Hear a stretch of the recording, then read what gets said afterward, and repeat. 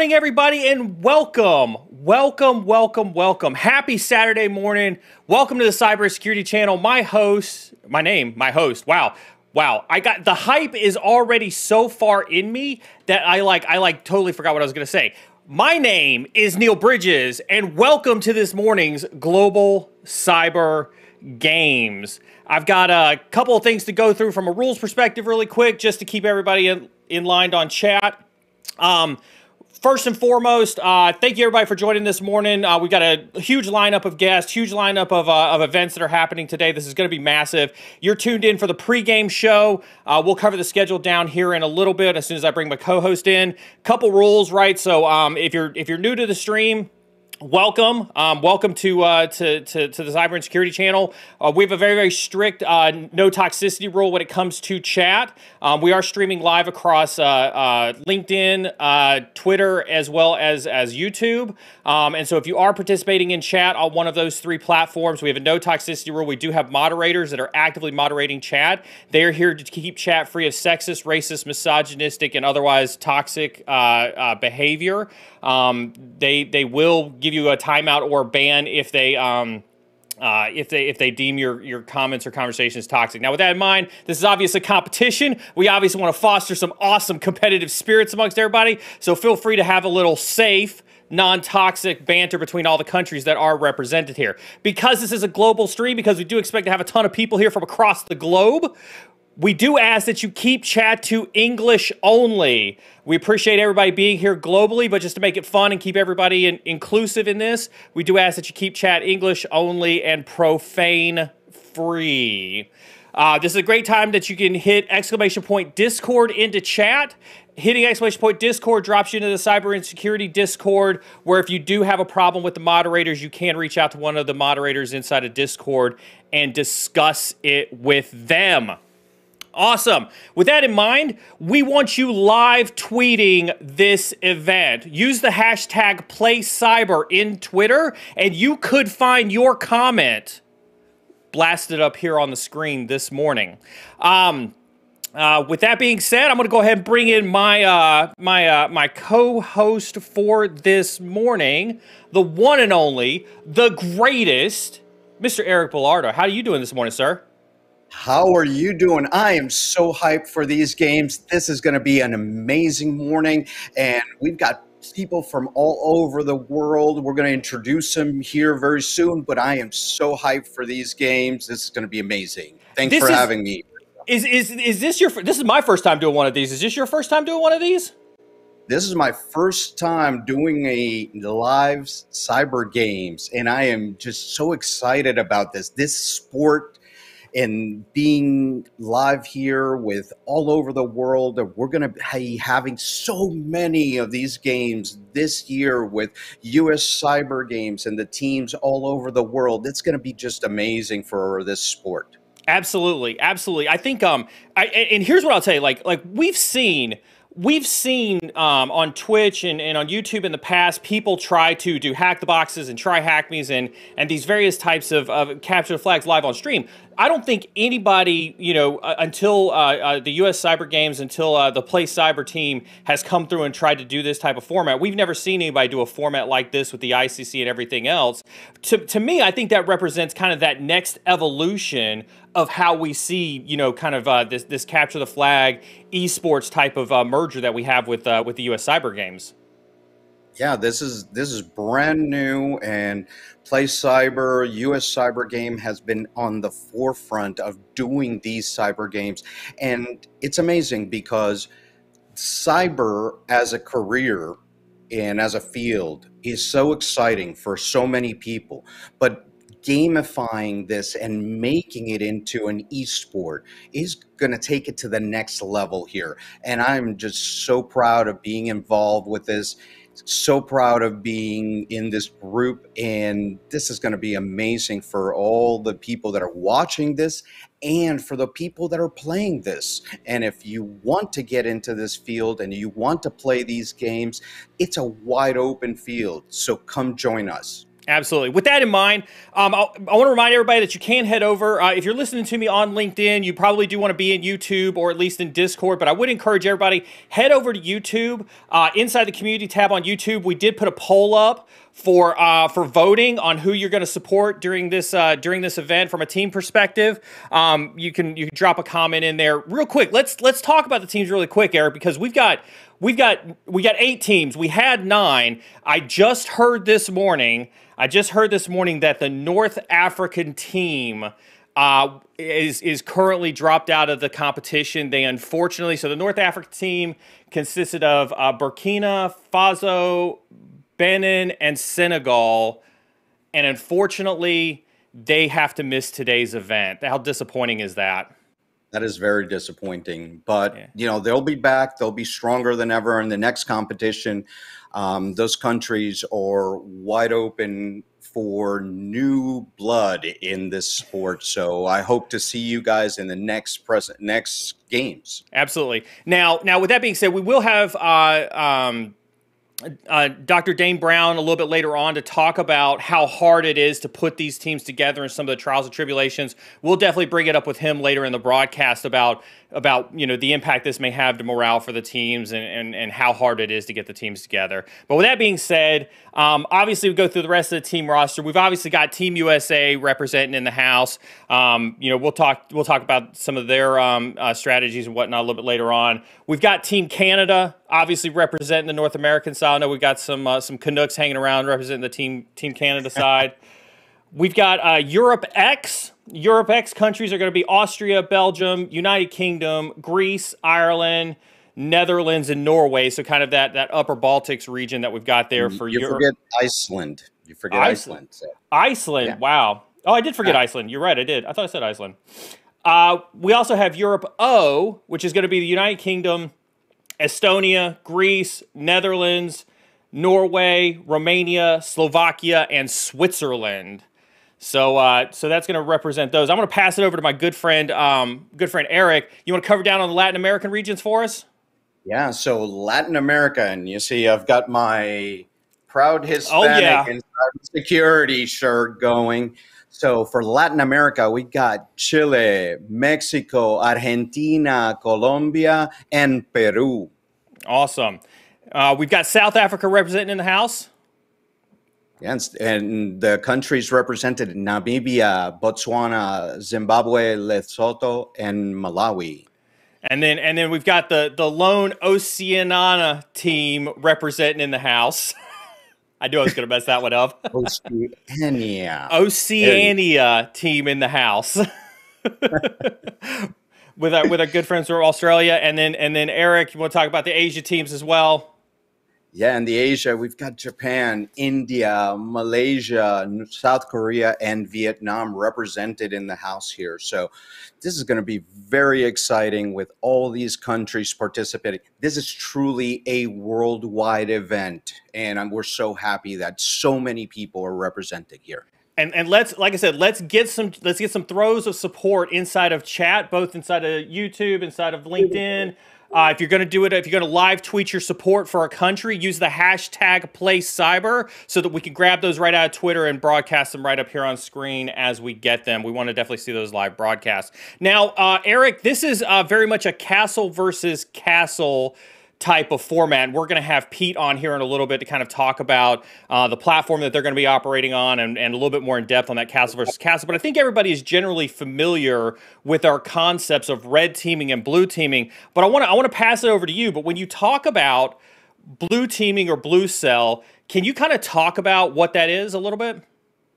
Well, you know that's that's that's what I do. So, you know, in the blue cell, you're just just defending. You are the defender. You are the next generation of defense. And You're maintaining that security posture. You are supporting your teammates by putting that defense in there and uh, protecting from all the simulated attacks, from the attacks if you're in real world.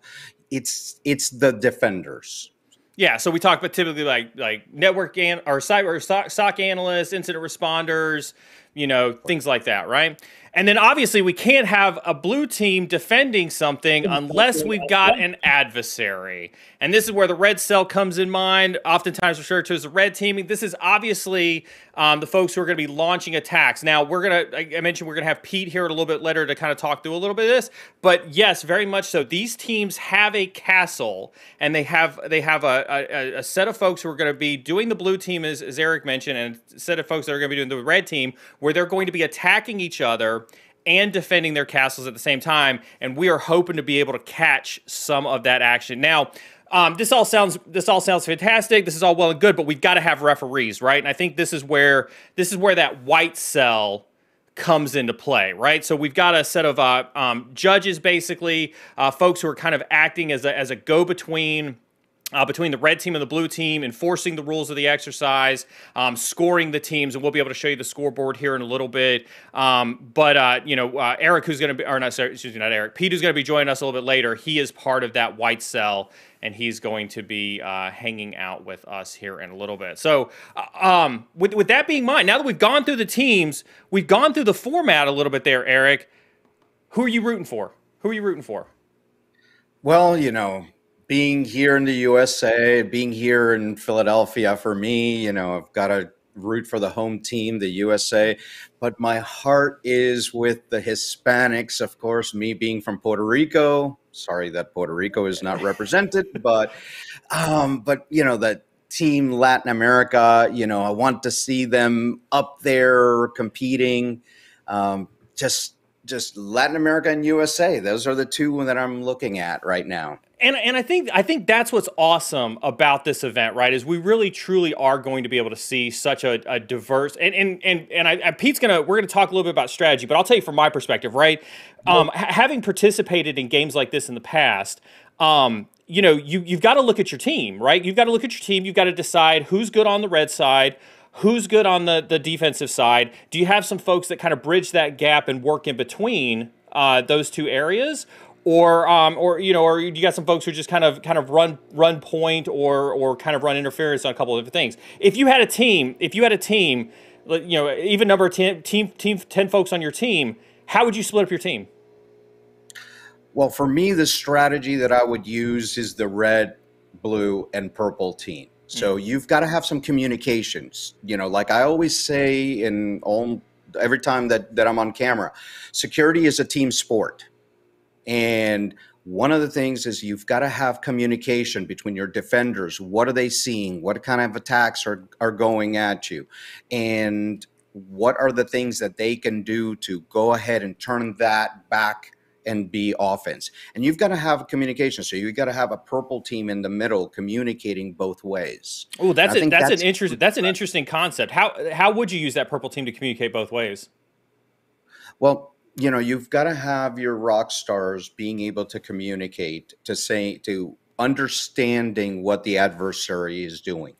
So you have a team in the middle that's looking at where your castle is. So you've got your defenders over here you've got your castle in here being able to to see what vulnerabilities can we fix in our own castle okay so that we can be a, mount a better defense. But on the other side is seeing what kind of stuff is coming out and what can we go ahead and attack with. So that's kind of where i would be if i was going to do the you know be a team captain or something like that I, I, think what's what's interesting about that strategy, and this is this is what I thought about as well, is is the good part about having the attackers and the defenders on the team, and especially if teams have that really good communication, is when another team launches another you know an attack at another team, if it's seen and you haven't thought about that attack, that communication is going to be paramount in helping to adjust your attack strategy. And so it really creates this incredible dynamic that has to exist in the teams. To your point, um, it, it is about communication. We see the adversaries you know out there in the in the cyber world um, you know communicating they, they almost run like businesses in some cases and so i think it's incredibly important that that that our teams you know you know communicate to that level as well all right. Like we used to say in the army, shoot, move, and communicate. shoot, move, and communicate. Um, real quick before I bring Pete in to talk a little bit about the the space, the, you know, the the the the environment that the teams are going to be operating in, the the rules and things like that. Um, I want to thank uh, um, I want to thank the continue to thank the Play Cyber team and Katzcy for for putting on this event. They've done a fantastic job. We are going to hear from Jess a little bit later. As you can tell here on the uh, on the right hand side of the screen, we do have a power packed schedule for today. Uh, we also going to be uh, we also going to be looking over people's shoulders pretty uh, frequently once the games start. We do anticipate the games starting at about 9 a.m. So here in about 30 minutes, we hopefully be doing a uh, a live kickoff for some of the stuff that is going to be happening. But with that being said, I'm gonna go ahead and bring in. Um, as soon as I can find my right button, I'm gonna go ahead and bring in uh, Pete Pete Hay from SimSpace. Pete, welcome to the show, sir. Gentlemen, it's good to see you. Whoa, whoa, easy with that, gentlemen. That's a little. That's a. That, I find that term offensive. Let's not do that here. I use it very loosely, but not in this case. So, um, so real quick, SimSpace is the platform that we're going to be using for this castle versus castle. Can you give us a quick overview on, um, you know, the SimSpace environment, what SimSpace is, and, and, and what the, the teams could potentially encounter there? Sure, absolutely. One of the um, when we talk about the SimSpace Cyber Range platform, um, the the central the central tenet of what we provide is the opportunity to practice like you play. Um, I think one of the biggest challenges you could face in cyber, um, especially with you guys being involved so heavily in helping train up the next generation, people who want to improve their skills, is how do you do that in a realistic environment that isn't a contrived environment? And that's what the SimSpace Cyber Range platform provides. Um, we get we we produce uh, an extremely large environment. We could reproduce it quickly. Um, we have the ability to perform user emulation. That's one of the things the competitors are going to see today. So user emulation means that the teams aren't the only people people mm. in the range as they're participating in the event there will be real live emulated user behavior in platform while they're doing which means there's a lot more volume of traffic to sift through. And so the challenge doesn't just become identifying adversary activity it becomes eliminating known activity identifying anomalous activity and then making a determination about which of that activity is malicious and which of that activity is just something we didn't anticipate so when we talk about the the size of the the environment that teams are going to be operating in today, can you give us an idea? Now, obviously, we've got a network map. We can pull this up a little bit later, but can you talk through kind of the scope of the size of the environment that teams are going to be dealing with today? Sure. We uh, we call this a uh, business mini. So it's a 63 virtual machine range, um, an environment that is designed to feel like um, a small or mid-sized business um, either a, a, small business or a mid-sized business with one of their branches or locations.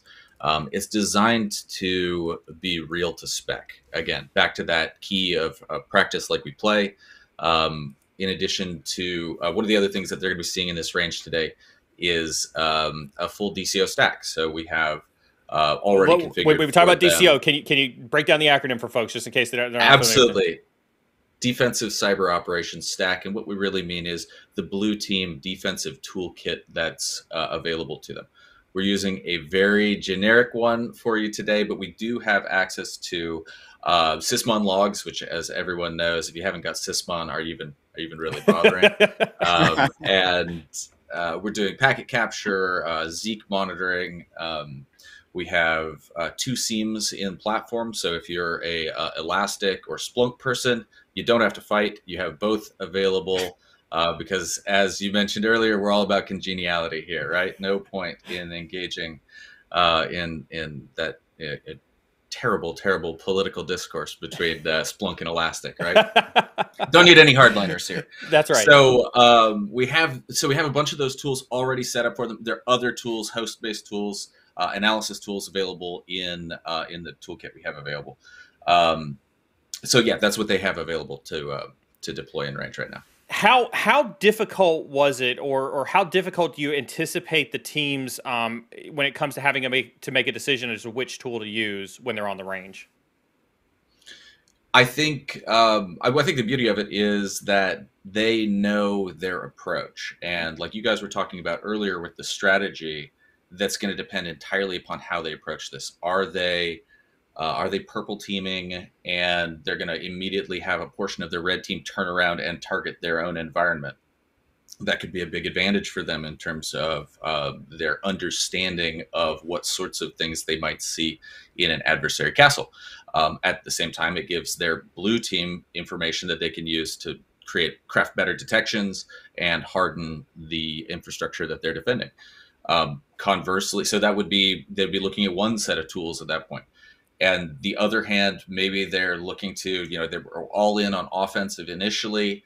Um, we have a we have pfSense firewalls that they can write rules on. You'll notice uh, when we talk about rules a little more carefully that we constrain them to keep them from writing a bunch of uh, Hack 24 rules that block off Mm. large portions and subnets. Um, so we are going to require that those firewall rules be really targeted to specific um, hosts. So a Mm. Hack 32 rule is what we call that, and uh, for that purpose, that they need to know why they're doing it. They're not just saying, "Well, we're scared of traffic from this network or from this subnet, and we're going to block it entirely." No, no, no, that's not how we're going to play.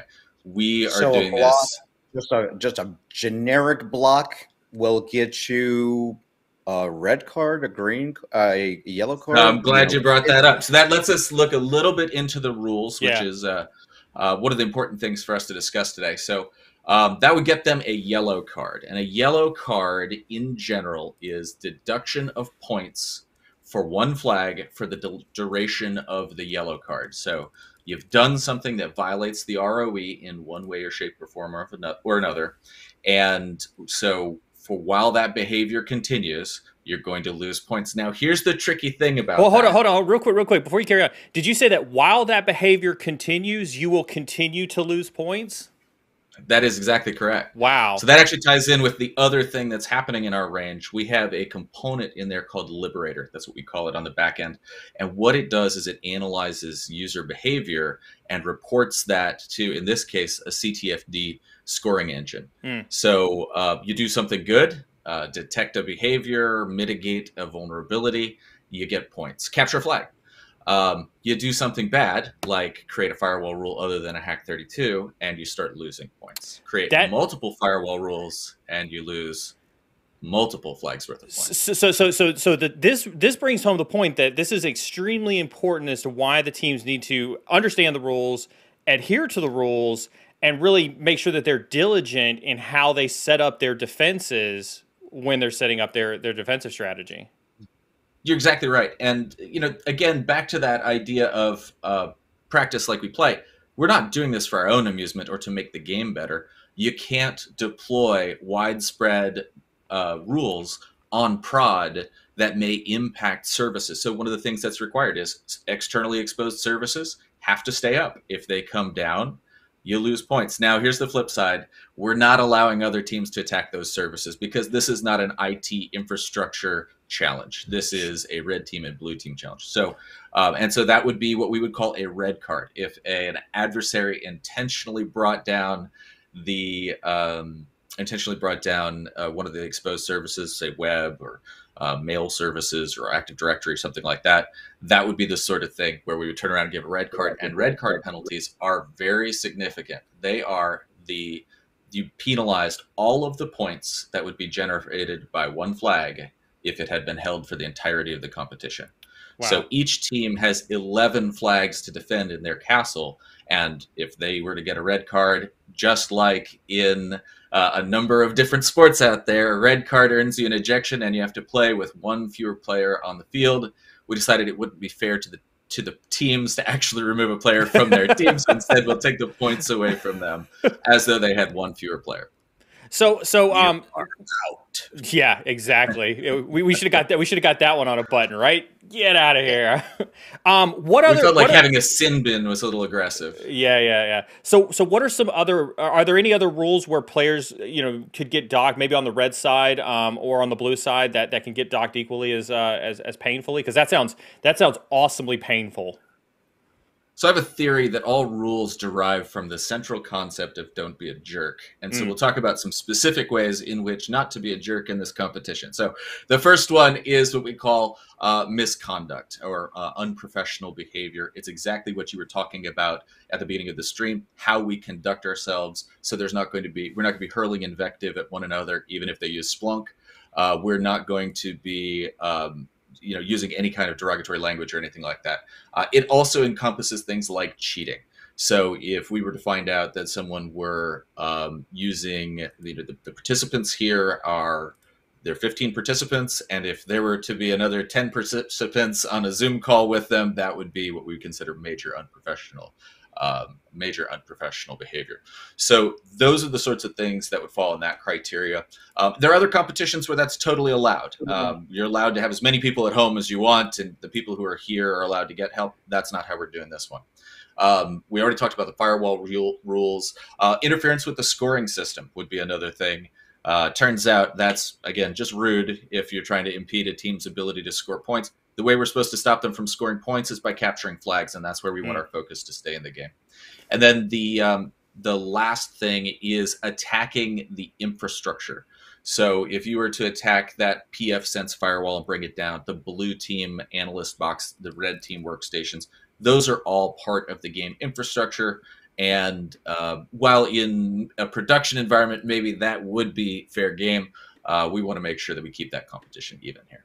Wow. Okay. So so so a lot for so so I take it you know the team captains are keeping this in mind diligently as they're you know as the teams are executing things. Um, I, I imagine from a from a practice perspective, as you watch the teams practice over the last few weeks, um, you know that has been taken into consideration when they either run an offensive operation or run a defensive operation. Is how do they deconflict as to whether that um, uh, violates a rule or something like that?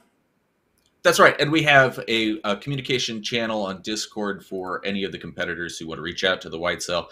Um, we're always happy to field questions like that. When in doubt, feel free to ask. Um, and we, we certainly, again, back to that central tenant. we're trying to help make sure this is a good time for everybody in a congenial environment. Makes sense. Makes sense. Now, now speaking of practice, um, you know, we, have obviously the teams have been competing since last year. If anybody remembers, uh, there was the the draft that happened last year, and then the teams competed in December um, on a, on another uh, event, and now we've got the teams competing here today on their road to Greece. What have you seen as you've watched um, the players during their practice sessions that you think the audience uh, should be looking for today as these teams compete? Well, I think you already alluded to it. What is that initial strategy? I think that'll be one of the really interesting things to observe. Um, and we'll, we'll largely see it through the scoreboard. Uh, what happens? Are teams immediately tipping over boxes in other networks and scoring points that way?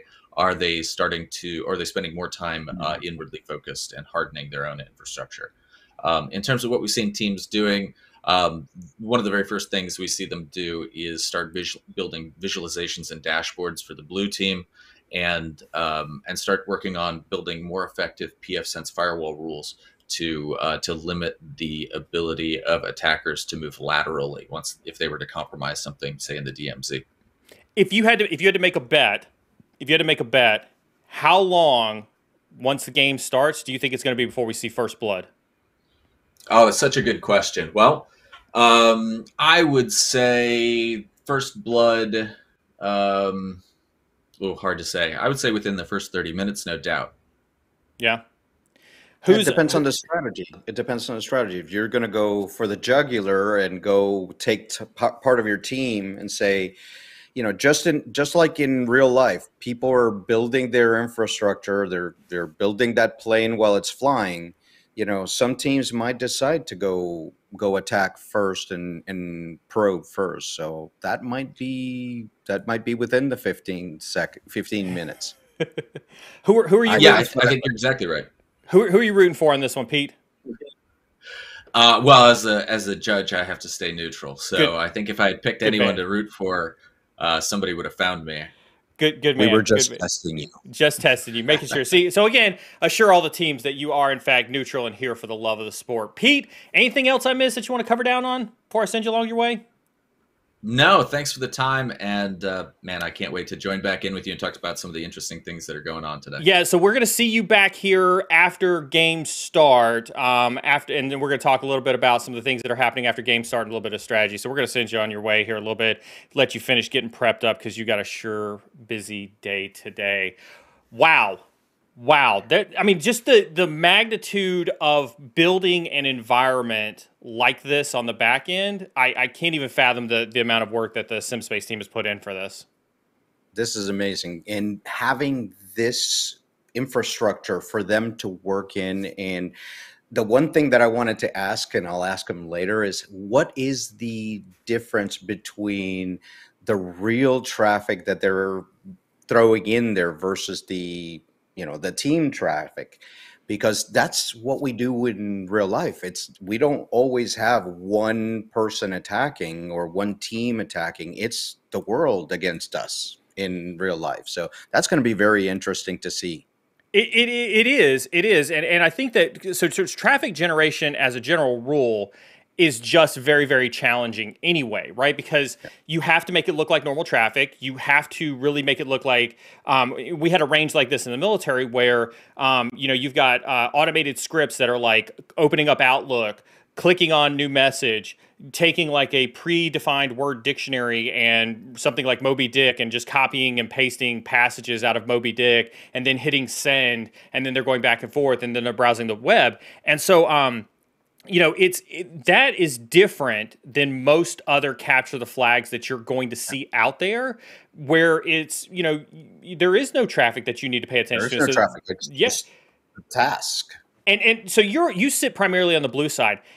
How hard is it to discern good traffic from bad traffic that is the crux of the matter for us you know? It's all about trying to find out what is that known good versus that known bad and everything in between. So these teams will have a challenge of looking at what is coming at them and what is known good traffic versus known bad traffic. And it's a very hard task for all those folks out there that are doing this job. So yeah it's going to be a very good challenge yeah, for sure. Um, all right, I think um, I'm gonna I'm gonna send you off. We're gonna bring in Jess really quick, um, who is the uh, commissioner for U.S. Cyber Games. I'll see you after the game start as well, Eric. Um, Jess, thank you so very much for joining us. Listen, um, um, you know, for anybody who doesn't know, Jessica Gulick has been an amazing uh, uh, individual to work with on on behalf of the the the Play Cyber and the Katzcy team. She's also the U.S. Cyber Games Commissioner. Jessica, on behalf of myself, on behalf of the entire community, on behalf of the entire teams that are here participating, I want to thank you so very much for organizing this, for putting this on, for for for commissioning this thing. Um, your events are always uh, you know kick tail and, and and you do a great job. I want to turn the floor over to you and let you address the audience and the teams as well. Thank you. Good morning, everybody. Um, Neil, you, you and Eric, I've been listening to all morning. This is fabulous. Hearing from the game master from Pete um, really gets this going and hyped up. Um, to all out there, thank you for joining us. Uh, to the audience and to the teams, uh, we are live all over the world, and we've got players that are just ready, uh, getting ready and uh, to go here. They have been excited. I tell you, for the last week, they've been working on strategy and techniques and we're going to see some of that today play out. Um, I want to uh, do a shout out to ENISA, the European Union uh, Cybersecurity um, Association, and the uh, ICC, the International Cybersecurity uh, Competition itself. Um, they've brought us together about almost a year ago, uh, brought all these teams from across the world together uh, so that we could do some kind of Olympic Cup, and it's been fabulous. Um, this is just a scrimmage today. The finals are in June, June 14th, and we're looking forward to seeing all the teams again. Uh, one of the interesting things um, we're probably not going to talk too much about today is the capture the flag teams as well. So these 15 team players, they're not only have to be good at um, attack and defend, they have to be good at capture the flag, uh, and that's a whole different skill set. Uh, but today um, we'll be able to see how they're doing on attack and defend. Can you look? Neil, can you, um, I was going to say, can you talk a little bit about the road to Greece as well? Because I think that that's a you know when you talk about that that event that's happening, that that that road to Greece is huge. Excellent. Um, so it's different all over the world. So each team has put together their own programs to recruit the best in their nation or in their region, and um, then our training. Uh, so it's fascinating to hear uh, each month uh, what they're doing and, and how that differs and what best practices can be uh, shared across the uh, different teams. For the United States, what we did is in May, we opened up uh, with an open for everybody. Um, and uh, they got a chance to practice capture the flag. We then invited those that met the requirements for the team and that were interested to the U.S. Combine, which we pulled from American football, right? Um, there's a combine in football where you practice the skills. And so over about four to six weeks, the coaches got to see the sportsmanship, the leadership, the techniques, the ability to learn and listen um, in a virtual environment using Discord, playing various different games uh, with the athletes. And then from then, um, they got to draft their team, right? Draft 15 players, five alternates, and five wildcards. And I think that's really important. Um, what we're seeing here today with North Africa, for example, um, not being able to play. For many colleges around the world, this is midterms. Um, and so school kind of comes as a priority. Hmm. Um, so some of the teams weren't able to get as many players together for this morning, um, but we do hope to see them um, in Greece. So from here, after this scrimmage to, uh, today, the teams will continue to practice. Um, they're making their travel plans. They're going to be headed to Greece again in June 14th. We'll meet in person. Um, and uh, thanks to ENISA and the ICC uh, for hosting the games in person. Um, we're going to be starting with, I believe, attack and defend, and then ending with capture the flag. So two days of gaming, uh, probably around eight hours each uh, which is a lot of game time, as you yeah. know. Um, and particularly since people are going to be uh, not used to the time zones, right? Traveling. Um, it should be fun. You know, the world's in a, in a weird place right now, so there's a lot of risk and a lot of um, question about what's going on, but we're still very positive about going to Greece and uh, meeting some of these teams in person. Now, now I've got a I've got a couple questions that have come through from chat. I'm going to send those over here in a little bit. But first, when, when I first met you, um, you you shared with me kind of your vision for cyber games being an esport, and and it really it resonated with me, and it really it really struck me in my core, my heart. I'm very much you know I, I agree with you on that concept. Can you kind of share that with folks who may not have heard that vision directly from your mouth? Absolutely. Um, very passionate as cyber as a sport. It's one of the only fields where there is an us versus them, but it doesn't have to be a negative uh, perspective, right? We can have sportsmanship. Um, equating cyber games to sports allows us really to practice um, both our attack capability and our defend capability in a safe place right? We get to really see what does it look like? How does how do we work as teams? How do we work across countries?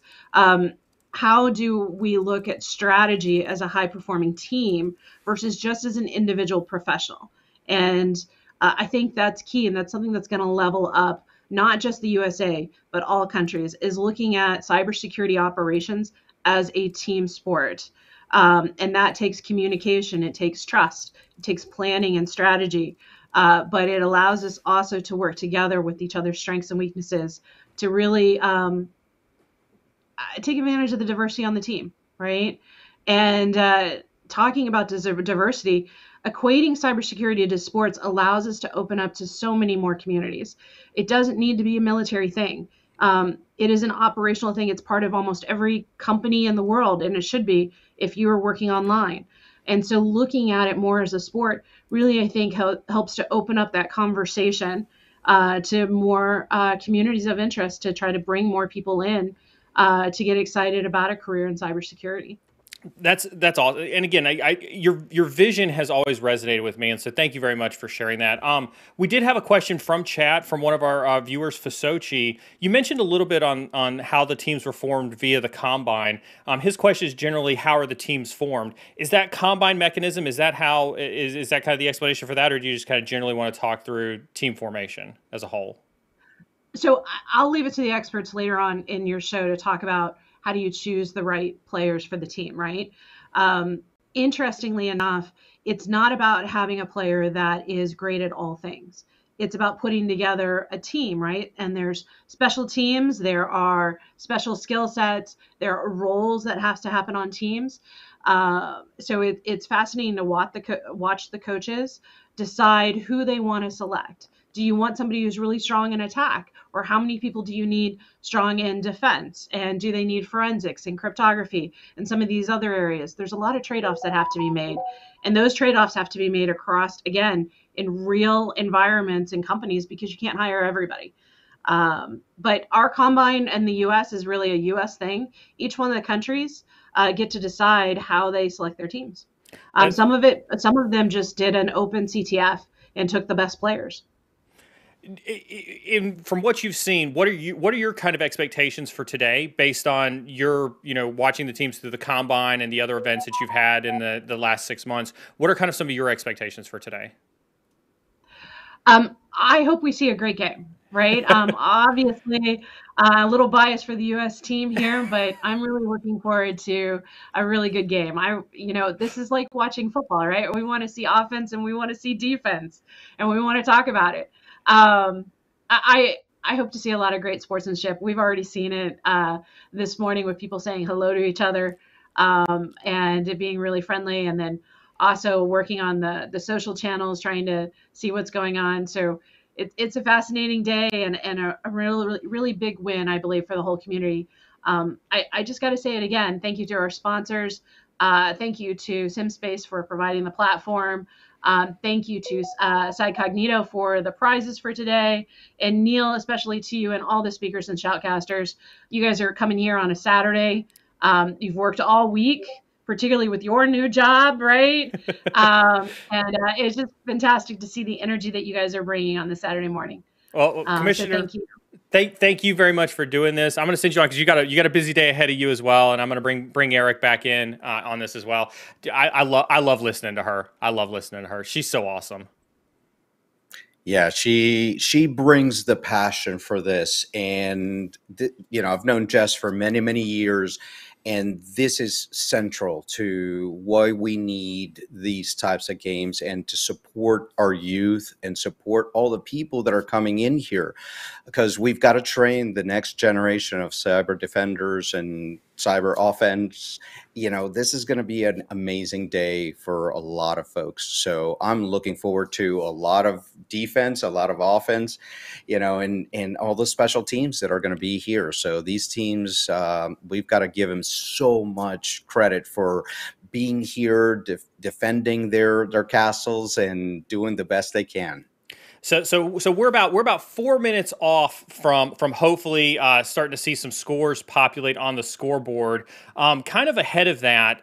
Um, I want to I want to want to kind of harp on something that Jessica said and, and and something that you said as well, right? In terms of how important it is to train. Um, you know, for over the years, people have asked me like, what is some of the best ways that they can get experience in in either offensive hacking or, or defensive cyber operations, right? DCO.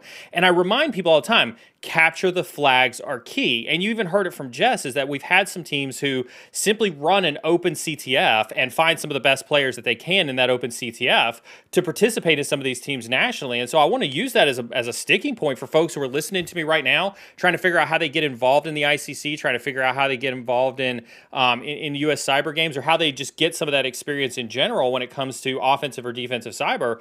The participation in capture the flags, I think is paramount. And I see, I think we're seeing really the culmination of what that's like with the U.S. Cyber Games. I don't know if you want to comment on that or not.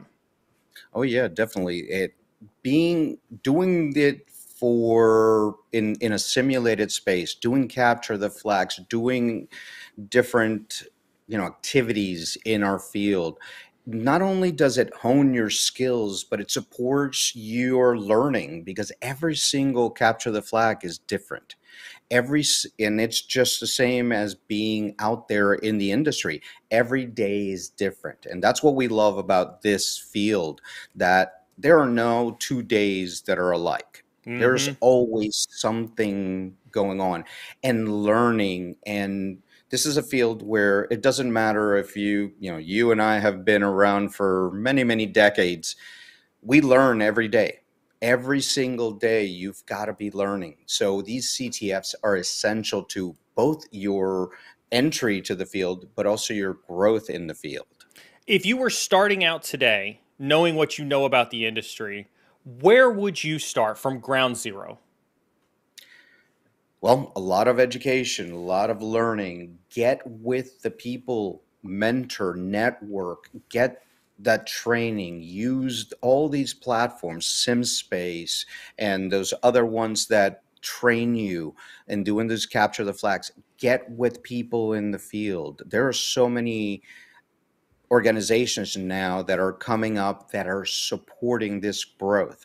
So a lot of education, a lot of mentoring, a lot of asking questions, and a lot of participating in these types of events. So, so it's, it's funny you say that because we did get a question that came through from from uh, Mithel Tio. Um, how would you how would one go about joining a competition like this? Um, I think we're going to have a commercial later from the ICC that actually talks about um, you know how to join the ICC specifically. But um, I, I, think you know there's there's you know organizations or there's there's uh, you, know, uh, you, know, websites out there like ctftime.org that has a list of like all the CTFs that are happening um, across the globe. Um, if you pay attention to um, a lot of the the, the infosec um, you know you know folks on Twitter, you know oftentimes we we tweet about like this event or other events or things like that as well. Um, I don't know what what would be your advice in terms of how to get involved in in competitions like this. Well, there's those, and don't just look at offensive. Um, um, That's a great point. That is a great point. Yeah. You know, there are a lot of defensive capture the flags, and actually, one of this uh, one very interesting capture the flag is the social engineering capture the flag that is being held this summer um, here by Temple. You're University. talking about you're talking about the Trace Labs the, there's Trace Labs, and then there's the Temple University's uh, ah. uh, SE Capture the Flag, um, which has teams from all different universities, but it also has teams that are formed by just general people. Um, so there's an open uh, security engineering capture the flag. So there's a lot of information out there on Twitter. Follow myself, follow Neil, follow all the different people that are out there in InfoSec. And we actually tweet when we see these things. There's different websites that are there. So there's a lot of information. So if you want to join these types of events, do ask the question do network do support more uh, support more of those the people that are actually actually out there streaming like neil and myself and many others that are putting the message out there so yeah absolutely that's how it all right so uh, we're at the top of the hour um, uh, I think I'm going to go ahead. Uh, we, we should be starting to see some some action coming in, so I'm going to go ahead and bring Pete back into this mix here in a little bit. Pete, I, I, see your eyes chasing monitor to monitor. It looks like you're you're already in the throes of it uh, going on. Um, uh, have we? Do we have the teams kicked off yet? Are the teams uh, uh starting to hit the platform? You're on mute. You're on mute, Pete. Uh oh. There we go. Okay, let's throw him the first yellow card. I was gonna mute. say. I was gonna say. There we go. We've got the, the first the first foul on the play with Pete and the and the mute button. No, you still uh, we we got, still got Pete Pete dealing with some mute issues here in a little bit.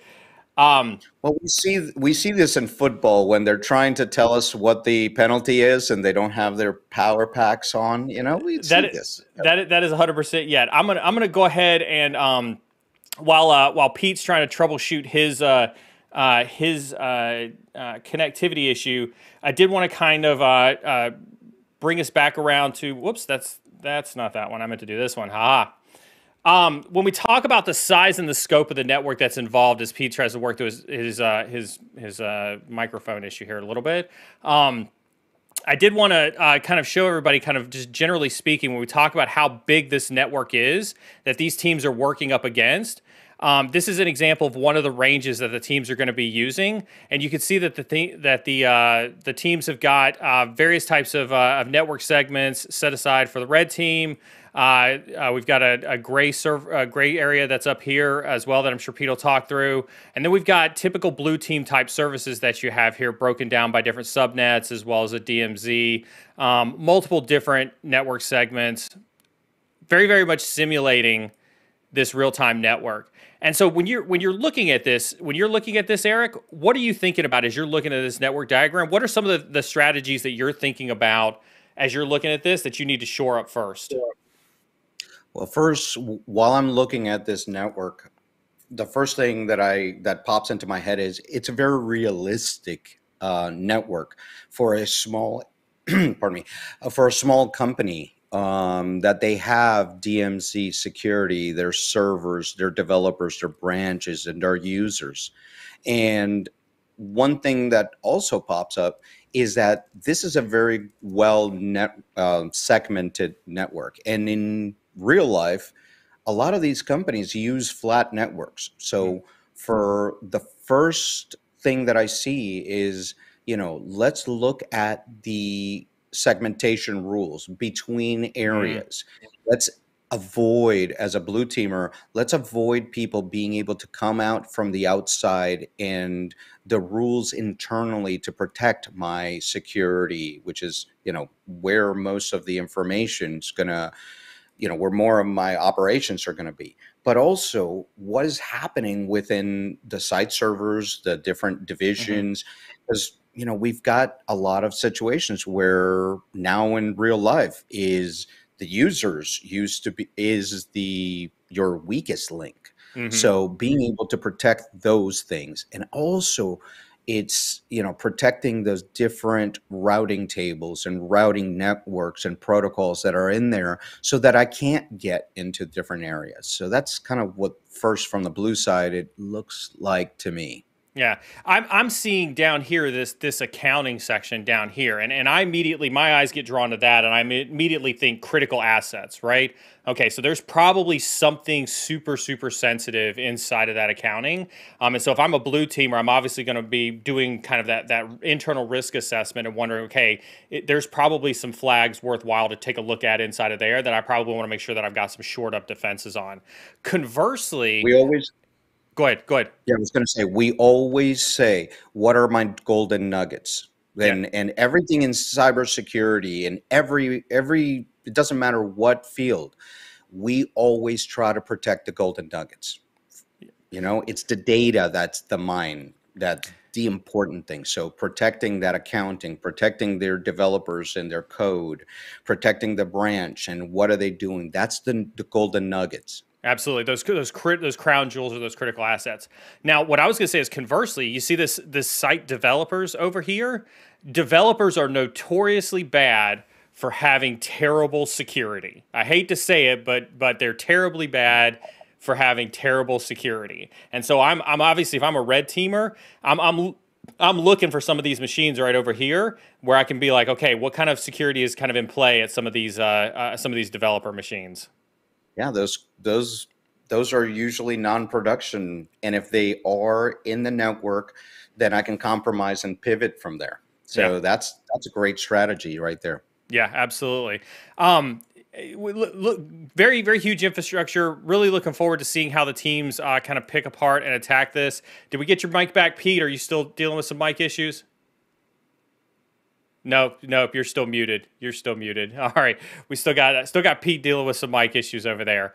Um, Pete's obviously trying to juggle multiple things at once, so we'll um, uh, we'll we'll kind of uh, uh, you know send him off uh, to talk a little bit about strategy. So as we're looking at this, let's see if we can hop on over to the scoreboard. Wow. Okay. So so we did already get some. Um, we already got some teams. Wow. So so this get this speaks to kind of what a lot of uh, what Pete and the team were talking about in terms of um, pre-staging a lot of the stuff that uh, that was happening. So you can kind of see here. It's actually um, it, it's pretty interesting to to see how um, uh, you know the, they've got the teams that kind of go for a little while. They're getting points, and then they've got these huge step ups, and they've got these huge step ups as they go across the. So it almost looks like if I were to read this graph, and, and we'll wait for Pete to come back and see when see, see if Pete can uh, you know offer some insights onto this. But looking at this scoreboard, um, it looks like a lot of teams had some uh, predefined red team and some predefined blue team strategies that look like they executed on right on Jump Street.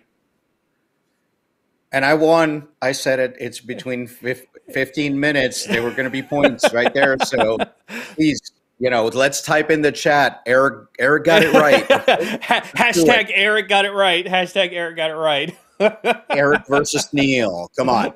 All uh, right. So looks like a lot of, like I said, they went for the jugular very quickly, trying to trying to prod and and look at what they had there and you see that once they do that they went to their defensive strategies and okay, now that I see that this is vulnerable, let's go ahead and defend it. And I see that those steps up as they're doing that and testing different things. So now, now, what I will say is, um, we, you know, these are these are obviously coded, um, so that so that the teams aren't uh, seeing that they're attacking uh, directly each other. But it does look like, um, can I can I see what we've got up here? It does look like, uh, uh, if I'm reading this correctly, uh, Gamma and Delta are uh, kind of the top leading scores that uh, that are up there. So um, we'll get Pete in here, hopefully here in a little bit to kind of troubleshoot. Oh, it looks like Beta and Kappa took over. So so the teams are still actively. Um, actively working on stuff. Let's see if we can head over here. Um, we are able to, in the SimSpace platform, look over the shoulders of a lot of the players. And so this is this is uh, we're actually uh, watching uh, the the red team one position uh, for one of the teams uh, right now. If I could, um, if one of the mods wants to tell me which team we happen to be watching right now, but um, looks like we're watching. Uh, uh, one of the red team one positions for, uh, for for one of the teams.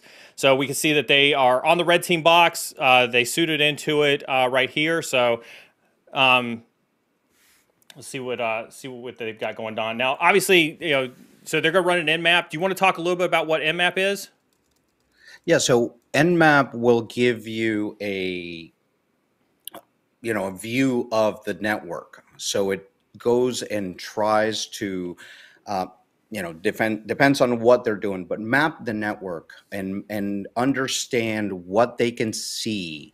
And i'm doing this in a very basic way but you know be able to to see where what exposed services what they can discover. It's a great you know tool for looking to see what they what you can see um, like we see here, you know, they discovered different open ports from the outside.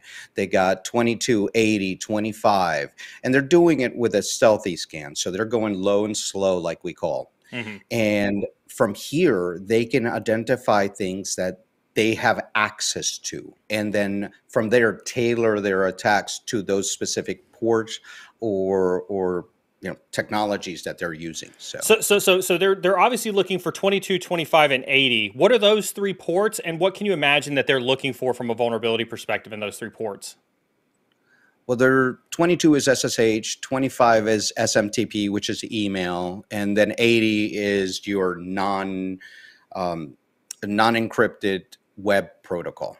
So being able to use you know attacks against SSH, which is one of the most common ones with, you know, the different vulnerabilities that are out there to be able to use encryption technologies to get through or do a man in the middle attack um, for those with the email being able to compromise an email server maybe pivot from it or use it to send false information as well. And then with the 80 being able to do OWASP or web uh, web attacks that that you know I would use as I saw that. Oh, and, now and, and that's actually that actually looks like probably what what Red One is tr- attempting to do here is to go to Alpha One and kind of see what the what the web application looks like here. I would anticipate that this is uh, in anticipation of a potential web attack on this this website. That's what it looks like to me. And you know, from here, being able to capture that information, get, uh, look at the different risky uh, HTTP that they're doing here, trace those things, and maybe inject something into their web server. That's what it looks like that their strategy is looking. So, so, so, a question came in from chat from California 909 says, "Are we going to see the actual attacks?" That is definitely what the goal here is. That's why we were able. The SimSpace platform allows us to be able to look over the shoulders of the players, and so we are looking at one of the red teams um, uh, uh, for Kappa right now.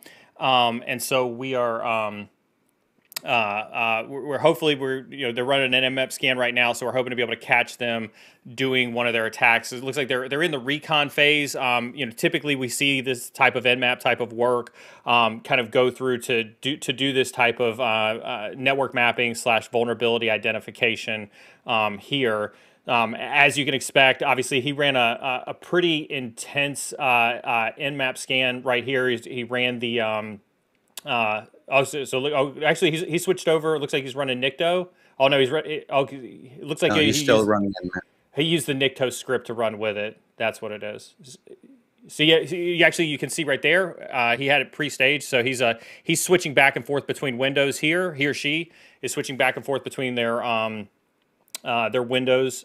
So in their Nikto scan, looks like they identified a config.php. And so um, one of the typical things that you'd see done in a web application attack like this is um, whenever you, you get a result for config.php, you see if it's publicly readable to the internet so that you can hopefully identify maybe some usernames or some passwords uh, that are associated with it. Yeah. And looks like a lot of the attacks that they're trying to do, they identified that is that it is a PHP script and that there is Apache here. So I anticipate that their next move is going to be against those Apache um, um, services. Yeah. So, So- so- not so just, just- PHP. We, we did just hear from uh, we did just hear from the the the moderators. This is Eric, your Latin America team right here. Uh, we are over the shoulder of Red Team One on Latin America, watching uh, he or she do some uh, recon against uh, against these web servers. So here we're back to looking at the Nikto scan. You can see that that's what is run here. Um, Nikto is a common web uh, application vulnerability scanner that they're running against this uh, uh, this website. Um, attempting to see if there are any uh, open vulnerabilities with this website here. Yeah, and this this is going to be very interesting to see what they're going to go once they identify some vulnerabilities on the website. Which one are the are the, the the different attacks that they're going to try to use? But right now, this recon phase is going to give them a lot against their web applications.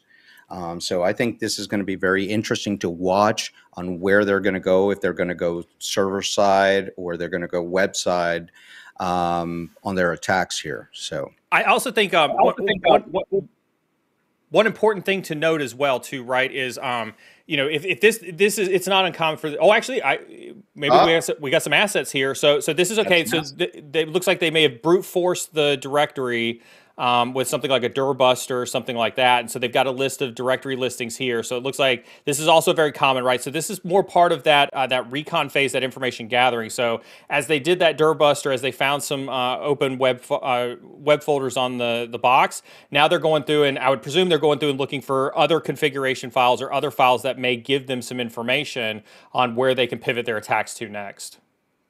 And what I'm also interested right now is they're attacking this this team is attacking this web server. I'm also interested in what's happening at the defender's side. Are they seeing this? Because Nikto and Nmap can be a little noisy if you've set up your your alerts on the other side. So on the blue side is how are they detecting this? These guys are all already doing very good recon in here. So what is it that they're seeing on the other side? Are they identifying? Are they trying to do something to kind of kick them out of the network here?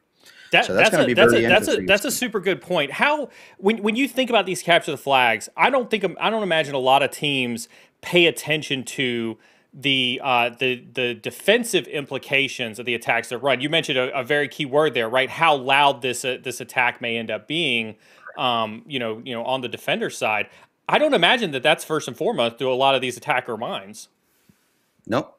Um, so one of the things that is interesting about this this castle defense that is very realistic is we sh- when we do CTFs, we don't care how loud we are. We send all our tools. We go out there. We go a, on an attack. But when you're doing this in real life, or when an attacker is doing this in real life, their purpose is to get in without being detected. Yeah. So being able to look at this and seeing what they're seeing on the defensive side, they might not even know that these guys have already gotten this much information. So, So, here you're seeing I these was- Splunk. I was gonna say, can you? It looks like we're on we're on one of the defender boxes for Europe. I'm not sure if this is Europe Zero or Europe X, um, but it looks like they were just inside of their Splunk window here. Hopefully, this is uh, this is Win Hunt One from um, from the European team. So hopefully they're in there now. We're gonna be able to see them actively hunting for um, some of these particular type of threats uh, uh, right now. And also their configuration. I see that there's security onion there. So their IDS configurations, you know, a lot of people don't understand that, yeah, you can have these log aggregators everywhere.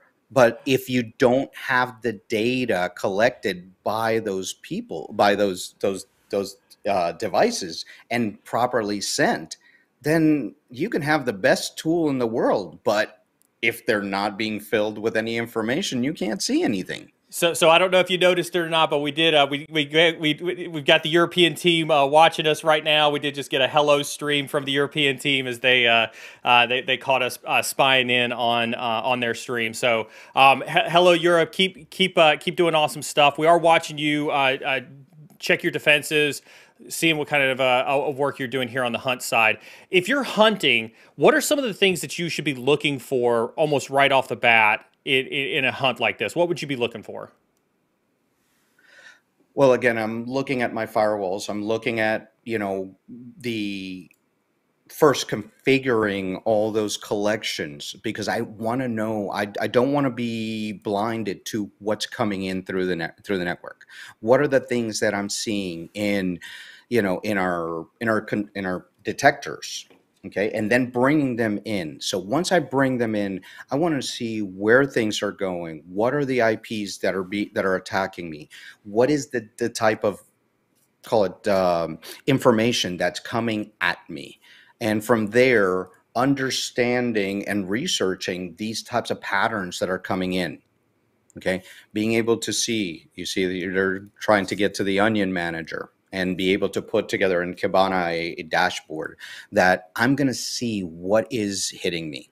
So on the simple way to doing this hunt, I'm going to be looking at what what are things that are hitting me. What are what is the what is the type of traffic that's coming? If I see an Nmap scan, then I'm going to be like, oh wait, hold on, somebody's trying to look at what I have. Okay, where is that? Can I block them on the firewall? Can I block them on there because they're doing an Nmap scan? So I'm going to try to put up on my defenses real quick so they can't see what I have. That's. Uh, I, I, think that's. Uh, I'm, I'm, hoping that we get to see them. Um, uh, you know, start searching, doing some searches in here, um, and and start to see uh, what they've got going on. Let's head back over to our scoreboard while we wait on that. Um, looking here inside of our scoreboard.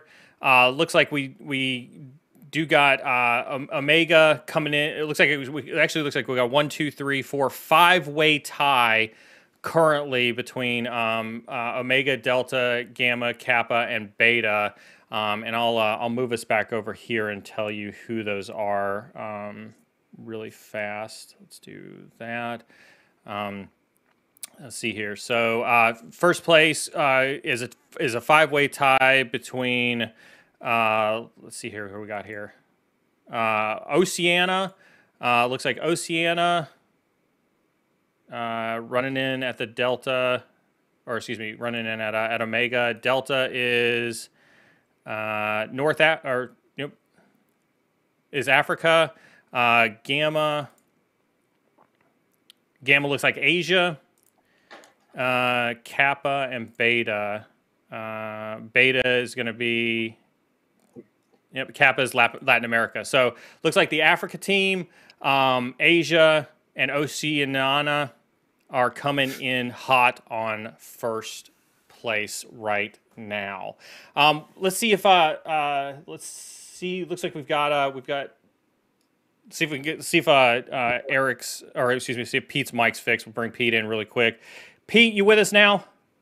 Well, I hope so. Yes, we got yes! you now, gentlemen. It's been it's been terrible without you. Can I uh, can I just express that? we have missed you. We have missed you too. I'm glad to have you with us uh, here really quick. So, um, what have you seen so far, just in the first 30 minutes?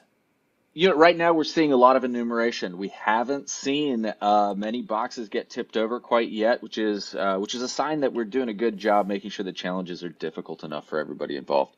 Um, and then uh, we're seeing a lot, uh, you know, some of the things that you can't see from the front end. Um, I have been absolutely inundated with change requests. So one of the things in the rules is I mentioned that Hack 32 firewall rules, so single host firewall rules are allowed. But we also allow for patching of affected systems Mm. or um, updating systems if vulnerabilities are detected. So before they can do that, they have to let me know.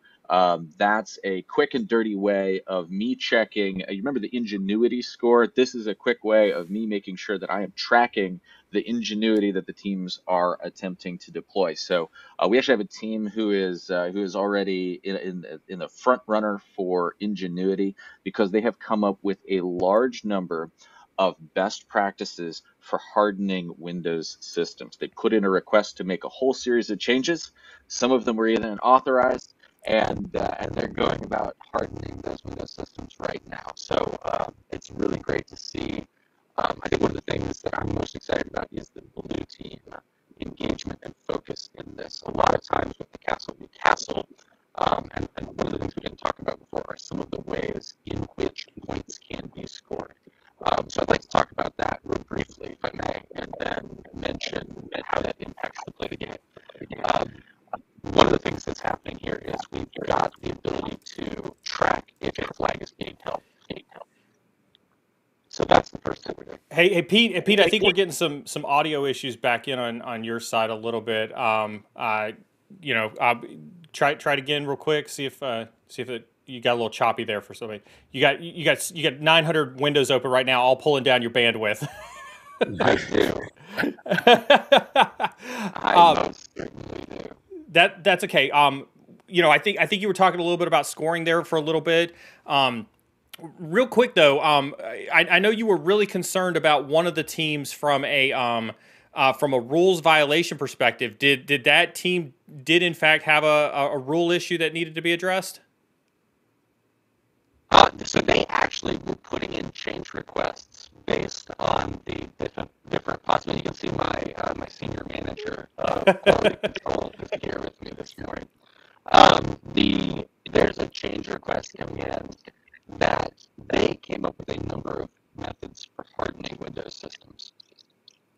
Requested a change, and we went ahead and authorized that. So they're a leading contender for um, for our Ingenuity Award. Awesome. stands right now. Awesome.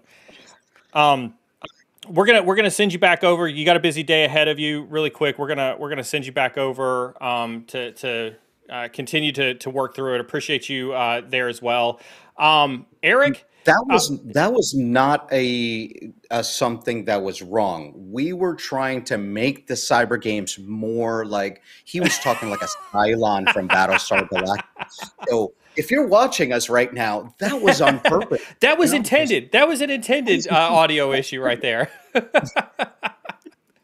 um, here, here in a little bit. thing that I Here, say one what? Thing that I noticed I wanted to bring in is the issue that we saw them looking that team looking at things that you know like for instance in the simulation how the different global teams have different challenges you saw a search for how what are the the slashes in us keyboards Yeah. Oh, So that's a good point.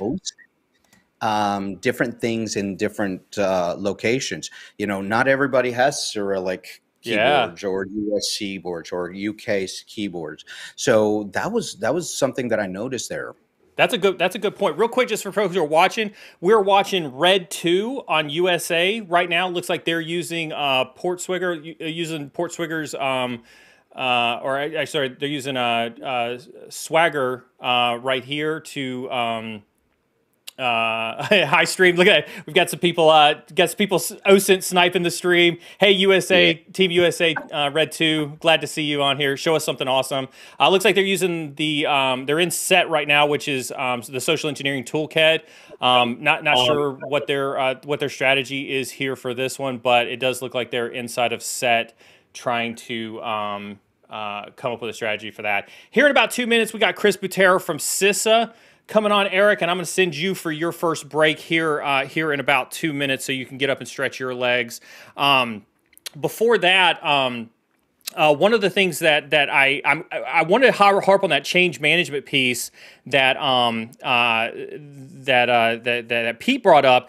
Um, that was awesome. So so so for those who who weren't aware, in our pregame stream, uh, Pete was concerned that we may have had a, a, red flag violation on one of the teams almost immediately um, because they had um, uh, they had had not adhered to one of the rules. And so to uh, to hear that they had gone back, um, reevaluated their strategy, submitted the appropriate change request. Um, so that they did in fact maintain uh, the the rules integrity. I, again, I think that that was that was the point he was trying to convey on the ingenuity part of what it was that he was uh, he was stressing about. How how how critical is change management in your minds?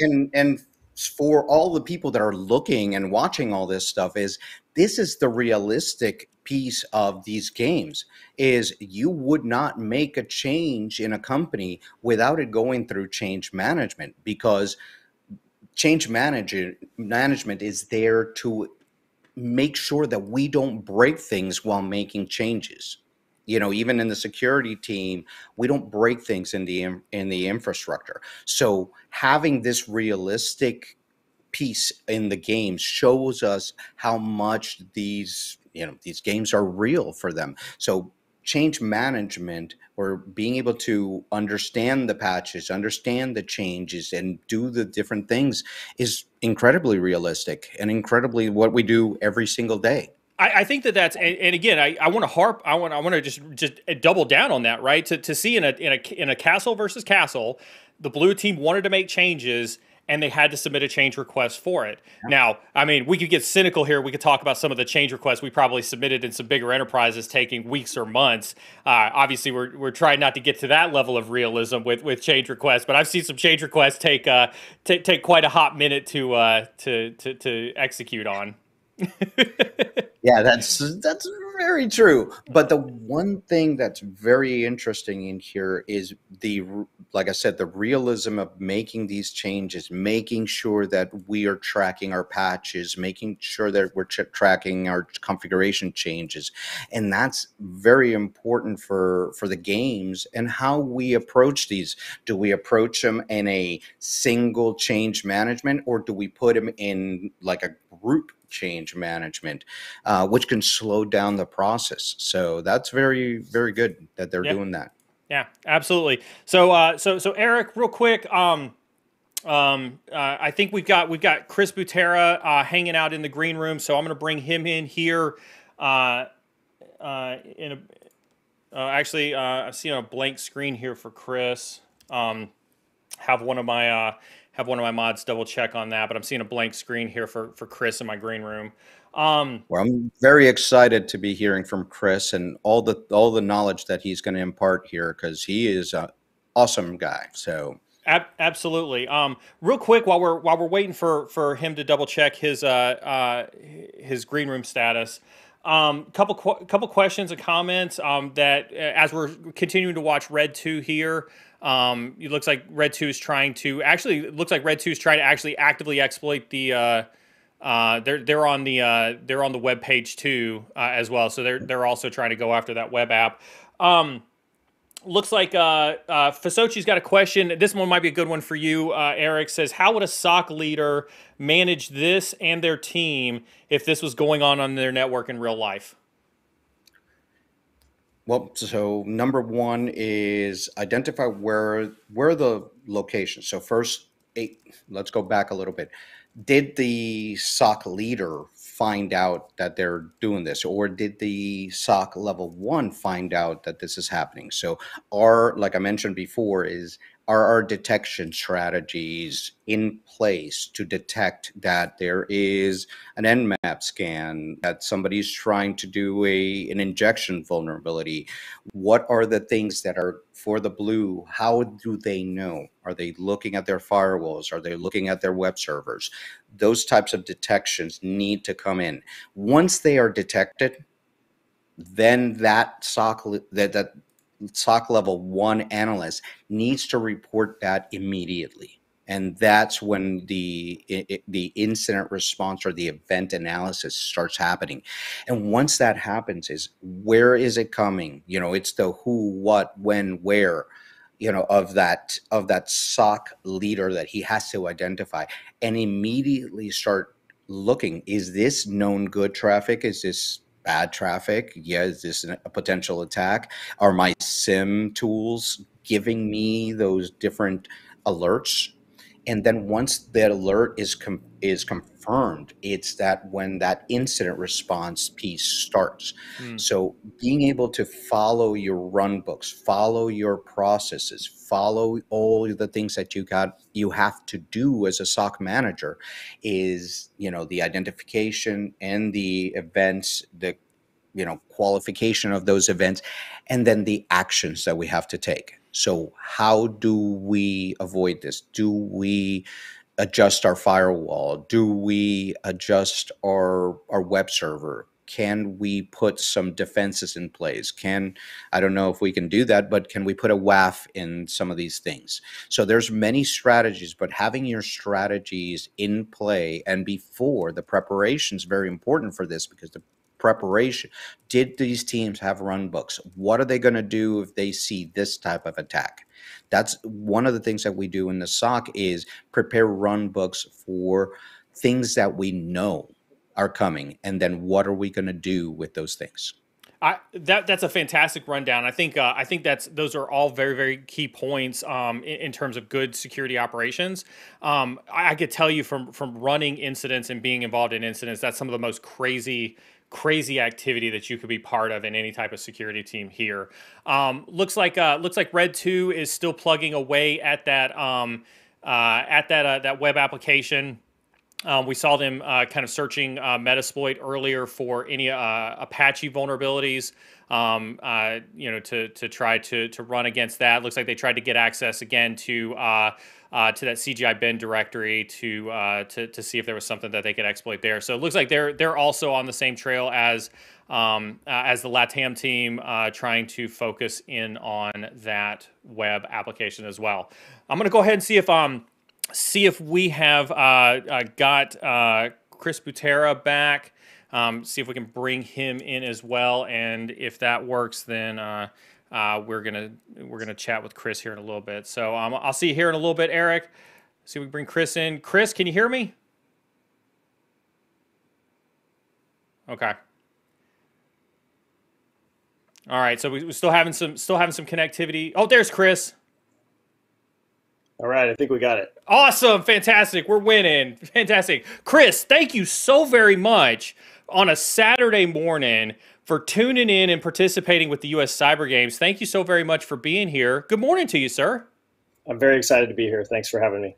So, um, so, so you're with CISA. For our international folks who who don't know what CISA is or understand what CISA's job is is here in the U.S., can you talk just really briefly about what CISA is and, and what its role is in the U.S.? Yeah, of course. So CISA is the Cybersecurity and Infrastructure Security Agency. So we're focused on defending both physical security, emergency communications, and of course, most importantly to this audience, cybersecurity. Uh, so really, we have a lot of different mission focuses to both help defend today, which is really focusing on the emerging cyber threats and helping manage and respond to cyber incidents, as well as securing tomorrow. So how can we better protect the U.S. critical infra- infrastructure as well as kind of the global internet from future cyber threats? So, so um, w- without getting um, uh, uh, too much into uh, into the weeds, how how intense is your job right now? it's it's pretty busy. So we we've uh, I, I don't know there there isn't busy days. So we always have emerging cyber threats that we're that we're dealing with. But of course, the ongoing uh, conflict in the Ukraine is is is something that's we have very heightened awareness and are trying to make sure that we're responding and looking at every single incident that gets reported to us and making sure it's not part of a larger uh, you know potential threat to the U.S. Um, when when we you, when you look at that, just just the sheer tantamount scope of how big that that challenge could be, and then you look at these cyber games, is there a correlation or is there an importance that these cyber games have in in potentially you know you know creating future folks who can protect you know the you know work for work for CISA, work to defend the the national interests of the U.S. or any other country out there in the world? Yeah, 100%. So we know that there's a global shortage of cybersecurity professionals as well as a, a huge shortage in the US.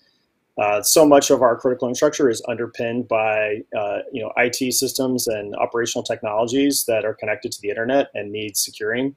Uh, these these types of competitions are an excellent chance to get hands-on experience with forensics, with uh, attack techniques, and, and really just understanding how important cyber is at protecting our critical infrastructure. Is when when you look at when you look at the different types of CTFs out there, um, obviously this one is castle versus castle. You've got the the flag, uh, the capture the flag type of scenarios that are out there. Um, you've got you know other types of APT emulation.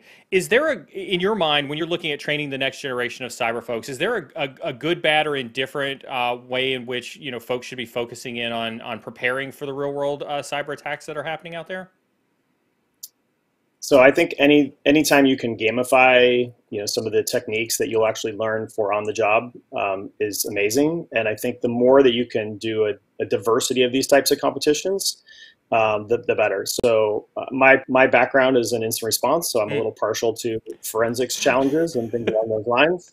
Uh, I can geek out really hard on those, but I love to, to practice the offensive challenges because it's not my background, and I learn more about the def- defensive side every time uh, I pop a box about you know what what I should be trying to protect and secure, as well as what forensic artifacts could be created. Uh, you know when when you're actually uh, compromising a machine. I, I, think that that's an incredible point because it's it's a very it's one that's that's I think is taken for granted on the blue team side. Is it is equally important to understand how to do red teaming as you're doing the blue teaming type of role. Does it does it disappoint you that we don't have or we don't focus on as many of the blue team style CTFs as we do on the red team style CTFs? I mean, for me, yes, as a defender, uh, just a little bit. But again, you know, I, I encourage all of our blue team folks to try to, you know, crack, crack open Kali and Metasploit and and try to do some of those, you know, war boxes or other things to learn the offensive skills. Because again, I, I think you have to understand how the offense is going to operate to be a good defender. Um, I, I, would like to see easier ways to do some of these defensive type challenges that might involve, you know, terabyte images and, or you know huge gigabyte memory samples. We have some challenges, I think, to get around there, and hopefully we can make use of you know cloud technologies and other things to do to better in that arena. That that's a fantastic point. I do, I do find that a lot of the forensic style challenges um, end up being, you know, on small images. They end up being pretty easy to solve because they're they're they're not, you know, indicative of the large size disk spaces that we have currently at our disposal right now. Yeah, or or too many stego images that I saw. yeah. The the uh, the early 2000s called and they want their attack TTPs back. um, what about what about the emergence of purple teaming? Kind of, what's your take on the emergence of purple teaming and its importance in the industry today?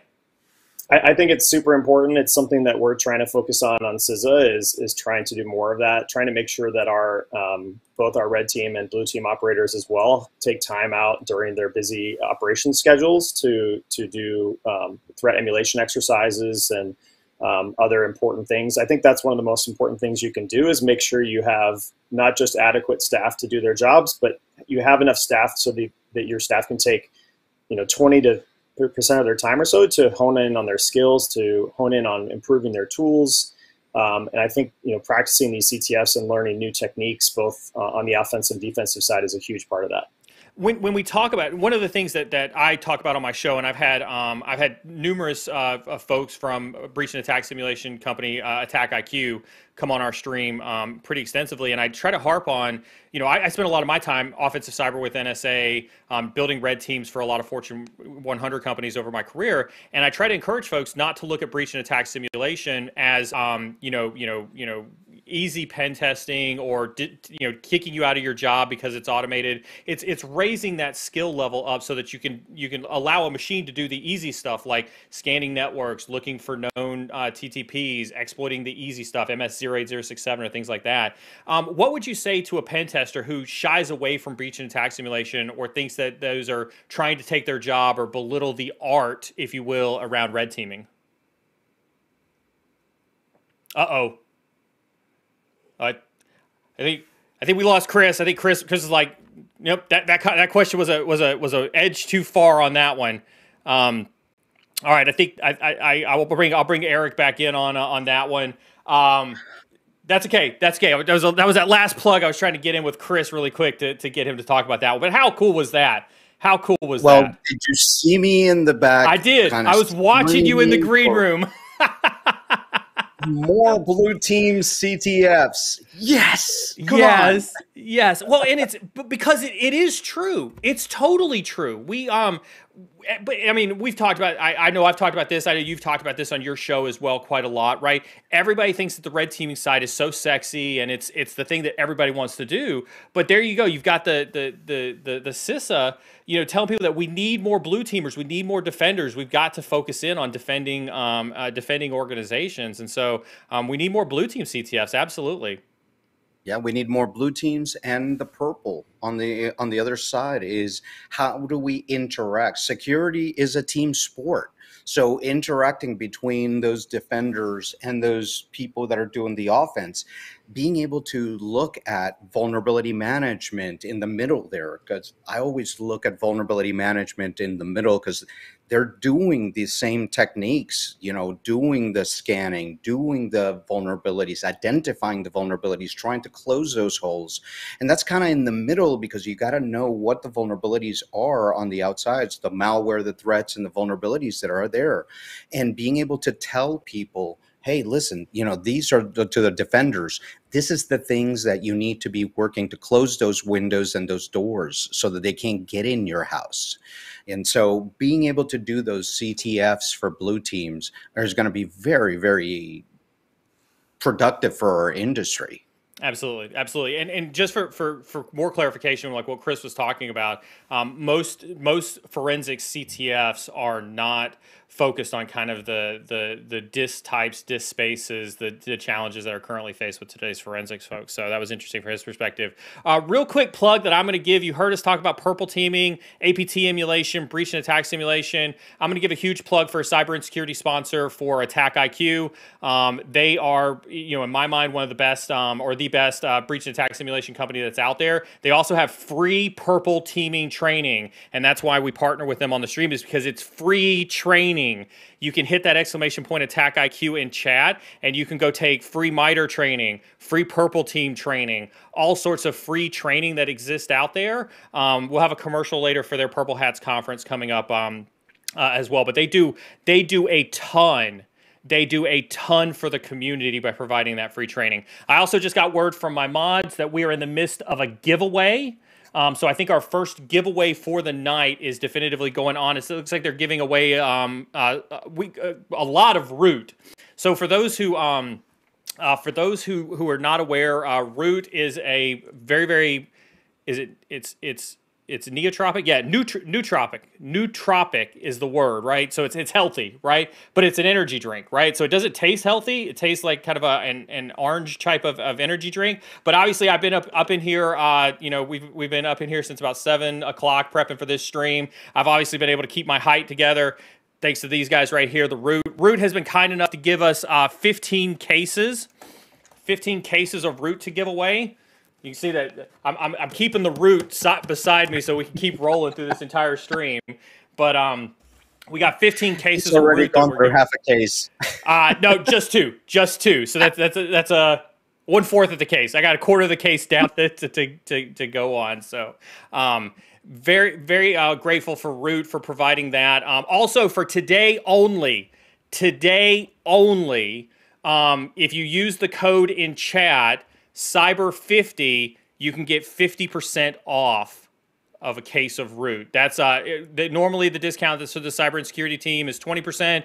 It's literally half off today to get your root going. And this stuff is awesome. I, I owe you I owe you a case, Eric, but um, you know, it's it's still pretty awesome.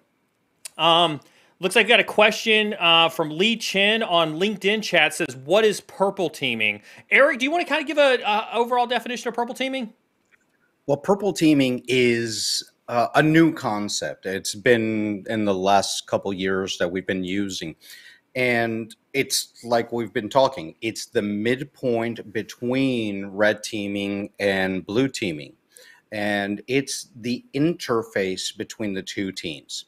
Um, a lot of the teams that I see on the purple side are teams that are connecting the dots between them. I mentioned vulnerability and threat management. Um, traditionally that's been in the blue side because it helps the defenders, the defenders. But it's in the middle of identifying the threats, identifying the malware, identifying the the things that the blue team and passing it on to the red team or the opposite.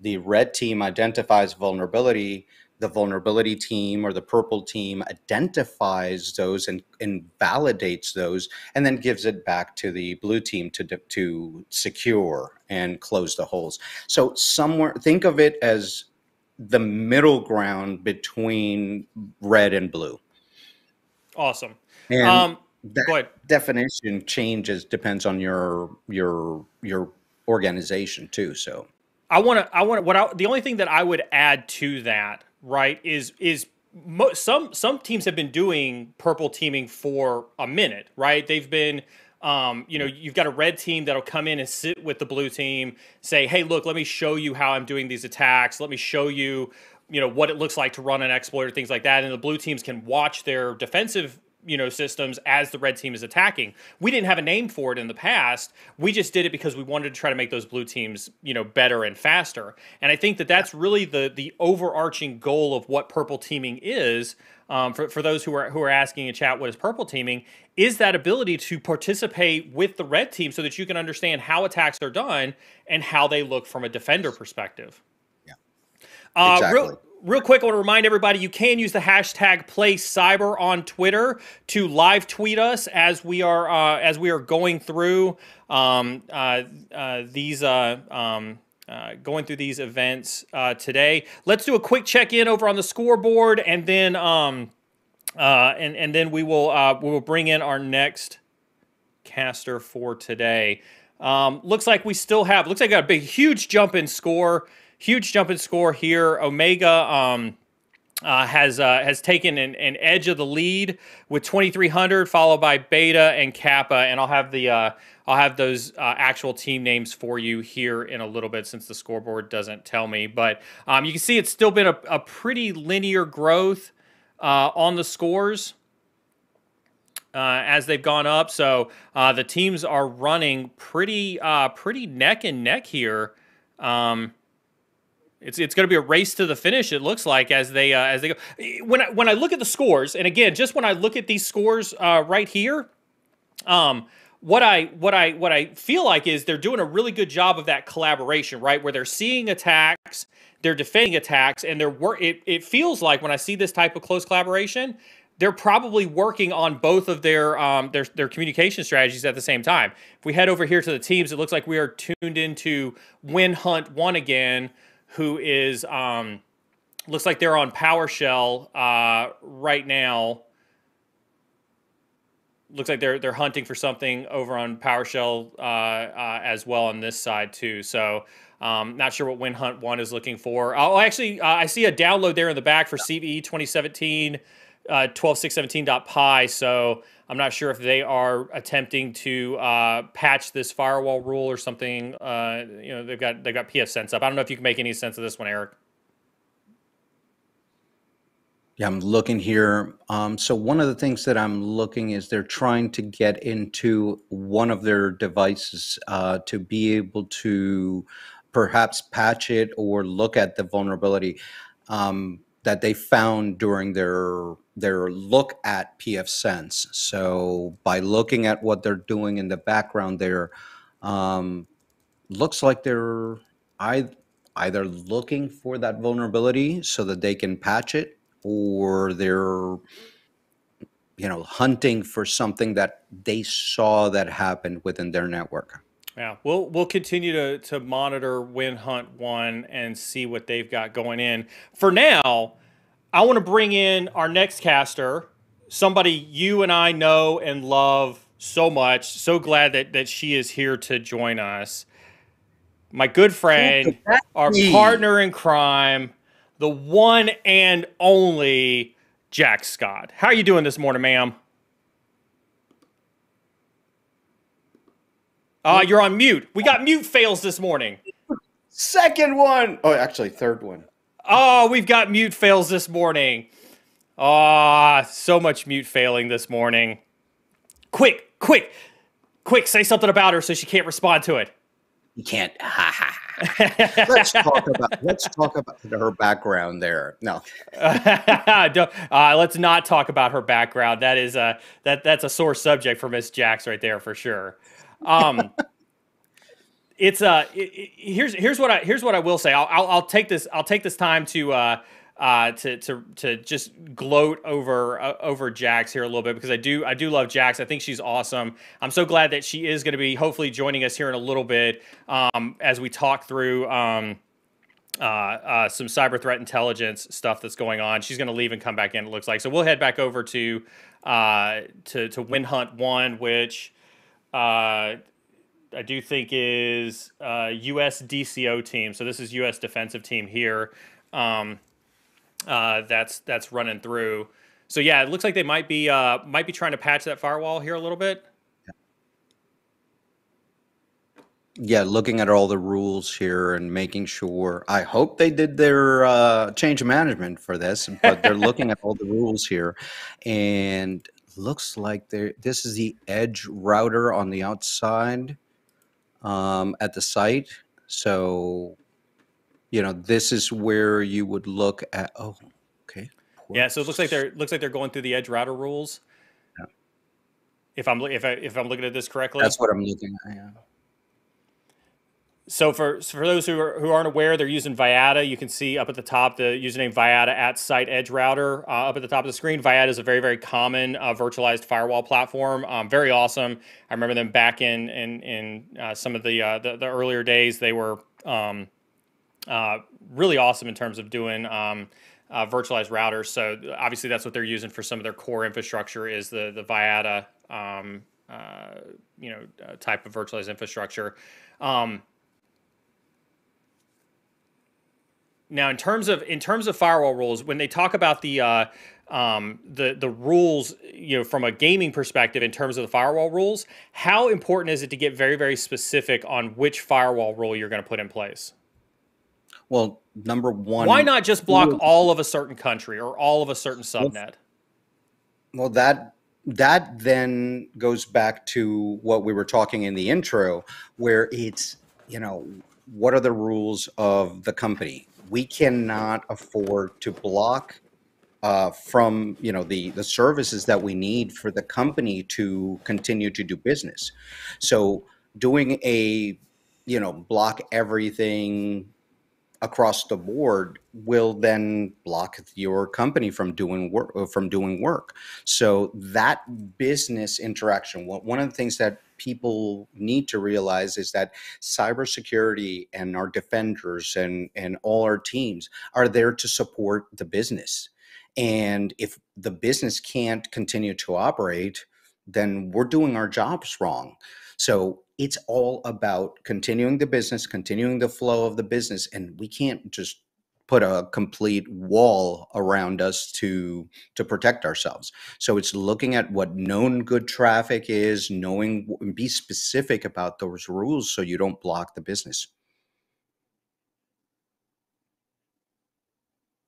Oh, now he's muted. Ah, this game, my mute was easy to fix. I didn't want to. I didn't want to make you jealous as I popped open another root, so I, I put myself on mute as I popped open another root. Um, we need a countdown. We need a count on the top of the screen for how many, how many? Uh, mute fails we have. Oh yeah. Okay? Oh, over a stream this big, we're gonna have a lot of mute fails for sure. Um, but um you know we oftentimes hear like and i think that this is one of those misconceptions about cyber right is um hey why don't you just block all of a country? Why don't you just block all of a subnet? Why don't you just block all of this? Why don't you just block why don't you just block all rdp right you know things like that. And i think what what you see here when we talk about the realism of this challenge right is that you know you can't just block an entire subnet. You can't just block an entire team from attacking your organization. You have business requirements. You have you have critical business needs. You have critical business applications. Those critical business applications must have access to the internet. And i think that that oftentimes gets lost on people when they're thinking about these cts when you add in that truly realistic challenge you have to be very very surgical. You have to be very very precise on how you do this and for people that might not know the details of this, you see their rule three, port 53. You know, that's your DNS. That's the you know where are you getting the information? So that needs to be open uh, to the world. And unfortunately, you know, you can do some attacks against that. But you know, these a lot of these ports need to be open to specifics and that doesn't even speak to what the applications that you're using or the things that you need to reach in and out of your organization. So sometimes you can't block it or sometimes you can't block a specific country but you need it open. The important part on the blue side is how are we monitoring the traffic that's coming through those windows and doors if, if you had to if you had to name your top three ports that are most commonly overlooked but are required to be open to the internet, what would they be? I know, I know, right? Just, yeah. I can give you 10. Um, so SQL. Yeah. You know, SQL gets overlooked all the time. Um, DNS, SSH, you know, and then the other ones like VNC or any of the remote access or RDP type type ports that get completely overlooked and not overlooked in the firewall sense, but overlooked in the in the monitoring sense mm. as well. So, you know, people don't put rules of what is known good traffic or point to point traffic, you know, their actions and their and destinations that they're looking at. I always tell my, my people that when you're doing remote access type ports, is make sure that you have specific rules for those access and destin the destination. Okay. So if I have a developer in in let's just say in the UK or for my Latin countries, you know, in uh, in Peru, you know. So being able to do a point to point rule so that we know that it's coming from that person. That's not foolproof, but it's something that's going to knock out, you know, 70% of the of the threat. Nice. Nice. Let's uh let's check back in on Miss Jax. See if we got Miss Jax back now. Are you with us? No. Wait. No. No, we still don't have Jax. Oh no. Yes. Oh no. Oh, poor Jax. Oh, we we got you. We got you. We're not leaving without you. We're not leaving without you, Jax. I drug you to this. I drug you to this fest. There we go. There wow. we go. Hallelujah. We got you. what a day. I well, you know what? I love sitting in the green room listening to you guys talk in the background. So it was good. It's good to catch up and see all the actions going on out here. So happy happy, happy Saturday to you. Yeah. Yeah. I've been up since like 6 6 30 a.m. I needed to get schoolwork done and I just woke up and I was ready to go. And first thing I thought about when I woke up was cyber games. Like, yes, yeah. yes. cyber games. Let's do yeah. some cyber games, baby. Yeah. Yeah. yeah, I didn't even like I had to pick my wardrobe for this. I wasn't even sure what to wear. I was like, what I wish I had That's a cyber game shirt. Like, oh, have we, you seen the jerseys? Oh yeah. oh, I, I can't wait for the I can't wait for mine to come in. I can't wait for my my, my jersey. We're gonna in. have to talk to Jess about that. A hundred percent. A hundred percent. Um, so um, so we're gonna we're gonna roll back over to uh, uh, to a player view while we we uh, I thought they were oh I thought we're we're gonna roll over here. We're gonna we're gonna see what they these guys got going on while we chat now. Now Jax, um, I uh, we're coming up on a critical intel drop for the teams. The teams are about to get a a pretty critical intelligence drop. As you're looking at the cyber games, as you're thinking about these teams going castle v castle and, and attacking and defending at the same time, um, and you're you're about to get an intel drop or you're about to receive an intel drop um, about some piece of critical cyber attack or cyber threat that's happening in your organization. What are some of the things that should be going through your mind from like a cyber threat intelligence perspective? Mm. okay so we're at the start of the games with with this intel right? That's so everything's well we're, we're about we're about an hour we're about an hour into it. We're about an hour into okay. it. Okay well, at this point in time, I mean, I would be gathering artifacts on everything that I would be doing right now. So I'd have my knowledge management is key when you're doing cyber threat intel. So if I'm about to get a dump, I would start, I would RFI, like where's the dump coming from? Um, what are, what are they are they going to be in hashes is this going to be a a file what is that going to look like and then i would start from the start of this everybody that's listening you should have knowledge management already in place and note taking especially for cyber threat intel because you're going to be developing your picture as you're going through this so that's what i would be focused on and then when the information came in i would focus on how am how am i going to tourniquet that data and go through it and filter it and identify what can I use to help me pivot throughout this capture the flag event. What um what are some of the key indicators that could be coming that you would be hoping to come through on some cyber threat intel that may sway either an offensive or a defensive decision that you've got that you're hoping to look out for? Oh my gosh, that's a great question. I, I mean, that's a tough question to answer because I don't like I don't know I'm not in the the CTF right now, so I don't know how everything how everything is flowing. And that's okay. That's okay. Just talk about a high level from like what you would expect from a cyber operation, or even for just from an intelligence, you know, perspective. Hmm.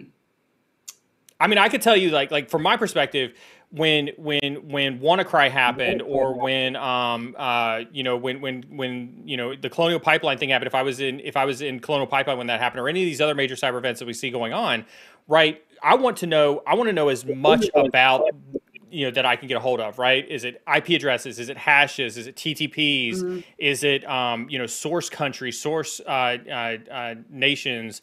You know what are if we have companies that have been you know attacked by a piece of intelligence? Like what does that look like? So I know from my perspective, I want I I fundamentally want as much data as possible, whether I'm on the uh, the the the offensive side or the defensive side. Now maybe I'm a glutton for punishment, and I think about you know like I I don't mind doing the the cognitive overload that comes with uh with with having all that intelligence, but personally I want as much of it as humanly possible.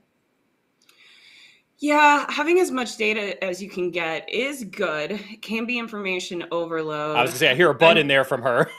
yeah, it can be information overload. So I'm trying what I'm trying to do as you're talking is put myself in the shoes of all these all these competitors right now and thinking about uh, you know investigations NotPetya as something that's on my mind when you brought up a, a specific type of malware because i just did a research paper on NotPetya that attacked uh, ukraine and they attacked the software uh, the the software that they use for third party vendors that then eventually affected uh, Maersk, as we know, it completely mm-hmm. took down Maersk a few years ago. So during that attack, there's certain things that I would be paying attention to in this capture the flag event, like you mentioned, would be can we identify the location of the adversary? Is it coming out of Ukraine? Are they coming out of Russia? Where are they? Where can we find that information? And we also have to keep in mind that a lot of this is going to be proxy. So if we do see it coming out of Russia, they may not be located in Russia. They could be located in another area. And then it's grab, gathering all of those, as you said, TTPs, tactic techniques and procedures that we're seeing. And that will start helping us to be able to have better identification of what is actually happening and taking place on the network. So for me everything is like there's a step and a procedural process. And right now we're in the collection play, phase of the intelligence cycle. And then we're going back in that intelligence cycle picture and just keep reassessing and refining our picture. Attribution attribution is a hard thing but that is always an ultimate goal within cyber threat intel is being able to identify where are these attacks coming from can we identify who the possible threat actors are or their level of expertise which you can see by going through and reviewing uh, your artifacts and then I being able to ultimately reach TTPs and attribution, which is always extremely challenging to do, and it takes a long time. I don't think we'll have attribution at the end of this capture the flag, but I mean, maybe I don't know how the capture flag ma- laid out. Maybe it will be. but I mean, I would, I would still. I mean, you, I think you and I have spoken on this before. I still think attribution in a cyber world is is pretty much you know a, a wasted cause. I don't think that most yeah. most security teams are are equipped or in a position to uh, uh, really handle attribution from a cyber threat intelligence perspective. Anyway, it takes too long. It's um even okay so the recent let's talk about the most recent attacks that we're seeing in ukraine with the russia ukraine activities that are going on out there. You will notice that even researchers saying that they believe that the attacks are coming from russia because we don't have enough research and even the data that we have even if it is like one of the malwares were a destruction malware. They could possibly tie it to NotPetya. NotPetya was created as a global malware, but it was really designed to focus in on Ukraine. So, and we know that NotPetya is tied to GRU. Um, that means that it would likely be attribution of Russia, but still saying Russia's attacking Ukraine on cyber warfare, it's still an iffy thing because we don't have enough of the artifacts to be able to actually say yes 100%. And we know that it takes years, and even after three to five years of investigations, you still can't claim or uh, prosecute a cyber actor or a cyber group or a nation state because attribution is so it's it's volatile. It's very hard to do. And so, so for those listening, like like Jax has got an, obviously an amazing background and, and and history when it comes to, to cyber, cyber threat intelligence, cyber defense, and things like that. Um, you know, and, and what you're describing is, and you've got a ton of experience with DoD and government and military as well, with all the work that you've done over the years. You're talking about even how hard it's been from from that perspective. Let alone if you were a Fortune 100 or a Fortune 500 or a Fortune 1000 to even attempt to do any level of, of attribution at all. Uh, you know, in that regard too, right?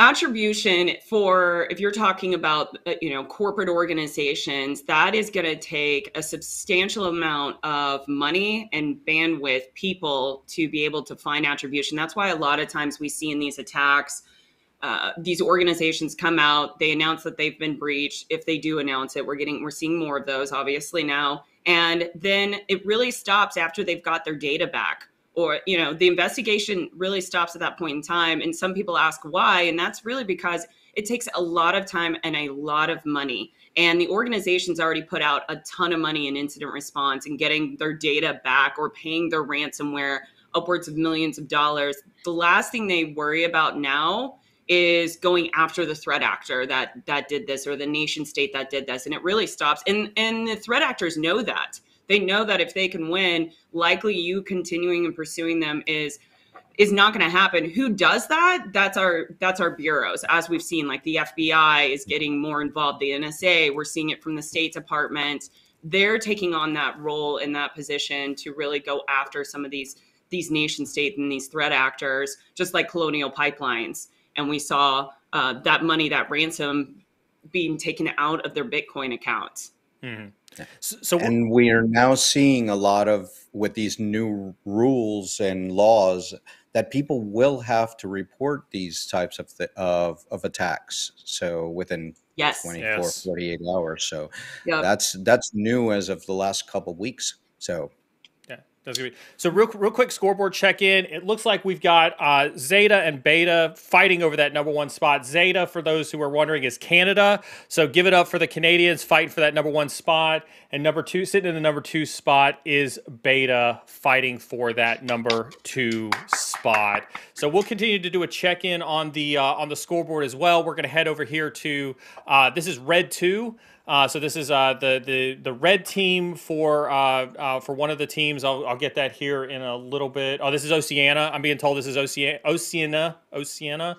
Um, so this is our folks from Australia who are representing that side, um, that that team as well. So this is the red team on Oceania. It looks like they're um, on omega.edu, do, using the inspector on the web page, continuing to look for those web vulnerabilities on that website. Now, now, Jax, your fandom is already coming to light in chat. I'm looking over here um, in, in chat. Um, one of uh, one Armando Flores wants to know where they can read your paper on uh, on malware, the research paper you just did. So I don't know if it's something that's specifically for school that's not available out there, but if you have it, um, can you pass that link to one of my mods, and one of my mods can drop it into uh, uh, into chat. Um, Christopher Weber had a very very simple question but also very very relevant i think that this is this is why we do this is it's oftentimes overlooked as we have these conversations but they asked what is an artifact so when you talk about artifacts what is an artifact Oh God, that's such a great question. Um, so artifacts could be a hash. It could be a sample of a malware. It could be an IP address that was associated with the attack that, like the beaconing, what we believe to be the C2 beaconing. Um, so an artifact, how I look at an artifact, is anything that is associated with your investigation that gets you closer to identifying what happened on your network um, and who possibly conducted the malicious activities on your network. It's like uh, thinking of uh, taking it out of cyber and making it into uh, a, a criminal investigation with a body. An artifact, if you had a murder scene, would be where did the bullet go when it you know when it hit the victim and hit the wall? And you know collecting the artifacts of what did they have in their fingernails? Was there any skin in the fingernails? Like looking at the entire crime scene and collecting everything that you can uh, that is what an art that's what artifacts are for a cyber threat intel investigation. And also one more thing to add to that artifacts are what you use to co- corroborate your investigation to bring it all together to tell the story. So another artifact could be from another news report or a, another researcher that you saw online that was researching the same investigation where you guys corroborate your evidence. So you get additional sources to identify and state that what you have found is accurate in your assessment and that could be additional artifacts to support your investigation Awesome. So, um, so real quick, I want to I want to head back over to the scoreboard before we go to our first commercial break. And I had to verify something with the moderators because I didn't believe my eyes when I when I saw this. Right. So we're looking at the live scoreboard, and uh, uh, you may have noticed uh, as as we go down here and we see the teams, we have this team Delta here, and um, uh, I, I oh, they're tied. They they are they're tied, and I asked the moderator team. I said, "Who is Delta?" And they said Delta is North Africa. As a, you remember that I mentioned this morning, North Africa was unable to attend this event because they didn't have enough people show up.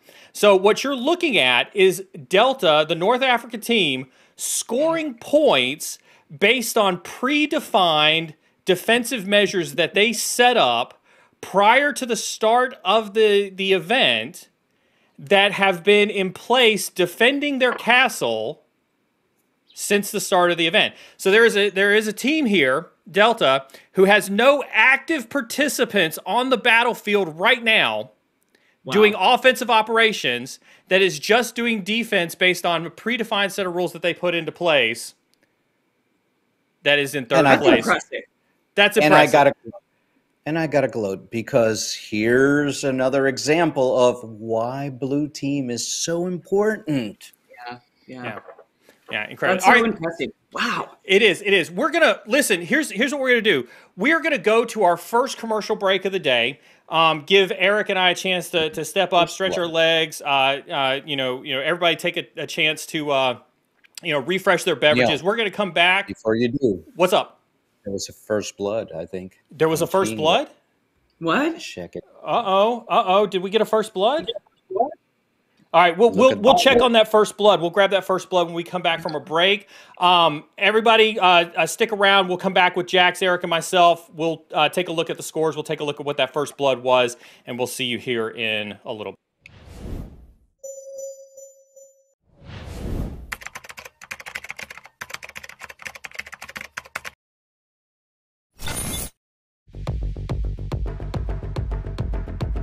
Never before has the world been as connected as today. And while cyberspace grows more complex by the minute, attacks are on the rise. In order to ensure a secure online world, experts in cybersecurity are needed more than ever.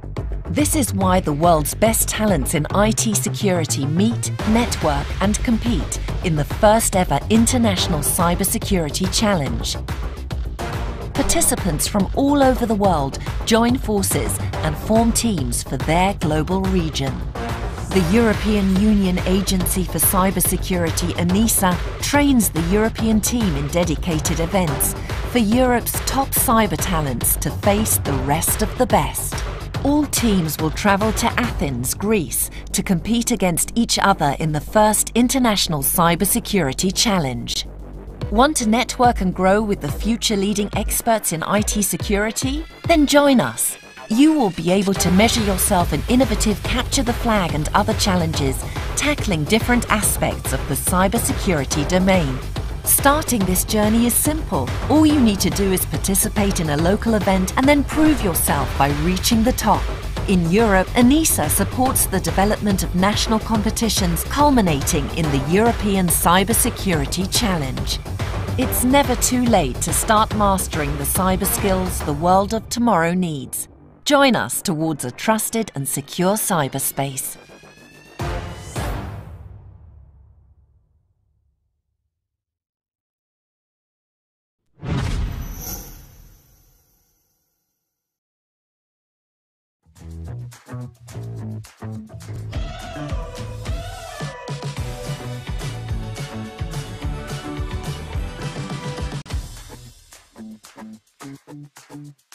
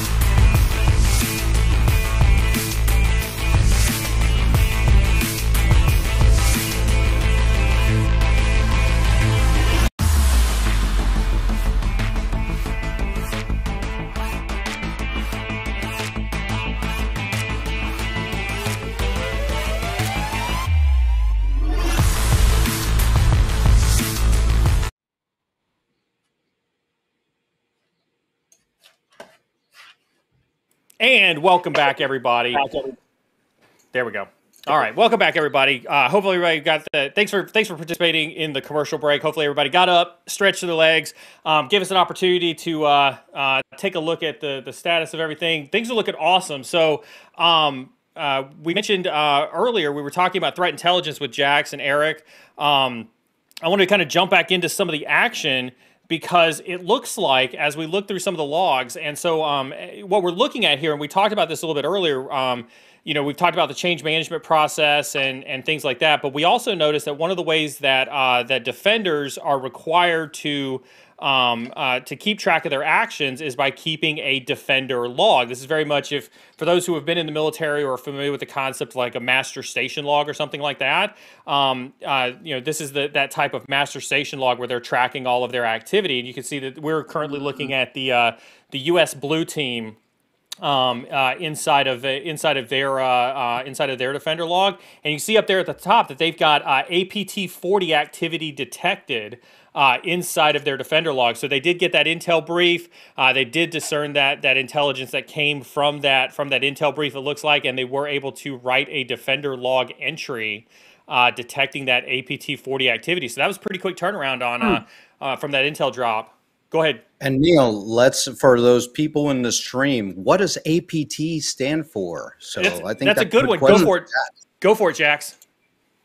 Um, advanced persistent threat, and so and the, and what that means is, and how it's identified is usually advanced. So that requires funding, money, um, usually it's a nation state that's an APT, and then it's an adversary that is known to reside on your network for a certain period of time too. Persistent. So they're on there, they have a dwell time of a few months. So, yeah, APTs are usually very robust in their capabilities. They have very refined TTP. Some of them even have their own created tooling and malware as well. So, APT 40, that's a huge win. That's a China um, Nexus APT. So, I was actually so Josh actually sent me one of the downloads um, on Signal. And so during my break, what I did is I looked it up and then I started opening up some of my OSINT tools to start going through some of these IP addresses. And they have everything in here. They have URLs, um, IP addresses to be able to pivot from. Some hashes I'm seeing, I'm seeing file names, likely malware. I wouldn't know.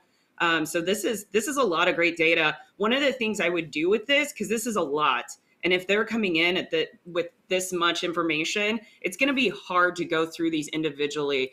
So some things that you all can consider, any of the players that are listening to this, is creating a script to be able to run some of these IOCs through different platforms. For example, this isn't the best, but it's a really good one, AlienVault, because it does a great, um, it has a great platform for running a script and then filtering through some of those IOCs to see if anything's been hitting on any of those, which will it's a good start and then it'll help you really hyper focus into some of those IOCs that you can start digging into a little bit easier. And these are those artifacts that you were referencing before we went to the break, correct?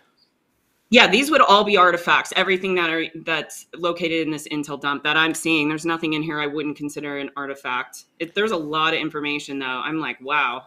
Well, yeah. and, yeah. and and, and just just real quick before hold that thought for a second, Eric. But but I just want to kind of show everybody just how quickly that changed the scope of the game for the oh, wow. U.S. team. You can literally see that they've practically doubled their score on the scoreboard with that level of detection, um, with how quickly they were able to get that intel, uh, discern what they needed to do on that intel, and put rapid countermeasures in place. And they've literally, the U.S. has now taken over that number one simply by executing uh, rapidly on that threat intelligence brief. Go ahead, Eric.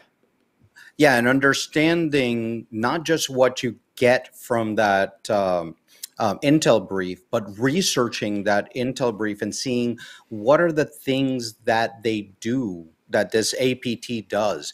You know, what are the the the exploits that they they look at? Looking at the CVEs that they that they attack normally, and putting defenses in place for those types of CVEs. That's going to pay off dividends. It's doing your research, and CTI is all about researching your adversary how uh, when you when you talk about that though, I mean it's it's easy for us to to talk about that in a small little microcosm like this this CTF. When you're looking at the volumes of threat intelligence that comes out there, the amount of indicators that you can get from a threat intelligence feed, whether it's AlienVault or somewhere else like that, how how surma- how insurmountable does that task seem when you think about the the vast amount of artifacts or indicators that that you can get? Either one of you.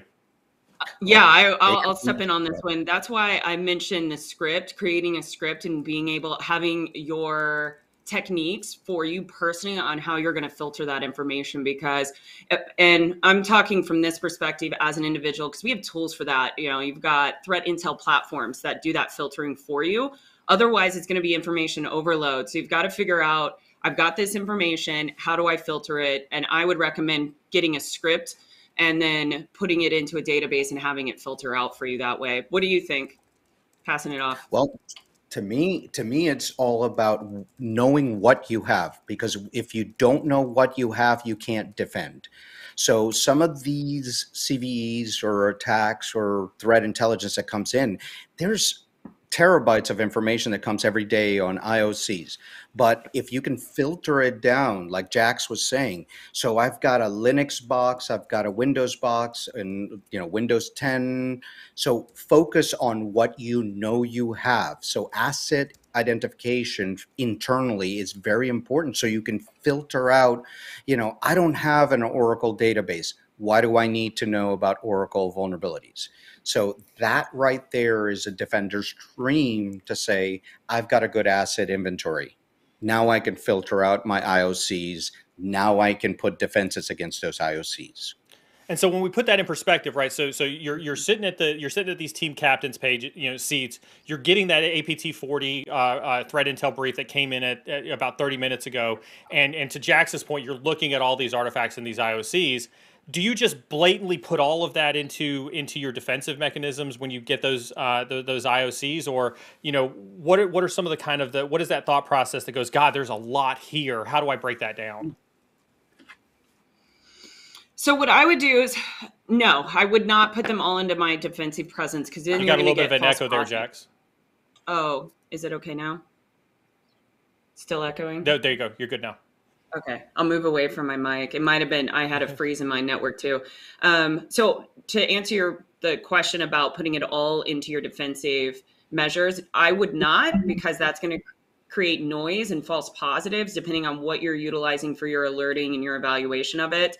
I would go back to again filtering. Since we know it's APT 40, I would probably do some research around APT, understanding what TTPs do they typically utilize, what are their what um, what tooling do they use. That's going to help me as I filter through this because there's a lot of DLLs in here. So I would look through some of this after I research them and understand a little bit more about what they leverage for their tooling and their activities, and that'll help me kind of hyper focus into this because this is a lot of information. I'm telling you, a lot of it's going to be noise. It absolutely will be. Yeah. So I, I did just get notice. We did get first blood from the Canada team. Um, I'm waiting to. Uh, I'm waiting for the teams to to give me something to share. Uh, they they had a password up on the this the screen in, initially, and so I didn't want to didn't want to uh, show that for the for the sake of of OSINT reasons. Um, but you can see here we're now on the. Uh, I think we're on the Canada machine here. Um, looks like the Canada machine did exploit that uh, that voting server that was on. Um, wow. Uh, we can look at that. Uh, we head over here to uh, to to this. We can see that um, uh, on this on on the network map, we do have uh, the voting server is located here inside of the network. Uh, so we do have uh, we do have compromise from them on that on that voting server and so they were able to actively exploit that uh, as well. So um, we did get first blood on Canada. Good job on them for that one. Um, glad to see that one happen. Let's see if that did anything for their score. Uh, head back over here. Uh, we still see the U.S. leading on the score, but uh, Canada is coming in second place. So looks like Canada's got some ground to make up, as well as the rest of the teams. That that that defensive uh, that defensive score really pushed the U.S. above uh, uh, on that one. So so that's a that's a, that's a huge leap forward for uh, for everybody there. So we'll head back over to uh, to Canada, who's exploiting actively on the box right now, um, and see if we can't catch them. When we when we talk uh, when we talk about being on the box, um, when you're on the offensive side uh, what are some of the things that you're thinking about as you're on this box? Like when you land on that box, what are some, where's your where's your head at? What are you trying to figure out? Who wants to take this? Me?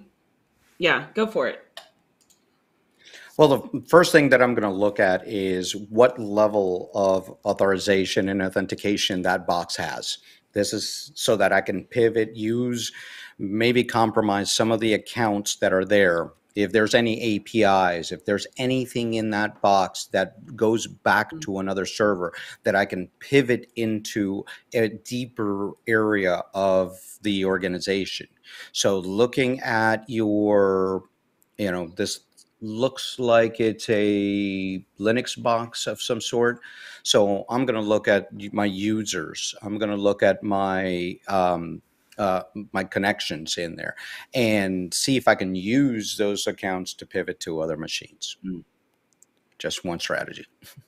So it looks like yeah, it looks like they're that's what they're trying to do right now. It looks like they're trying to find some information and see what they can get off of that box. Just uh, I, I, did get a I did get a piece of inject from the uh, from the the white cell team just to kind of talk about another visualization as to how that attack took place. Um, you know, the the attackers are attacking from the internet part up there, and they were able to directly exploit through the firewall uh, that voting machine that you see right there that we saw inside of the network. So you can visually see how that attack was uh, was executed. Uh, uh, you know, in there. And so that was one of the ways that they could get points was actively on there. They're actually, actually, we did just see them uh, here. They were able to uh, run an echo command and output that to rootflag.txt. And they were, it looks like they may have been able to get the flag there. Awesome. So good job to to them on that one. Let's see. Um, yeah. Whoops. whoops, that was not mouse mouse mouse issues. There we go. Let's pull that one back over. See what we got here. See if that affects the score at all for uh, Team Canada right here. So, um, good deal on that one. So. Um, that's awesome to see. Uh, that's what we were hoping to see. Is we were hoping to see some some active exploitation. Um, you know, uh, looks like they're uh, they're still on that box. They're still actively exploiting on that box and still trying to gather intelligence on that box. When you compromise into a network, um, obviously there's obviously going to be other intelligence that you can use to then pivot and move around from uh, from that network into other parts of the network. Um, you know, what would be some what would be some of your strategies? What are some of the things that you're looking for post compromise that would kind of help you understand where you need to go from here? Mm, this is such an IR question right now, incidents response question. I feel like uh, post breach, uh, uh, you're going to want to know if there was like, and we're talking when you're saying post breach, we're talking the we've evaluated the box and we've identified that the adversary was on this network, and now now at that point in time, we would want to see what areas did they impact? Were they moving laterally? Yeah, yeah, absolutely, absolutely. Yeah, um, I don't really do post investigation, so it's a little out of my wheelhouse on the thought of that. That's okay. I, am what I'll jump in with is is from the adversary side, from the red team side. Um, I'm obviously, you know, one of the things that that's heavily harped on in, in offensive cyber operations for the military, right, is the ability to do situational awareness. Um, you're on this box, you know, you have no idea in an, in a nation state capacity if there's another adversary on this box, if there is another nation state that's operating on this box. And so, um, you know, while the teams did immediately go for the flag, which obviously was the mission of them to, to get points to go for this flag, at that point in time, like I, would be looking on here and saying, okay, am I the only one operating on this network? What are some of the other boxes that this box is connected to? What are some of the other user accounts and SSH keys that may be used to uh, to, to, compromise adjacent systems? Um, obviously, there needs to be some vulnerability analysis that needs to happen on this box as well to see if this box is vulnerable to anything else. Now, in this case, you can see, um, for those who, who may not understand what you're looking at here, you're looking looking at um, uh, a, compromised Linux box that um, doesn't have a typical Bash or um, or, or Z shell type of shell. So it's a very, very raw input format. So you're really, really limited. And this this speaks to kind of the technical advan- um, technical capabilities of the teams that are here. You're very, very limited on the shell commands that you can run here. Um, you don't have all of the extra features and, and, creature comforts that you typically think of when you think of a bash shell, when you think of a Z shell, um, anything like that. And so this really, really, really uh, uh, puts the uh, uh puts the onus on the operator to understand how they're going to be able to move about this environment with very, very limited interaction with the user interface.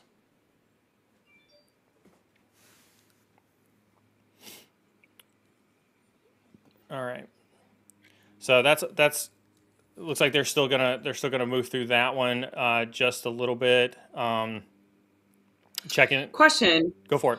Um, the the competitors that we have competing right now were they did any of them receive or were they given any uh, documents with toolings that they could use utilize for OSINT toolings to help them, or did everybody come with their own organic assets to this fight and they're just they're going at it with what they've had in their knowledge base?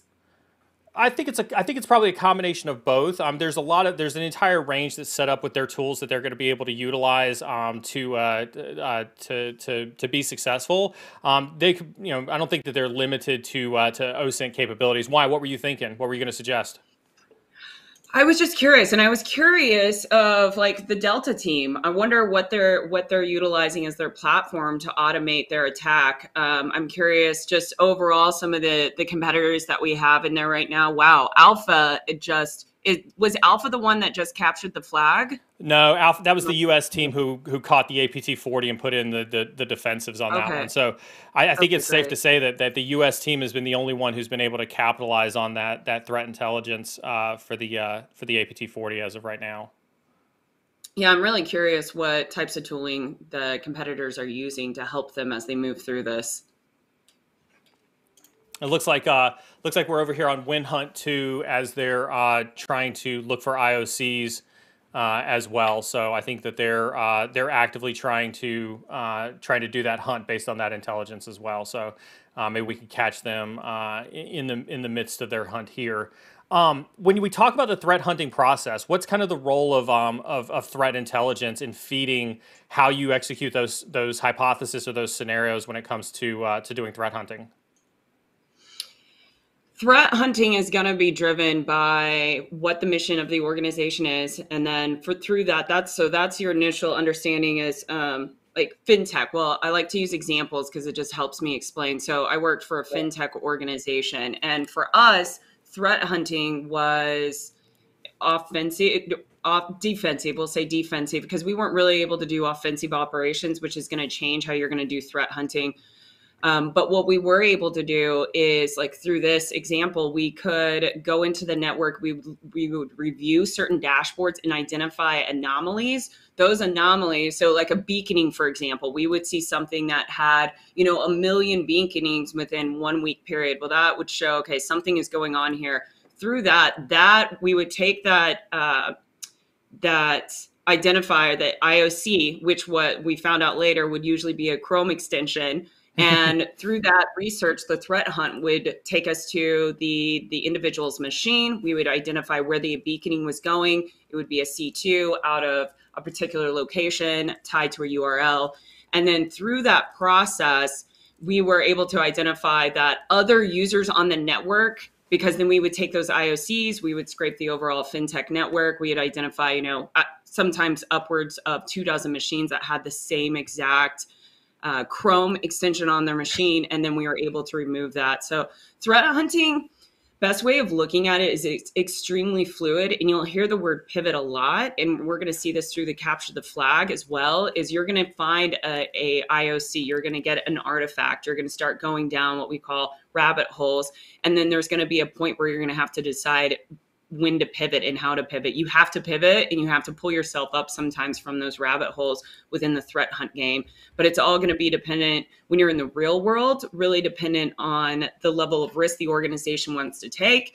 And are you in a defensive or an offensive posture? Within the CTI realm, which will so, also dictate how you go about it. So, so real quick, I just I want to I want everybody to see the the the expert move that the blue team or just did here on Win Hunt Two. They made a critical move by changing their color to green. Everybody knows that you can't perform an active cyber investigation or offensive cyber operation unless your terminal is in green color.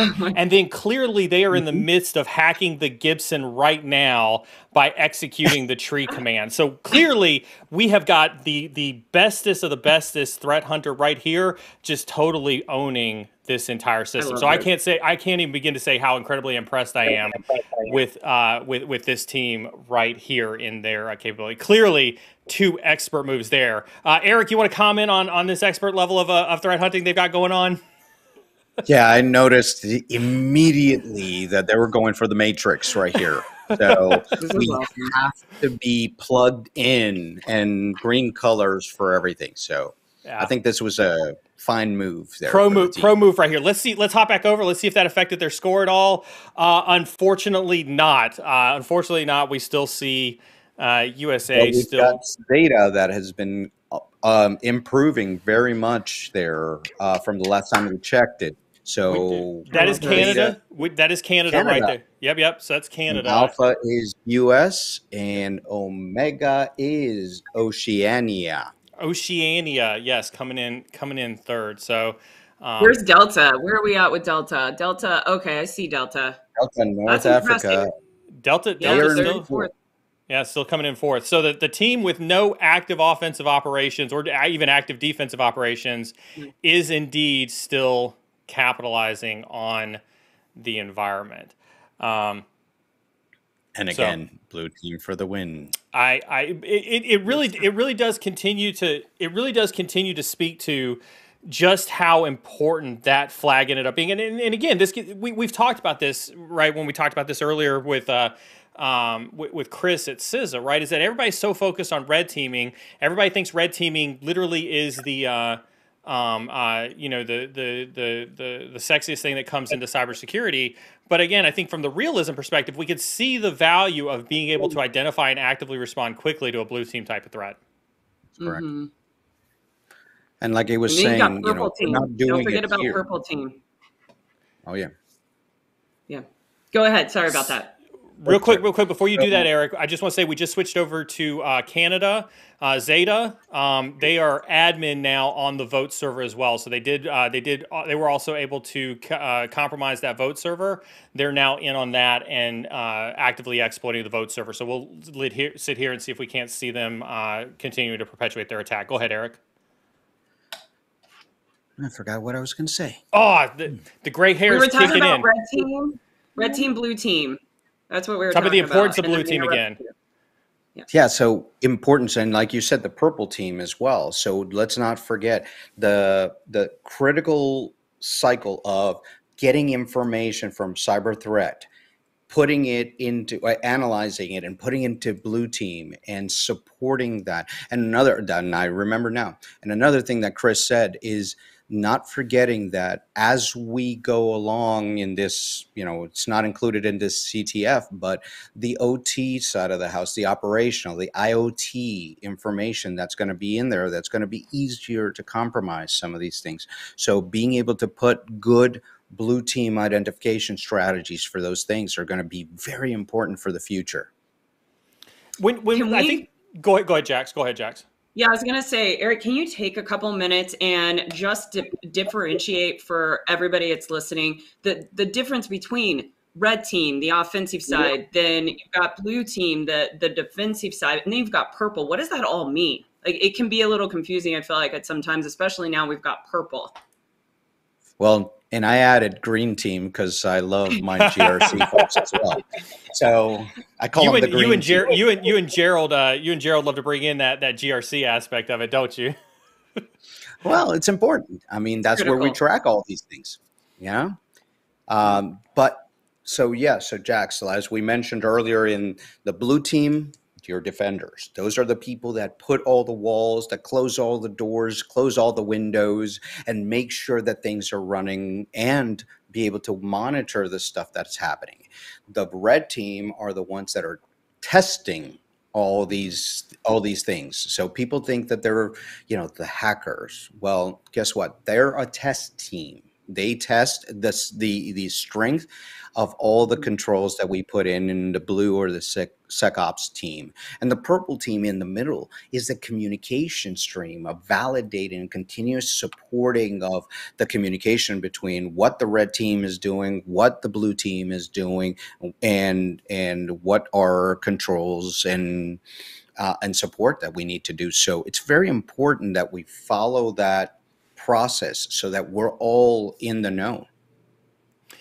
And, and, he, and, and again, we we talked a little bit about this earlier with Chris in, in terms of the, the, the value of purple teaming. Um, it's it's actually um, we, we had a we had a uh, the chief commercial officer from AttackIQ on the stream a couple months ago, and they talked about this idea of a threat informed defense. And I've actually really started to use this term more and more. Um, and it's really and, and Jax, you're you're familiar with this because we did this in the military, right? Where we took a, a threat centric approach to how we look at our, our defensive capabilities, right? And it doesn't cost you anything. That's not a tool that you can you have to buy. It's not a, a, a special person that has a special set of skills out there. It's really just a mindset in terms of how you look at your organization. And and I think that that's I think when we talk about the value of blue teamers understanding red team concepts or red teamers understanding blue team concepts, we're really starting to see that blend of skill sets between red teamers and blue teamers. Um, we hear purple teaming more and more. I don't think that that's I don't think that that's a buzzword anymore. I think we really are truly starting to see a predominance of a need to have both skills. Um, I know I had an incident responder who worked on my team for one of the Fortune 100 companies that I worked at, who um, he spent just as much time sharpening his red team skills as he did threat hunting and doing incident response work. You know, for that very reason of the information that he was able to gather from that. And so I think that I would almost argue that that you know, in this day and age, if you're not taking a threat centric approach to your offense or your defense, and you're not actively participating in both red team and blue team activities simultaneously, you're probably failing in your career. I don't know if anybody Mm. wants to chime in on that one. I, I know it's a bold statement, but I, I no, I I think that yes, I agree with you. I want to add to it, and I want to say that something that we're having to step away from in the cybersecurity community, and we're being forced to because our the the cybersecurity that we're utilizing to protect our networks are it's just not working. We can see it by the rise of ransomware and the other attacks that we're seeing. And a lot of that is because of siloed approaches or doing one Mhm. or two things and keeping things separate instead of taking a holistic view. And when you're using the red, the blue, and the purple, you're taking a more holistic view. And to pivot from that on some things that you said and go into the GRC space, one of the things that's really getting pushed right now is cyber resilience or um, enterprise risk management erm that is starting to take instead of just a technology view of either with cyber resilience either just completely blocking the adversary and just hoping it's never going to happen cyber resilience takes the approach that it's likely going to happen. So let's recreate redundancies in our system that will allow us to withstand it move through it and and go forward. And then with erm enterprise risk management, we're also seeing we're moving away from just looking at the technical IT uh, functions and controls and looking at the entire enterprise because we've got to do more than defense in depth. We've got to do more than just having everything siloed. Otherwise, we're just going to keep going down the path that we're in right now, which is cyber warfare is going to keep rising and we're going to start seeing more and more organizations being impacted by it. I, I think that's a very valid. Go ahead, go ahead, Eric. No, I. He's like, again, I'm I'm good. sitting yes. Hey, hey, Jax, I'm gonna, I'm gonna, I'm gonna shift you off screen really quick, and I'm gonna try to bring in Pete because I think we've got an injection here from the white cell that uh, that we want to bring in. Pete, can you hear us? Oh, nope, you're on mute. Ah, ah, there we go. Added another one. Another one bites the dust on the mute. I'm counting. Um, You're counting, yeah. You're, you're keeping it counted. While, while we wait for while we wait for Eric to come back, I think uh, uh, there was a, there was an injection that he had from the the white cell. Does that does that mean you're back now, Pete? I'm hoping so. Yes, we have Oh, audio. yes. Fantastic. Um, so, uh, you know, one of the things that I think is really interesting is, uh, you know, we've been watching Team Zeta compromise that voting registration server. And uh, one of the things that's really interesting is we know they have a technique that's going to get them admin level access on that box, but we haven't seen them pivot from that machine into other networks and knock over more flags in more castles. And, you know, Eric, you were talking earlier on uh, about the difficulty coordinating your team so that even if here we have an example where a team has the knowledge and the skill capable of knocking over a box and then it's a matter of bringing everything together and making sure that um, that they can plant those flags in other castles and then we get into a really interesting part which is there's nothing stopping the um, the defensive team from just uh, changing that flag back if they compromise it, right? So now we get into what I call the whack-a-mole part of the game, which is the capture and hold. And um, there are a lot of different approaches. Um, I think you could imagine some of them. Do you do you deploy a script on the system that that uh, you know periodically changes it back? Do you um, you know there are a number of different things you could do. Do you try and find a script that you look who has handles to that? Um, and then that's where we get into what Jax was talking about with some of the more the IR response. Um, are the actions of identifying what is on your system doing what and manipulating your environment and in what ways is it being manipulated And So, that's the continuous vulnerability management on their systems is being able to verify and validate that they don't have. And what I said earlier too is if you don't have a good detection algorithm in there, you're not going to find. Maybe they don't know that they've been compromised. So so, i so, suspect they do uh, now well, well, if it, if it depends on depends on how the team's OSINT's going, right? um, so so I want to I want to double back on something you said. So the teams are able to change the flags to try to throw off the attackers as their as part of their defensive strategy. sure why not Okay, can can can you explain? uh, You know, in terms of doing that, why when you talked about um, you know you know the the rules decisions, what was kind of your thought process when you were deciding that that was an okay rule to put in there? So there were um, there are three basic things that we were looking at. One is probably the most important. We want this to feel real. Um, so that's why we don't have the challenges. There've been I've seen some questions in chat. You know, why don't I know what it is I've done in terms of detections to score me points? And the reality is because what you're supposed to do is you don't know that there's a scoreboard in real life. You don't really know um, if you've completely eradicated an intrusion. Your job is to look um, and and like like Eric just alluded to, that continuous process of vulnerability management and defensive cyber operations. So um, they're right. There is no hint, no scoreboard. The only hints we get are in terms of those tips and threat intelligence that we then operationalize, deploy detections. When we identify something using one of those detections, we deploy mitigations. We we go into that DFIR. Um, and cycle and then you know it's like that continuous virtuous cycle of um, you know almost like a CI/CD pipeline, right? It's that virtuous cycle of detect, el- eliminate, refine, update, etc. And um, and so that's that's what we're trying to give them the reality for. So in terms of why can they change their flags? Why not? Um, you know, if I if I kick in the front door on a castle and plant a flag and say this is my flag, I don't expect them to just be like, oh well, all right, fine, then well played. No, you know, you should be allowed to take that back. And uh, so for that reason, we we kind of intentionally didn't give people simple console access to the um, uh, simple console access to some of those machines that are potentially vulnerable. Um, and at the same time, they can, uh, if they want to deploy patches, they might have to use firewall, uh, excuse me, uh, PowerShell to deploy a hotfix out rather than uh, being able to just console directly into the box and make a change, something like that.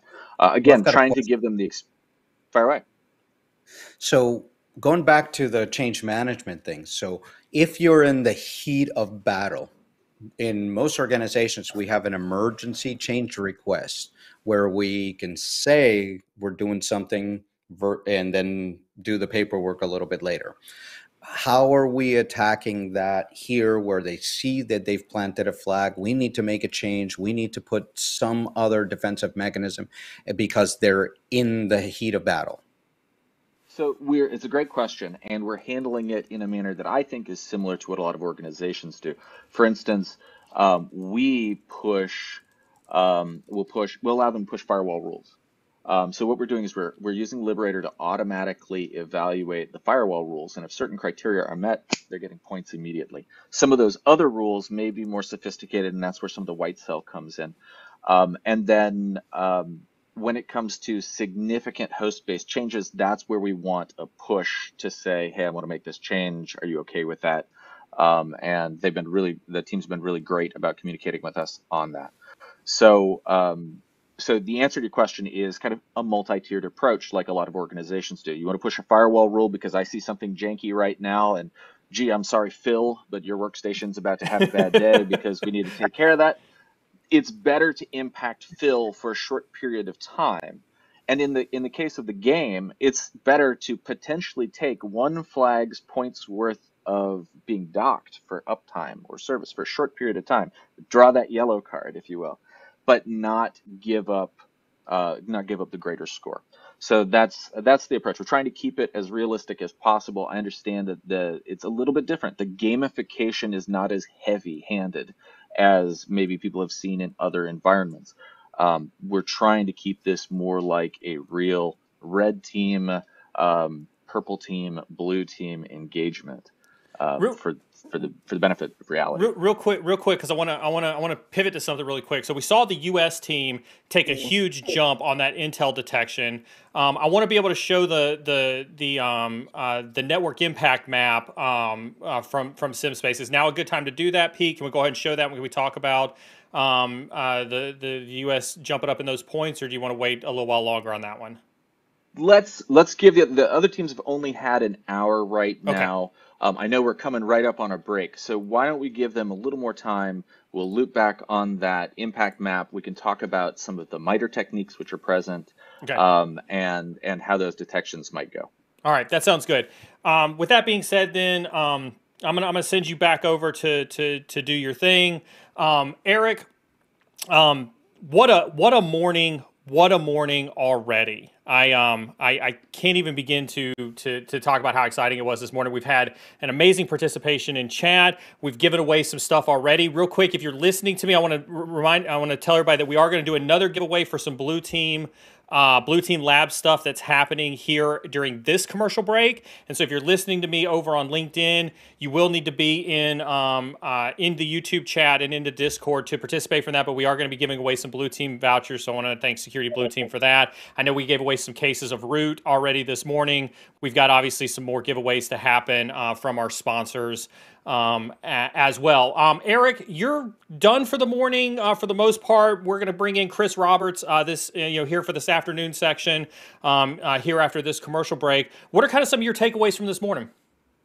Oh, this has been incredible so far. Our teams are really hammering those boxes, and the defenders have been doing a wonderful job. As a matter of fact, they're the stars of the show right now with the U.S. team hitting that, doubling their stuff, uh, their their points at you know because of defense because of the, what they're doing. So it's been an amazing stream. I am so proud of all these competitors from all over the world. I want to thank you neil PlayCyber jess and all the sponsors and participants.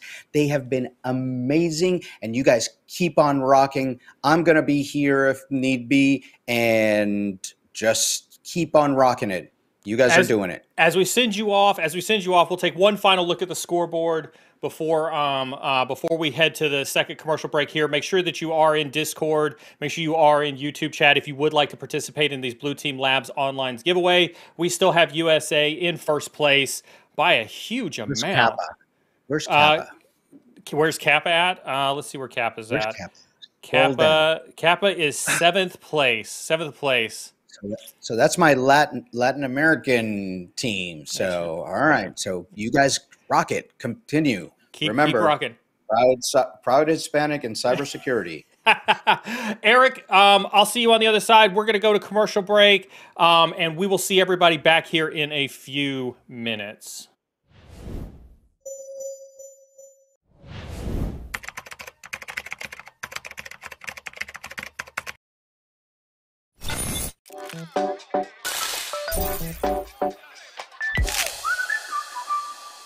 Hello and welcome to this Cyber Snacks episode. My name is Andrew Costis, or AC, and I work at AttackIQ out of the UK as a senior cyber threat consultant. It was actually pretty tricky to narrow down the choice of free attacks of this year, as there's just been so many to choose from. So I'll also caveat by saying that the free I've chosen is subjective and just my opinion, but if after watching this episode you have a different take on your own free, then I'd love to hear them in the comment section. So I've chosen the Kaseya VSA attack that happened back in July. Kaseya's VSA is a remote monitoring and management solution used by thousands of companies globally. Kaseya announced on July 2nd that they were experiencing the cyber attack, but things quickly escalated to the point where both their on prem and SaaS customers were shut down as a precautionary measure, while the instant responders worked tirelessly to get a handle on the situation. The attack involved a zero day exploit that targeted the VSA software, which essentially allowed the attackers to gain initial entry.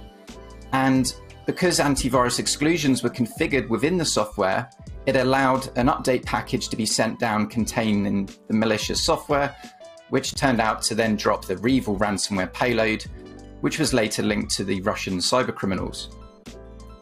During the investigation, Kaseya did a great job communicating their findings to their customer base and the public, and they were also able to release a compromise detection tool to analyze a system run in the VSA and to help determine if any indicators of compromise were present.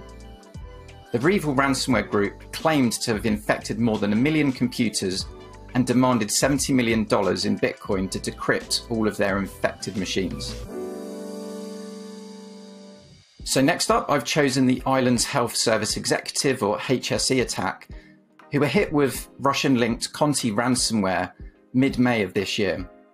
They were asked to pay a ransom of $20 million.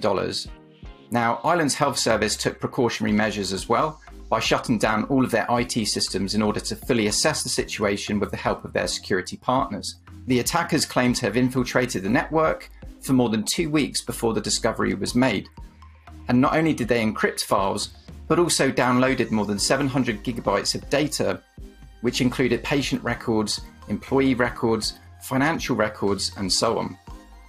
In another rather interesting twist, a disgruntled threat actor or possibly an affiliate linked with the Conti ransomware operators leaked the Conti playbook a few months later during the summertime. This was essentially a playbook or archive containing the various TTPs and CVEs used by the Conti threat actor, making it an interesting and also an essential read for red and blue teamers. And last but not least, I've chosen the Colonial Pipeline ransomware carried out by the DarkSide ransomware group earlier this year. The severity and disruption caused by this attack was so severe, the CEO authorized a $4.5 million ransom payment as a way to restart the pipeline's production as quickly as possible. A few months later, during a hearing committee, it was stated that the attack was made possible due to a legacy VPN system. The operators of the DarkSide ransomware as a service announced that they would cease operations entirely and would issue decryptors to all of their affiliates. Their blog, ransom website, and crypto wallets have allegedly since been seized.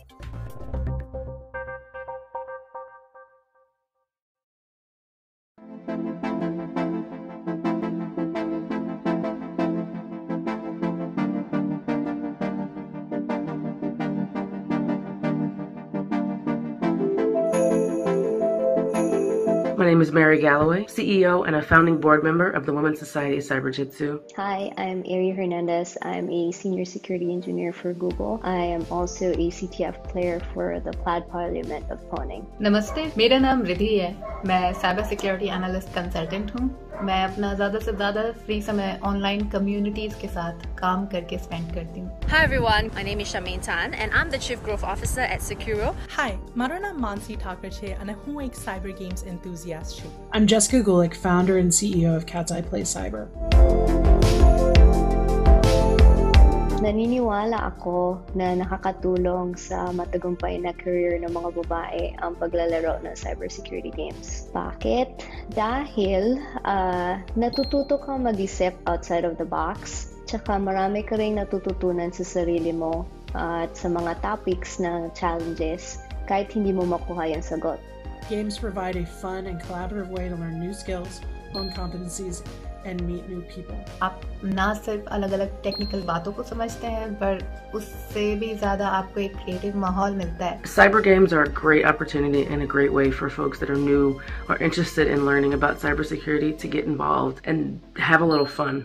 对于 cyber gamification 的这个方向，我觉得这会帮助更多人，包括女性，对网络安全这个课题感兴趣。 આ cyber games રમીને તમારું personal તમે શીખી શકો છો team કલાબરેશન self esteem self confidence અને professional આપણે આ સાયબર સિક્યુરિટી યા ઇન્ફોર્મેશન સિક્યુરિટીના ઇન્ડસ્ટ્રીમાં કેવી રીતે આગળ વધવું We've got a 24 hour format, some in English, some in native languages, of speakers and games to allow women across the globe during their daylight time to come together to celebrate Women's Month and help women discover a career in cybersecurity. super excited ako maglaro kasama ng mga kapong babae na interesado sa cybersecurity tsaka galing sa bawat sulok ng mundo. Sana magkita-kita tayo doon and gusto ko kayo makilala. दुनिया के अलग अलग कोनों से महिलाएँ आगे आकर कुछ टेक्निकल और क्रिएटिव करने की कोशिश कर रही हैं। विंजा कम्युनिटी की तरफ़ से हम सी ऑर्गेनाइज कर रहे हैं विकेट सिक्स इवेंट के लिए જેમાં beginners all the way to advance games હશે તમે ચોક્કસ અટેન્ડ કરજો તમને બહુ જ મજા આવશે ચલ 高兴能看到世界各地的女性在 Wicked Six 一起讨论关于网络安全的这个课题，希望大家不会错过。 Let's hack the bias in cybersecurity. On March 23rd 24th માં As 1,000 women એટલે નો મેટર કે તમારું બેકગ્રાઉન્ડ શું છે play cyber games and just get to know each other.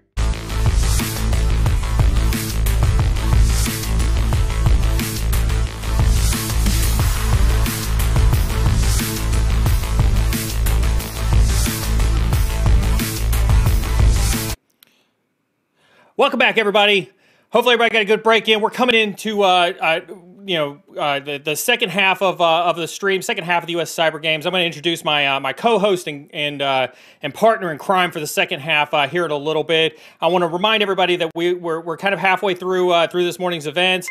This is the U.S. Cyber Games put together by PlayCyber, powered by Katzcy. Um, I want to thank them for for for putting this together, doing an awesome event. Um, uh, make sure you utilize those bot commands uh, that are that are showing up uh, in inside of uh, inside of, of uh, YouTube chat and, and checking them out as well as uh, um, all the sponsors and all the folks who have come together to make this an awesome.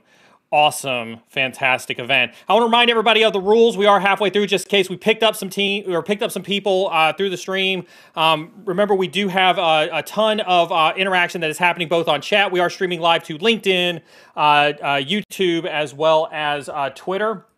Uh, do make sure that you, uh, if you do see, uh, if you are on Twitter, um, you do uh, uh, see something, you do want to comment or something showing up on screen, make sure you use the hashtag PlayCyber, um, and we will grab it and throw it up on screen. If you do have questions, make sure you do drop them into chat, and we will do our best to try to address them. Uh, we are attempting to uh, to do a new style of, um, of, of broadcasting with this, um, where we are looking over the player's shoulders. We do have access via um, uh, the the the, uh, the the platform sponsor SimSpace in this, where we can look over um, uh, the red team and the blue team's uh, type of. Uh, of screen and continue to provide them uh, provide you with that action as well as commentary. So with that being said, we got we had the morning uh, uh, side of, of experts uh, that were here uh, commentating with me. I am excited, more than excited, to have my afternoon co-host and side by side fellow bald guy, the one and only infamous hacker, Mr. Chris Roberts. How the hell are you doing this this afternoon, sir? Good. How's everything going? Good, good. I don't know if you've been able to uh, to, to catch up, but um, it has been an intense, an intense morning so far. We've had uh, we've had a good mix of offense. We've had a good mix of defense. We had Chris Butera on from CISA as we talked about uh, CISA's mission, um, blue teaming, red teaming, and things like that. And obviously, we've been looking over a lot of attacker shoulders. Good. It's nice. I'm actually just catching up. I've got the other screen is running the uh, the live stream up on YouTube. Nice. So uh, I figured I'd uh, stick my head into that at the same time as watching up on this one. Yeah, yeah. Let's um Uh, wh- while we're while we're here, let's jump back into um let's jump back into the uh the scoreboard. See where Uh, everything is. see Oh, we where everything is. movement. Yeah, yeah. So um so Alpha is uh is US, Zeta is uh is Canada. Um I've got my little cheat card uh up over here. um yeah. Uh uh let's see here. Omega i- yeah, US and Canada are 1 and 2. Oceania Oceania um, which is currently being represented by Australia, is third. Delta, and this is what we talked about before we went on break, Chris, was Delta is North Africa. Now, North Africa Ooh, was nice. a no was a no show this morning. Retro. Yeah, they uh, they couldn't get enough players to participate, but the teams were allowed to pre-stage some of their defensive actions during the practice last week. And so the fact that Delta is a team with no current defenders and no current uh, offensive threat actors is actually in fourth place, tied for fourth place, based on the defensive activities that they were to put Based on in weeks ago. side of the world, yeah. yeah. yeah, So I think that's it's actually kind of cool. It's it's nice because it shows. I mean, I was listening in on a conversation earlier on when you guys were talking that uh, the USA folks have gone well because of defense. It's I love the fact that defense is coming into this in a much more prominent way. I mean, everybody kind of wants to go into red teaming and wear a cape and red spandex and jump over tall freaking buildings, but I love the damn fact that the blue team's there beating the living snot out of them. So it's a nice way to put it from the hacker. Blue team beat the crap out of them. I mean. But I mean, I think that I, you know, you echo a lot of my sentiments, right? We, you know, spent tons of time doing offensive cyber in our careers. Um, we we love doing it. It's what we grew up doing. We both acknowledge blue team is where it's at. Blue team is what's winning is what's winning wars these days. It should be, and that's how. And on, that's really to me, that's how it should be. It's uh, I, I, there's too many people coming into this industry that want to go break stuff, and I'm like, congratulations. There's like 35 billion things out there you can break. Do me a favor, fix the darn stuff for us, please, everybody. I think. But I, what what what are some of the things that you've seen over your career that um, that that should have been fixed years ago that that continues to infuriate you today that isn't fixed? Oh, I don't know. Let's see. If you go out to nice, you go out to Shodan, and the fact that we've got RDP, Remote Desktop Protocol, is still sitting out on the internet going, "Hello, hello, look at me, look at me." So, I mean, that would be one. Let's start with the easy stuff. So that would be one. Second one is obviously I'm relatively infamous for anything with wings, wheels, tracks, tires, fins, and, and anything that moves. Let's face it, it's fair game. Well, you go out to like the VSAT systems. So these are the systems that look after all the ships and without getting into any political stuff, there's a couple of ships that have been, how do we say, impounded maybe over the last few weeks. And so we've been using the VSAT systems to capture them, figure out how to get into them, and, and either slow them down, stop them, or at least tell the authorities where the darn things are. So, I mean, VSAT 9000's got more and more and more easy, simple ways into the darn thing. As somebody said, SQL, the fact that the OWASP top 10, you can literally recite it from heart because it hasn't changed a huge amount over the last, what, 10, 15 years? God. I mean, how many years ago? Do you, I mean, you're as old as I am. Well, I don't know. I- I mean, I'm, I'm, I'm in the I, second I, half I'm of not. the I'm not. I'm not. I'm not ready to acknowledge it. Like, let, I think that that may be the difference. Do you? I mean, I remember. I think it was like DEF CON, DEF CON 10, DEF CON 11. Yeah. When we were doing, but when we when because we had SQL injection for I mean maybe a year or two, and then we came up with this blind sequel Yeah. injection, which was amazing. And I mean, I remember sitting in on the talk for blind sequel injection. That's 18, 19 years ago. Yeah. And we can still phpMyAdmin. yes. but it's, God, it's, that, that, that, you, are over you're over here talking about you're over here talking about. SQL injection and, and, and 19 and 20, 20 year old vulnerabilities, and yet we still have we still have phpMyAdmin all over the place. You know, you know, take things. And so we're, we're looking at Canada Red Team right now. Um, you know, they're, they're continuing to actively exploit that that web server, but you know, you're you're right. I mean, it's it, one of the things I think I've, I've always been frustrated with is is um, you know, you see these, you'll see these folks comment like, "Why am I learning about Windows XP? Why am I learning how to run MS 08067? Why am I running, you know, why am I learning SQL injection? I want to learn zero-day exploits. I want to go do ROP chain exploits. I want to do use after free exploits. Teach me all this stuff." And it's like, you realize that like 70 to 80 to 90 percent of the world still runs on stuff that's 20 years old? 90 90 i mean you've only got to go i mean yeah again Shodan is you know shout out to the folks that, that real quick, real quick. us Speaking of SQL injection, Yeah. that's what we are seeing right now on the screen that That's just what we're popped seeing through. now, yeah. yeah, yeah. So as, as you're watching we go, chat, connect from So- so, so- SH. Come on, you can do this. You can do this. It's terrible. I, I I've done a number of these over the years, and somewhere there's a there's a black badge or two floating around up there somewhere. um, and I'm so fortunate that that I think years ago when we were doing this stuff, yeah, pass. don't don't laugh too hard at them. They are OSINTing us. yeah, bless them. I, hey, I, I'm I'm happy about that one. How about it? It's it, I'm fair game. Let's face it. These Yeah, day and age. yeah. I Um, um, I did you. So I hang on. So I'm looking over. I'm talking about. I mean, you got a bunch of the Aussies flying around over here. Did, is there a separate team from New Zealand, or are they all No. under uh, Pacific? There, the, Oceania, the only flag that we got representing Oceania uh, is uh, is is currently the Aussies. Got Australia. Well, then where the hell are the Kiwis for crying out loud? I guess you better call somebody up and figure out like where the where the No Kiwis shit. are. Then Hang on, little buddies, get your ass out of bed. Actually, what are we on? Like twelve? No, it is probably get your ass out of bedtime, isn't it? Oh, no, no. th- This is uh, uh, the only the only folks we've got representing uh, are the uh, are the folks from Australia. But but Oh, um, well, that's we can deal with that. I mean, you okay? So actually, that's a really good point because I mean, you got the Five Eyes stuff, so you Yeah. got all the typical stuff on that one. But I love ex- the explain what explain what Five Eyes is for for chat who may not necessarily be aware of that. Good point. Yeah. So there's a there's a collaboration. Best way of putting it is there's a spy collaboration, and and it comes about because intelligence sharing. So we all know intelligence is useful across you know across the world for good or for bad reasons. We're seeing huge amounts of it now between uh, the conflicts that are going on. And over the years, there's been collaborative handshake efforts between like the United Kingdom, United States, New Zealand, and various other countries. So you've got this whole five a five we call it five eyes collaboration between like the core five countries. Then you have an extension of that where we get the the crazy folks from over in Israel over, and we get some other folks in there, and we start.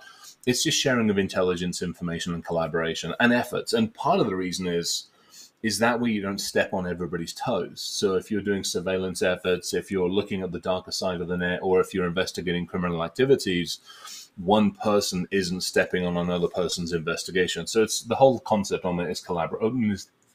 Touch wood should be collaboration. Should be collaboration, absolutely.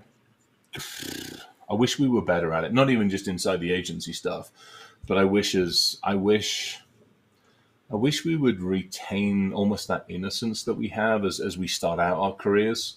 Yeah. Um, to collaborate. This is what I love about doing the cyber games. I mean, this this is fantastic because the friendships that are forged here between people and between countries last forever. I mean, I, I'm still good friends with a bunch of folks that I know from early days, like early days in this industry. There are still folks I'll go to bat for from those days. And I think this kind of stuff is crazy important for that next generation of um, of persons coming in to defend and run offense on all sorts of organizations. Well, and I think when you talk about the Five Eyes, what we're seeing here, where um, you know, you've you we may be you know you know attacking each other in a castle versus castle type fashion, but ultimately it's a it's a joint endeavor from from nine different teams from all across the globe.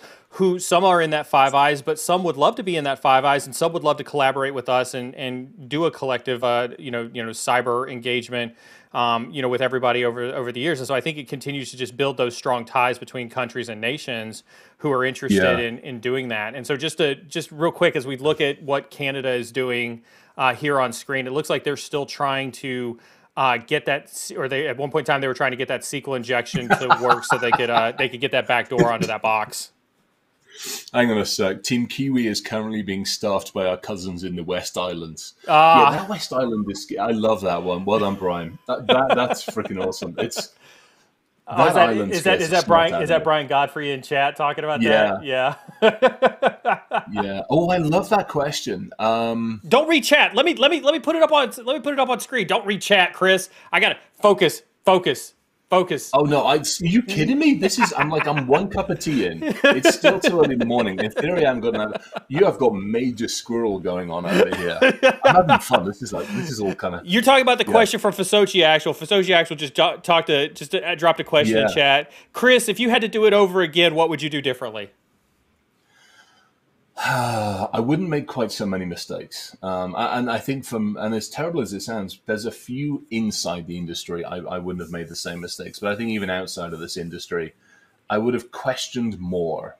You know, it's I, it's something I learned a couple, unfortunately or fortunately, a couple of times. Um, like even working for companies at the moment, I'm going through this whole job hunting thing, and I'm I'm being an ass, not in a nasty way, but I'm asking more and more and more questions than probably I've ever done before because you know when you first get into the industry, you're like, oh, I, I'm I've got a job and I'm happy, and you suddenly go, whoa, what what the hell just happened? Whereas when you get a little bit more you know a few bumps and a few bruises, all of a sudden you're like, nah, I probably need to ask a few more questions. Um, you know, one of the proudest things is unfortunately also one of the things that ended badly, which was One World Labs. You know, I we started Owl in 2009, and unfortunately, we took money, and we took money from people that didn't have the same level of, how should we say, adventurousness as Mm. as those of us in the industry. And so when all the when all the stuff blew up with the aviation stuff, that should have been a hey, this should have been a warning sign. Um, unfortunately, it turned the wrong way, which which was an absolute mess. But um, I think the And- other thing is funny. We talk about Kiwis. Yeah. So I'm in the US because I was actually meant to be deployed out to out to New Zealand, but because of some stuff that we did against the US military and some of the naval toys that they have floating around the place, they end up sending me over here. So that was 98. So yeah, all good fun. So, so real That's quick, good. as, as people who are watching, wa- still watching uh, the the Canadians here, um, I'm getting word from the White Cell that it, it appears that the Canadians are realizing that they can use uh, one particular exploit that they've gotten that they've used to get on this one box. It looks like they're trying to use that same exploit across other castles um, a- across the environment right now, and so they are they're perpetuating their they you know they've stopped trying to pivot in one target, Chris, and now it looks like they're trying And to just- get a yeah, they're trying to get a little bit wider breath and trying to capture out on those points. Go for it. Well, I mean, think about it. I mean, that's what we do in the industry. You know, if I capture your credit, I mean, this is, I've got the spreadsheet. I'll, I'll put the spreadsheet up on chat. Um, I'll confuse everybody. We, we, if I take your credentials, let's say, let's say you lose your credentials on a media, a social media site, and they, they end up being part of a breach. I'll take your user ID and your email address and your credentials, and we, I've got a, I've got a program, and it just runs it across about 150 mm-hmm. other websites you know, and that's banking, financial, investment stuff, all of the all of the social media sites, and a whole bunch of other stuff, just shopping sites and everything. And it's crazy how much password reuse, how many credential reuse, and all this kind of stuff that we have on this one, just in the real world. So yeah, if I, I mean, you take one set of creds and you try them everywhere, and you'd be amazed at how often they get used. Well, not just not just that that and, and just for fo- folks who are listening, right? We we oftentimes refer to that as a password spray attack or or some variation of that, where we can take those passwords, we could use them a- across multiple multiple accounts, multiple eh, you know um, uh, you know uh, pieces of infrastructure and things like that. But I also think that that same tactic, that same methodology, you can also apply that to exploits too. If you've got one exploit that works on one box and you can use that exploit across multiple boxes that that you know are vulnerable. We see that. We saw that with WannaCry. We see the all the ransomware gangs use that in their um uh you know their their day one uh, type of vulnerabilities and things like that. But people have used you know that, that people haven't patched in day one. Oh, well, it's not even. I mean, I hate to say it again. Back to your earlier point. I don't. I'm. So I still build exploits. I still will sit down and get down and dirty into the weeds, and I'll still build exploits, and I'll still do nasty things on on a computer system that that make it curl up in a corner. But I'm not going to waste an exploit on a system because I don't want it out in the wild. Sometimes I'm going to go after easy stuff. Uh, because the- it's, it's you know wh- why should I burn something when you maybe haven't patched or you know you haven't put separation and segmentation in place. I mean, so many organizations you can't patch everything immediately. It just it's not only is it impractical, it's likely to break things. So this is why we talk about network separation and segmentation. And when you don't get that, and it's a flat ass network, and I can see the Windows 7 machine and the Windows 8 machine in the corner, that's where I'm going to focus because I don't have to burn a brand new exploit. I can use the 25 other ones that are public knowledge and get in that way. I, I think that that's I, I think that that's also key because I, I I've, I've mentioned this on my stream before too, right? At, when I was at the agency, they were sitting on 12 zero days at the time that, that they that they had Mhm. at their disposal, and they would be adamant that you needed like the the level of the level of the level of the level of approval just to use said exploit on any type of operation. Like it had to be, you know, Osama bin Laden at the time, you know, type of thing to use that type of zero Yeah. day, um, because there was, you know, why would you use that when you've got so much other low hanging fruit that you can do out there in the wild? Why- That and it's the other challenge as well. Like you talk about interagency stuff. I mean, there's. I remember sitting down uh, in the U.S. We had that incident where uh, the FBI got hold of a cell phone, and you know we were we've been sitting on we're still sitting on some stuff with Apple and various other things, and then like I, I don't need it getting I don't need that exploit to be publicly available. If I hand it to unfortunately the federal authorities that are responsible for prosecuting people, that's now out in the wild. I can't reuse that for the safety of others. I've I have to wave that one goodbye. And sometimes that stuff's freaking expensive. Oh yeah, yeah. It's it's So yeah, totally with you. So, so how are you? How, how do you feel about the argument then? Um, just so folks who are watching, um, what what what Canada? I think we're still on Canada here. Red three is doing is attempting to netcat using netcat as a connection type of protocol, similar to like Telnet. Um, you know, some other type of uh, of, of point-to-point connection protocol to basically telnet into port 25, which is the SMTP server on this particular server. SMTP So- stuff, yeah. yeah. Um, where do you stand on this whole conversation on, um, you know, we should restrict people's ability to uh, publish open source attack tools and and give those attack tools out to uh, to the wild? I, I I don't. I, I. It's a tough one because It I mean, is. weaponizing. You're handing weapons to people. So I mean, perfect example. Again, we look at the current. We look at the current situation. Unfortunately, it's going on over you know in Eastern Europe. On one hand, there's a bunch of us which are tunneling all over the place, but on the other hand, you've got some muppets out there that do nothing more than just run LOIC, which completely messes us up. Low, low orbit low orbit ion cannon for those who are who are not familiar with of, it. basically, it is a denial of service. I mean, it beautifully made, love it, all this other kind of stuff. Um, it's just yeah. So it's it's frustrating. How why did that message get deleted? I was looking forward to that message. I squirreled. Where did it go? Don't see this why I tell you don't squirrel? We got questions. moderators in chat. Oh, you have? I'm. Oh Yeah. gosh, I'm self-moderating the moderation. Yeah, yeah, you're self moderator. Um, we got moderators in chat. Don't don't pay attention to that Okay, stuff. bless it. All right. Well, I'm, I'm moderate between two. Uh, I so here's my thing. If you, mm, it's a tough one. So an exploit, I've always uh, you've got the responsible disclosure mentality. Yes. So that only goes so far. So another perfect example, I, I come knocking on your door and go, "Hey, you got a problem." If you don't have a bug bounty program, or you don't have a an internal program or an external one one by one of the good folks, Chris Fraser, I got you. Sorry, squirrels. I'm having fun. I'm listening. You see, see now Um, now that then- chat knows that you're paying attention, they're going to try to distract you now. Bring it on. This is going to be fun. How far can the how far can I squirrel in what two hours? Yeah. But, but so it's uh, you know the responsible disclosure. I go knocking on your door, and typically one of three things happens. Either in the best case, you're like, "Holy smoke, thank you." In the middle case, you're like, "Sod off, I haven't got a problem." You close the door and you try and figure it out. And the worst case, which happens all too often, I got a I got a drawer full of damn cease and desist letters. Is you get a, a, a letter from a lawyer saying, "Thou shalt never speak of this, and we shall prosecute you." Blah blah blah blah blah blah and it frustrates the hell out of me because it's you, you're just doing it for the right reason. So I love the fact that the bug bounty programs now exist because it's a conduit where I get less lawyer letters, to be honest. I love the fact that like DHS and CISA are stepping up way more so into the breach to help out.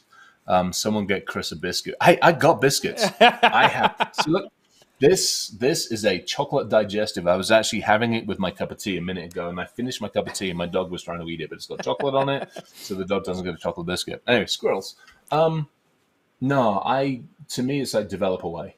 Yeah. The more people in our industry and around our industry uh, learn the vulnerabilities and the issues, I think the better it is. Um, it, it's it holds everybody accountable. Now there's there's some exceptions to that rule. I mean, if you find like a core tool that will just pwn everything, just a squirrel drink Isla? Hell yes, the damn squirrel drinks Isla. Yeah. What are the agencies doing wrong and right? Well, they're not. Commu- uh, yeah. All right. I, I, yeah. Sorry. This is fun. I'm enjoying this. I'm. Fo- focus focus on me. Focus on me, buddy. Focus on me, buddy. Right here. Oh, is the US still? We need to nobble the US. We need to like. We need to go. Can I go in there and have some fun and take the US's defenses down for Well, a second? here's the, here's the reason the U.S. is def- the U.S. is winning. Winning. I just had a white cell inject coming from coming into my ear. The U.S. is still winning because they're threat hunting. They're actively threat hunting across the environment and finding all of these IOCs from a previous uh, from a previous inject, and they're putting Oh, in yeah. firewall rules and submitting. We're looking here at the um, uh, the defender logs that they're doing here. You can see that that they've ever since that APT activity at 10:08, they've had one, two, three, four.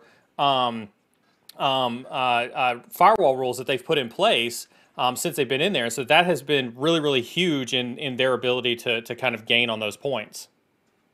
Yeah, No, we I see, love we see some that- we see some Mimikatz usage. We see some Mimikatz removal. Another piece of malware, some more suspicious files. So they're still finding they're still finding IOCs from that Intel uh, PF injected. Sense password. Oh, come on. We know the pfSense password. Google the darn thing. In fact, I can probably do it for you. yeah, come on. We can do this. It's pfSense. I mean, don't get me wrong. I love pfSense. I run pfSense, for goodness sakes. But, you know, I also put a few other things in place. Come on, we can do this. You can. Yeah. Yeah, no, honestly, we need to. We should just tunnel in. Can I have some fun? Can I tunnel in and start? No, I don't no, no, no, no. You can't do any of that. You can't do any of that. But back to your point, like, and this is my stance on this, right? Is I think I think the developers need to continue to develop because, it- it- sure, it may help the adversary. You know what? Who else it helps? It helps the blue team. And this is why we were having the conversation with Eric and with Jax earlier.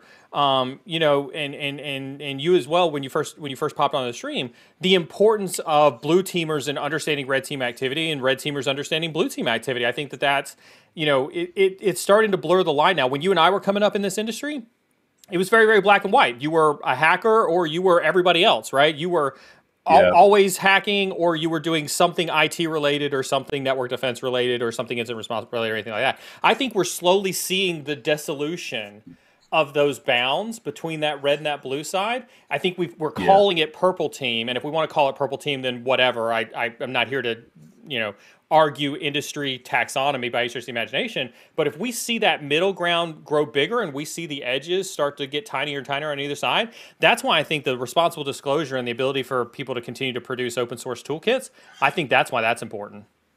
I love it. Well, because I mean, again, I mean, you know, you know, I mean, it's the same thing. I mean, I remember, I mean, remember pre-ethereal, pre-Wireshark days.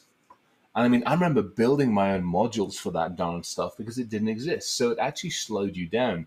Nowadays, if I want to go and be strategic or I want to be clandestine, there's a, there's typically something on GitHub that'll allow me to do it. And I love the GitHub repositories. There are some freaking amazing, amazing repositories that people have put together that have like a whole bunch of defensive tools, a whole bunch of OSINT, open source intelligence tools, a whole bunch of red teaming tools. So what I love about it is the fact that there's so much collaboration. And if you want to learn and you want to understand and you want to realize what's going on, the data's out there and you can build safely. This day and age, you can safely build your own environment and you can test the living snot out of it and learn so much easier that way. Abs- absolutely. Um, we're gonna we're gonna bring in um, we're gonna bring in Pete here from um, from SimSpace. Let's see if his audio is working on this time. I think so. Yes, yes, your audio is working. We've been I we've been figured out playing with the up, up, down, down, left, right, left, right, BA, select start to get it Hey, working these days. Uh, let's let's get a poll in chat and see if anybody recognizes that reference that uh, that that Pete just dropped in there. Pete, um, I understand we're we're ready now to kind of talk about this uh, this threat intel inject that they got and the impact map um, that we were going to talk about before we did that last commercial break. Do you want to kind of hit on that a little bit and kind of talk about what we're seeing here? Yeah, absolutely. So um, we talked about doing things a little bit differently, and that threat inject that you saw come up um, at uh, what was that, 10 a.m. Eastern. Um, that was one of those things. So we have, in addition to the nine teams, um, well, I guess since Delta is only doing the defensive side, nine and a, eight and a half teams that are participating. Um, we have um, we have a, a new player has entered the game, right? We have APT uh, 10 or 40 or both. Uh, we have threat intelligence that they've been involved, engaged in these environments for the last 48 hours and tasked them with trying to see if um, uh, see if, if if there is indeed an intrusion from them. So it's a great opportunity to um, operationalize threat intelligence, deploy detections, and we've seen how that can impact the score in the game. Um, the other thing, oh, by the way, we've got our first uh, our first yellow card right now. Uh-oh. Um, I know Eric's going to be disappointed, but Latin America is getting docked for firewall rules right now. So I'm just going to throw that Oh. out there. They created a Oh. firewall rule that exceeds that, and you know maybe this is a strategic decision on their part to take some uh, take some hits as they are getting uh, as they're getting attacked right now, and and set up some more uh, customized defenses. Um, but uh, but so for so we have so we have a yellow card on the on the on the grounds for for Latin America teams for some illegal firewall rules. but yeah, so uh, what we're seeing right here is the impact map, and and so what you're seeing is there's an automated attack that's deployed out right now, and um, in in the environment you're looking at, and uh, so what you're seeing is certain machines are being targeted automatically, and um, you can see the uh, the sequence of events that took place. And I'd ask you not to expand that because I think that would get some pretty specific intel. we for, won't we won't uh, expand that too much. yeah. Yeah. But the uh, but but the idea is if one were to expand that, and maybe we want to take a step over to the MITRE attack map, we can actually break out the actual tactics and techniques that are being employed in the various attacks. Now you see there are two there. There's the beaconer as well. That was something that we demonstrated in the familiarization last Friday. Uh, we deployed a beaconer out. Um, actually, we deployed it out several days before, so there'd be lots of beacons. As you're well aware, when you have a 30 to 90 minute delay between beacons, uh, you probably don't want to. You probably don't have one or two of those in logs. So we gave it a good 48 hours running, so they'd have enough beacons to have a chance catching that on the defensive side. So, um, so what we have here is as our automated inject engine deploys out each of the the techniques, we keep track of the tactics, the columns, and the techniques, the rows that are being employed using MITRE. And this helps us provide a, um, a more specific representation of the skills and abilities and the tasks that are being uh, carried out by the defensive team as they defend against these automated injects.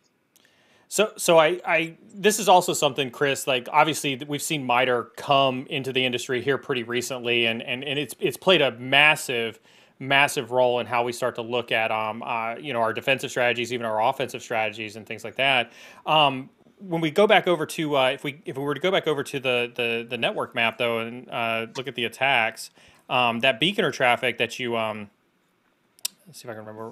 There we go, network impact.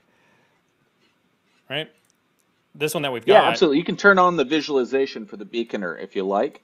Um, if you just mouse over where it says beaconer uh, Ah. to the left, there you go, and just click the eye. Oh, click the eye. Gotcha. Yeah. One more No. time. Oh, well, it's working swimmingly. Glad Oh, glad well. we could call that out. There we go. There we Um, go. A so demo fa- demo fail live on stream. Nothing nothing nothing fails on that that regard, does it? I didn't make proper obeisance The to gods the live the, demo gods the gods today. of presenting are watching us closely. That's right. Ironically, it's probably my fault for tearing that attack down after demo on Friday.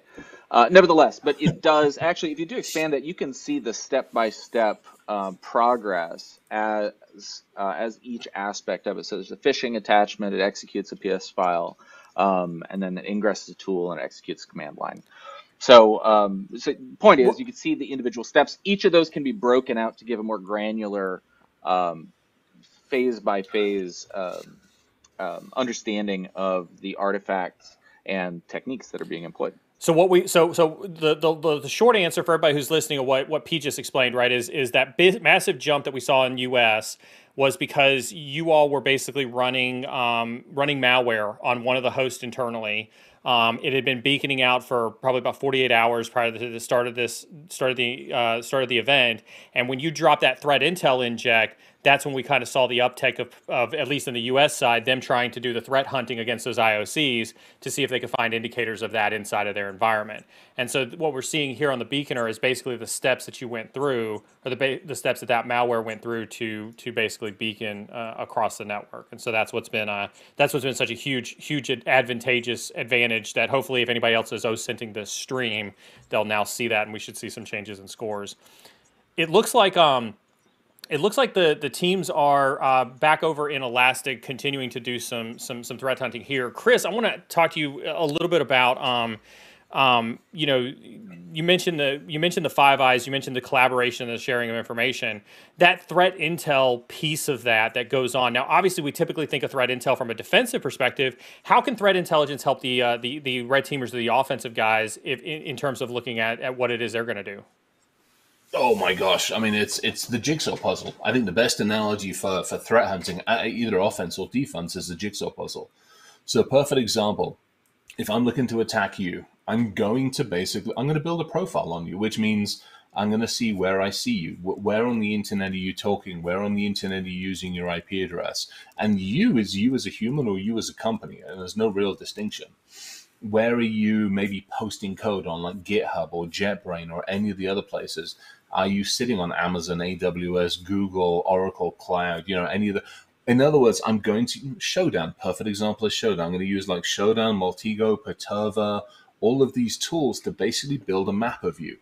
And as I'm doing that, I'm looking at attack vectors. I'm looking at maybe you use your work email on Craigslist to advertise something or to buy something. So now I can go, can I socially engineer you this way? I mean, well, probably one of the most probably one of the most fun ones that we did. We actually ended up doing an RSA talk on, which is we looked at we found an engineer who loved to cook. He bought himself one of these gorgeous Dacor ovens that has a built-in Android.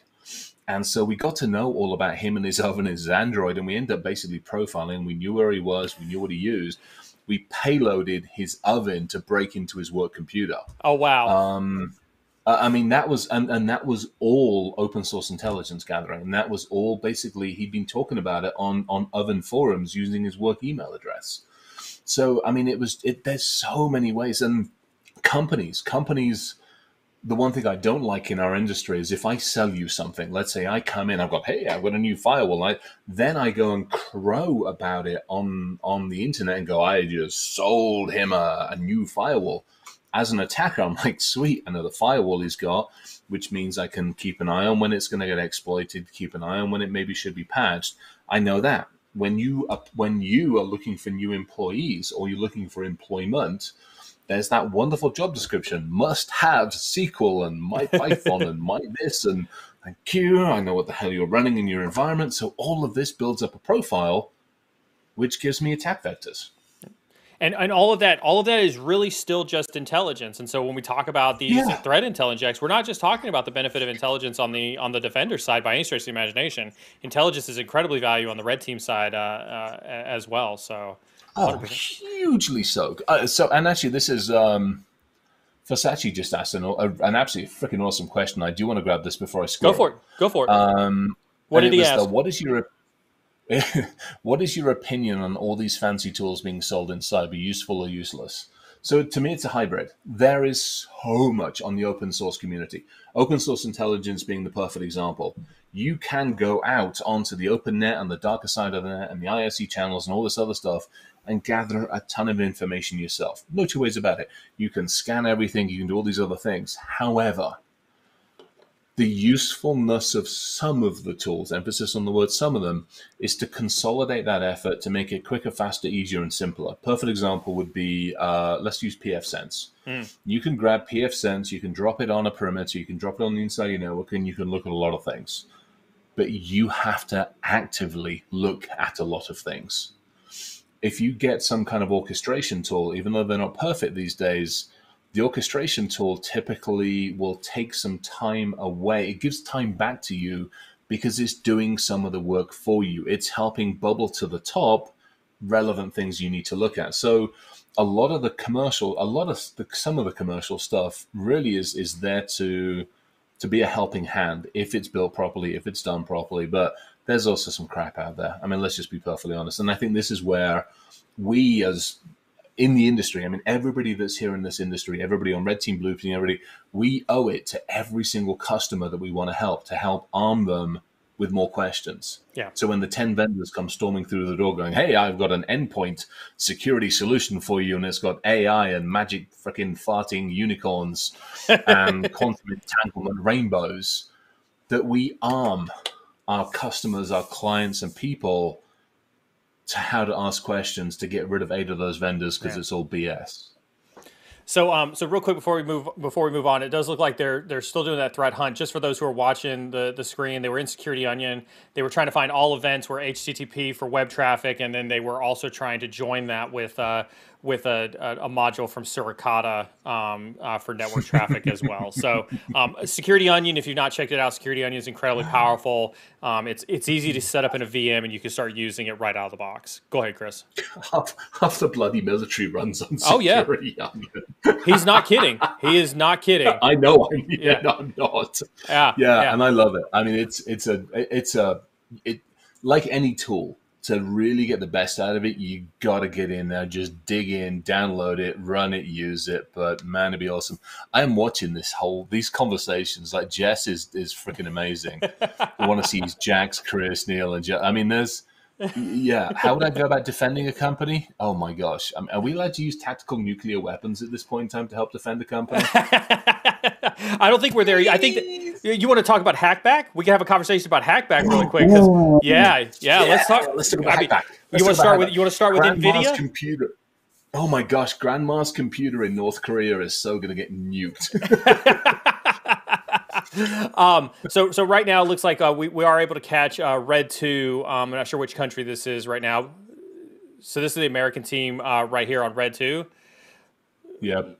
Looks like they're trying to exploit a. Uh, looks like they're trying to use uh, an OpenSMTPD uh, exploit out of Metasploit to hit that uh, that mail server. oh come on, stop using Metasploit. Get old school. Oh, uh, you're gonna you're, you're gonna go there, are you? No, like like let's the the hackback conversation. Like like we, I, I'm sure you remember. Like hackback has been something that that has been touched on and danced around, and people have avoided it for literal years. Yeah. because nobody's interested in talking about the ramifications. It's too deadly, like whatever the case is. Um, you know, what's kind of you know, and then we saw Nvidia allegedly hack back as part of um, you know, their, their recent uh, ransomware attack and whatnot. So, so when are we when are we going to start launching thermonuclear uh, nukes uh, from from companies at companies because of hackback? Well, I think that's it's a tough one. Uh, so I watched, I, I came onto the stream uh, just before the commercial break, and not that I want to rubbish some of the conversations that were in the commercial break, but it Go for it. really con- it really concerns me when you have a company says you know the attacks came from and then names a country. Mm. Attribution. this is Because back to the attribution. Yeah, question again. attribution is huge, Yeah. and the hackback thing is huge because you know my, my the way I typically go about it. You know, if you're going to blame Russia or you're going to blame China or Korea or I, can we blame New Zealand? Seriously, I want to blame you. Nobody ever blames New, New Zealand. Doesn't get blamed for anything. They're like flying. under the buggers fly under the radar. I swear. it. Fe- They don't- feeling So feeling left out New on the attribution, are you? No shit. I mean, they they have gotten it down. To me, they've gotten it down. They managed to use like Chinese language scripting and Japanese stuff, and they got Russian. For, I mean, they got language experts now, and everybody's using Grandma's computer in North Korea to launch their attacks from. Yeah. So for me, the, the attribution thing is if if I can find Boris sitting at the computer with his bottle of vodka and his check stub from the FSB, and I know that Boris is a diehard FSB fan and and isn't maybe sympathetic for the the BS that's going on over in Ukraine at the moment and everything else, and Boris is in my computer. and If I can get to that level, then yeah, you know, I'm dropping a tactical nuke on Boris. but if I, if for any reason Boris is sitting at his computer with his with his bottle of vodka, and Boris is just Boris is off surfing YouTube looking for an American bride, not a Russian bride at this point in time. You know, Boris is sitting at his computer and let's say you know Zing or somebody sitting over in China and is using Boris's computer to annoy the hell out of my system, I just nuked the wrong person.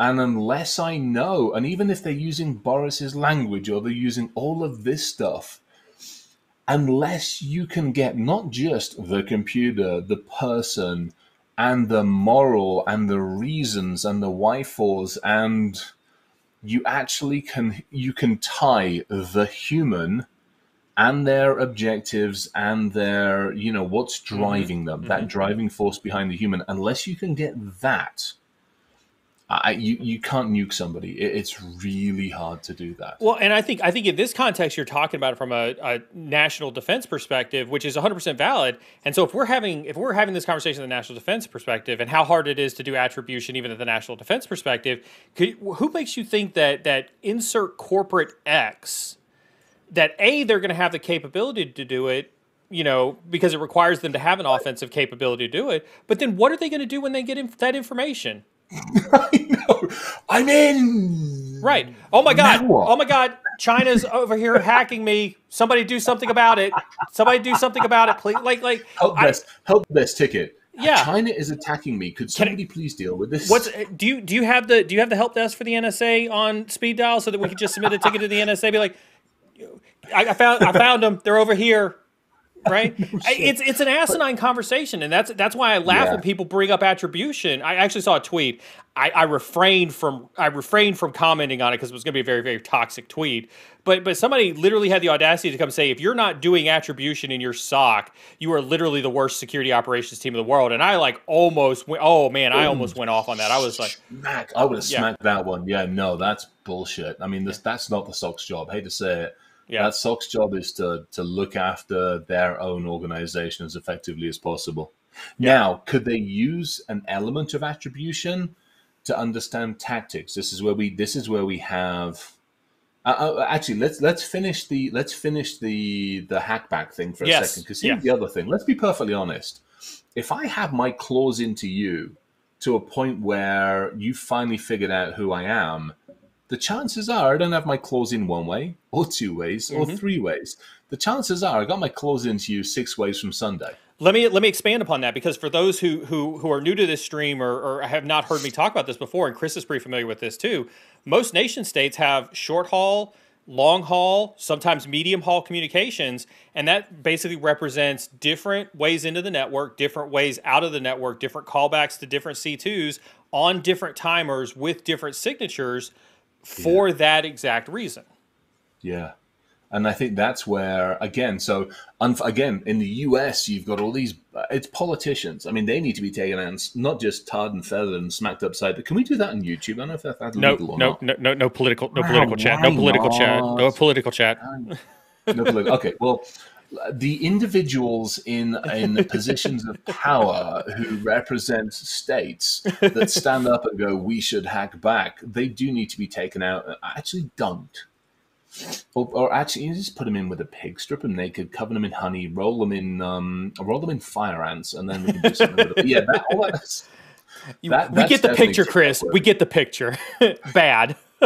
yeah, bad. So I think that's um yeah, and then actually so Matt's got a good point. Is it the legalities? I mean, that's the other point as well. I mean, it's there's a huge thing on the legality standpoint. Uh, You know, if how uh, a inside had enough issues. I mean, in the US, you got the the hell it is. It's the Computer Act. But I mean, all of a sudden, if I start if I start attacking you know, I go back to my go back to grandma's computer in North Korea. I start attacking grandma's computer in North Korea. At what point is that an act of war? Mm-hmm. Yes. And so now you've got well-meaning, spirited individuals in in country A attacking country B, and all of a sudden, somebody does take that out of the digital domain and moves it straight into the physical domain. So, um, so real Um, quick on the scoreboard, as as we move through this conversation, we do see a jump up from Lambda, Ooh, yeah. which is Zeta, uh, Zeta, Zeta, uh, Zed, not Zed Z, can- the way. Zed, Zed is Canada, um, but we do are? see we do see Lambda in the top three, which is the uh, the, the first time that we've seen Lambda in the top three. That's going to be Europe X, um, you know, in the top three now. So we do see them kind of kind of creeping up there too. We do see finally Zeta in the five digits. We see Canada in the five digits on the score, trying to close that gap on the Americans. We moved a, we moved away from this. Uh, uh, oh, it changed on me. Um, yeah, so we're back over here on the, on the defender. We just blame Canada. I mean, let's face it, we might as well go down that road. We'll just blame Canada. It's Just fun. blame I don't know Canada. what we're going to blame them for. We can blame Canada for something. Yeah, yeah, for sure.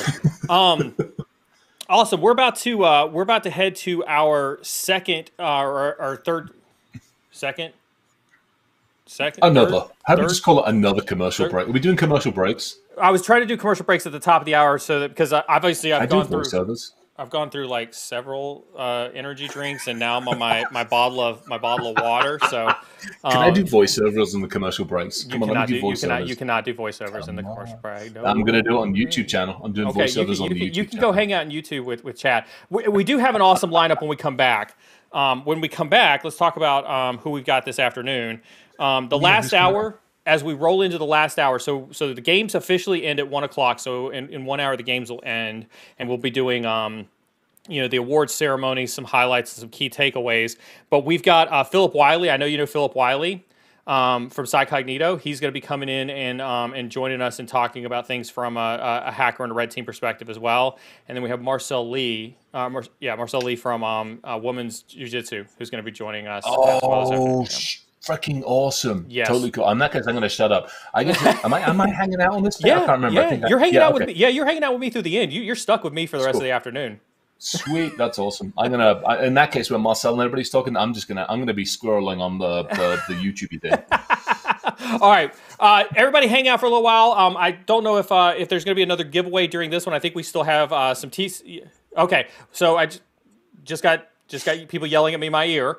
Um, we have INE passes that we're giving away um, inside of chat right now. So if you're listening to us over on LinkedIn, uh, you do need to be in YouTube chat. You need to be in Discord uh, to participate in those. But chance to get some awesome, awesome training from INE. Chris, uh, any thoughts before I send us to commercial break? Any words of perils of wisdom? Any awesome no, while we're on commercial break, I'm getting another cup of tea. Everybody needs to be. uh, It's all cup of tea. It basically the entire security industry revolves around tea and coffee. If we if we decaf everything, we're just we're all screwed. That's you know it. what? You know what? I'm gonna bring I'm gonna bring Network Chuck on because he's a coffee person, and you and I are tea people, and we're gonna argue over key, over tea and coffee for an hour with Network Chuck because because uh, because he's all about that coffee, and I try I'm gonna try to get him to drink some tea.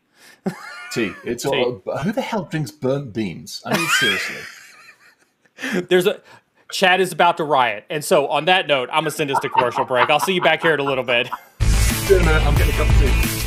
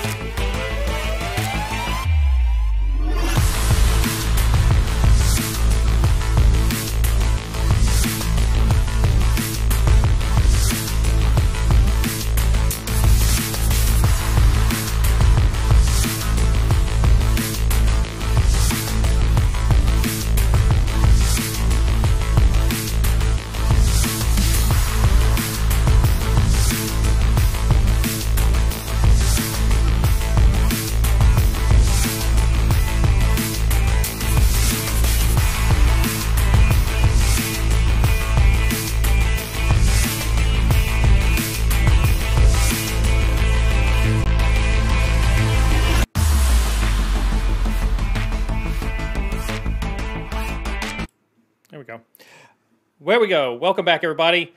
Uh, welcome back as we approach the final hour of the uh, U.S. Cyber Games here on the Cyber Insecurity stream. So glad to have everybody here. Um, I was just hanging out with my good friend here, Mr. Chris Roberts. How are you doing today, sir? I'm back. I got my cup of tea and I got my Marmite, toast toasted Marmite, and that's really all I could ever ask for in life. Good See? toasted Marmite. Oh, and a cup of See, and and and I, I think I think your comment. I, whoops, there we go.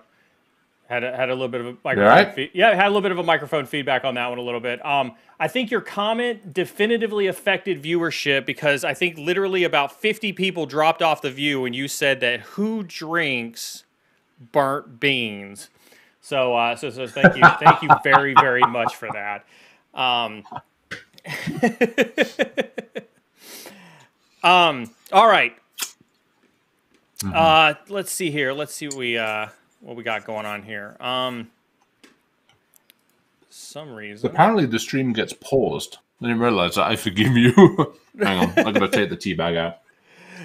taking the tea bag out. Oh no, uh, uh, we did have a little issue with um, uh, it says it's buffering. Apparently, the stream dead or something. When uh, when when when you go to commercial break, the stream dies off. It confused everybody. What happened? What happened? That that's super odd. I don't know. It's technical things. I mean, people expect us to understand computers for crying out loud. I know, I know, right? Um, and especially you know when when when we've been running a stream this long. That's interesting. Hmm. Hemp tea? The hell is hemp tea? For God's sakes! Is hemp is does hemp have it? This That's is super- proper. I don't know. I mean, hemp's got everything. A bunch of bloody crazy. No, this is proper Yorkshire Gold. Ah. This is good tea. This is. It comes in a tea bag, which makes life a whole lot easier, especially when you're on a commercial break between webcasty things. Yeah. Um, all right. So uh, Hmm. while the technical team tries to uh, look at some of the uh, the frame rate issues, um, we're going to go ahead and bring our next guest. Um, I I'm pleased to to bring in uh, somebody that you and I both know. Um, haven't seen him in a while. Glad to see you again, Phil. Hmm. You just got back from uh, from Israel, I understand it. Yes, correct. Good, good to see you, and good to see you as well, Chris. You too. Chris is still stuffing his face. He's like, "Good to see you too." As I stuff my face. Yeah, Hey, it's breakfast. This is Chris and breakfast I for were- me. Chris and I were involved in probably one of the most unusual Jason Street awkward hug uh, pictures from HouSecCon in 2019. how, how so? You want to you want to elaborate on that one a little bit since you brought it up? Yeah, it was kind of interesting because you had Chloe Messdaghi was like across the top with the rest of us kind of holding her up. Uh, let's see, there was Jason Haddix in the pic as well as Chris, myself, and I'm trying to think Chloe and some other folks. So it was pretty interesting, pretty crazy. For, for, for those who are for those who are not overly familiar though, Jason Street is pretty uh, pretty known for you know the, being the king of awkward hugs anyway, right? So um, having having Yeah. him with some some awkward hug stories would is, is about par for the course, right? Yeah, Oh definitely. gosh, I've, there's, I've got, I've got a, I've got a picture of, I've got numerous pictures of him with, with awkward hugs. Believe me, but yeah, I love him to death for that stuff. he's uh like but i, I think Yeah. that that continues to, to just speak to just like some of the um uh, awesome personalities that we do have in this industry when it comes to uh, um, you know the less toxic side of cybersecurity, right? Folks who are who are out there trying to make a, a, a difference and trying to bring a lot of hu- humor and humility and uh, and and whatnot to cybersecurity, just as an industry as a whole. Yeah, and, Yeah. and one of the things that's awesome too is he's a big champion of. Go go ahead, Phil. He- He's also a big champion. He's also a big champion of mental health, which is great and much needed during the Yeah. pandemic times. Yeah. Yeah, I think um I mean the, the mental health conversation I think is, is something that um you know Philip I know you and I have chatted with pretty extensively about and I know it's been a, a topic of conversation for um for numerous streams both uh, on both of our channels and your podcast as well. Um you know, I, I don't think we talk about the mental health stress in cybersecurity. Um, you know, and it's again, you know, increased exponentially by what's going on in the pandemic side. Mm-hmm. Yes, I agree. And one of the things too, I think that's changed and evolved is people are are learning that it's okay to share your problems and stuff. Because people from like Chris and I, Chris and my generation, you know, you just you're a guy, you're tough, you can't really show weakness or share your emotions or let people know what's going on. So it's kind of a culture shift. Uh, yeah. I, uh, I Well, go ahead, Chris. Go ahead. I mean, from the military from the military standpoint, I mean, it was it was suck it up, which is it's fine to some degree, but when you come out of those situations, the ability to actually take it down a level, process it, and deal with it, but we we just never got a chance. So now it's like, you know, it's uh, to your point, it's it is good to be able to sit there and go, hey, yeah, I'm not all right actually. Hi. Get you want some of my Marmite toast?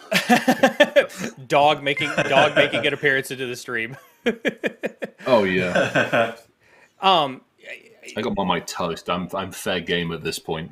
Yeah, I think we um I, I think we do make a we do make an assumption that um you have to have a certain type of image, you do have to have a certain type of persona that does prohibit you from acting a certain way inside of cybersecurity. We we oftentimes refer to that as imposter syndrome or whatever the case is, and I think that that that has a tendency to be pretty detrimental to a lot of the mental health um you know you know you know issues just really kind of expands upon those in, in a pretty bad way right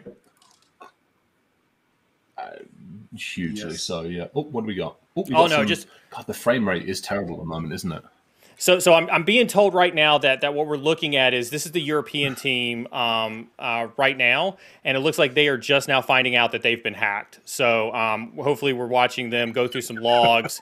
yeah, and so they're uh, they're they're actively going through some logs and realizing that they've been hacked right now. So, uh, we'll we'll watch them do some of this investigation and um, and and see if they can uh, see if they can come back from this one.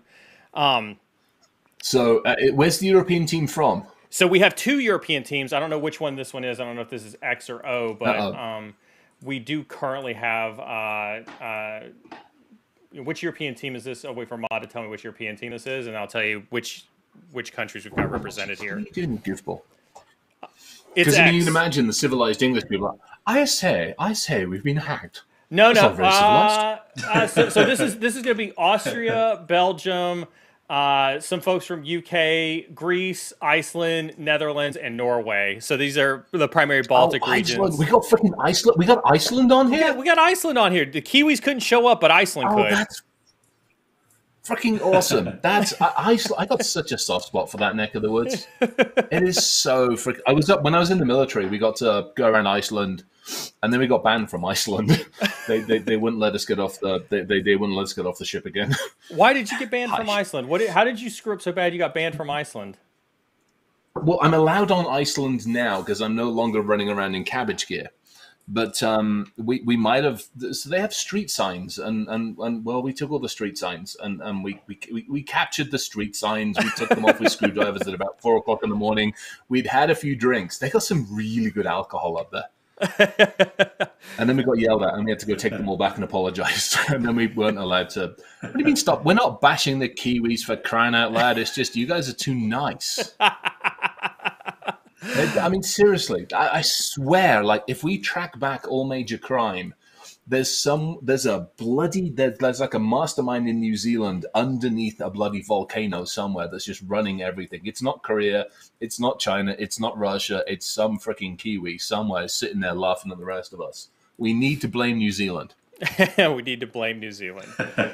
Um, just real quick, since since we since we are looking at this screen where we're looking at what appears to be hopefully uh, uh, Europe uh, trying to hunt for instances where they got hacked. Phil, I want to talk to you. I want to I want to get your perspective on this from a hacker's perspective. Um, you know whether or not you know the attacking team knows that they're being hunted or not. Um, I think is a different story.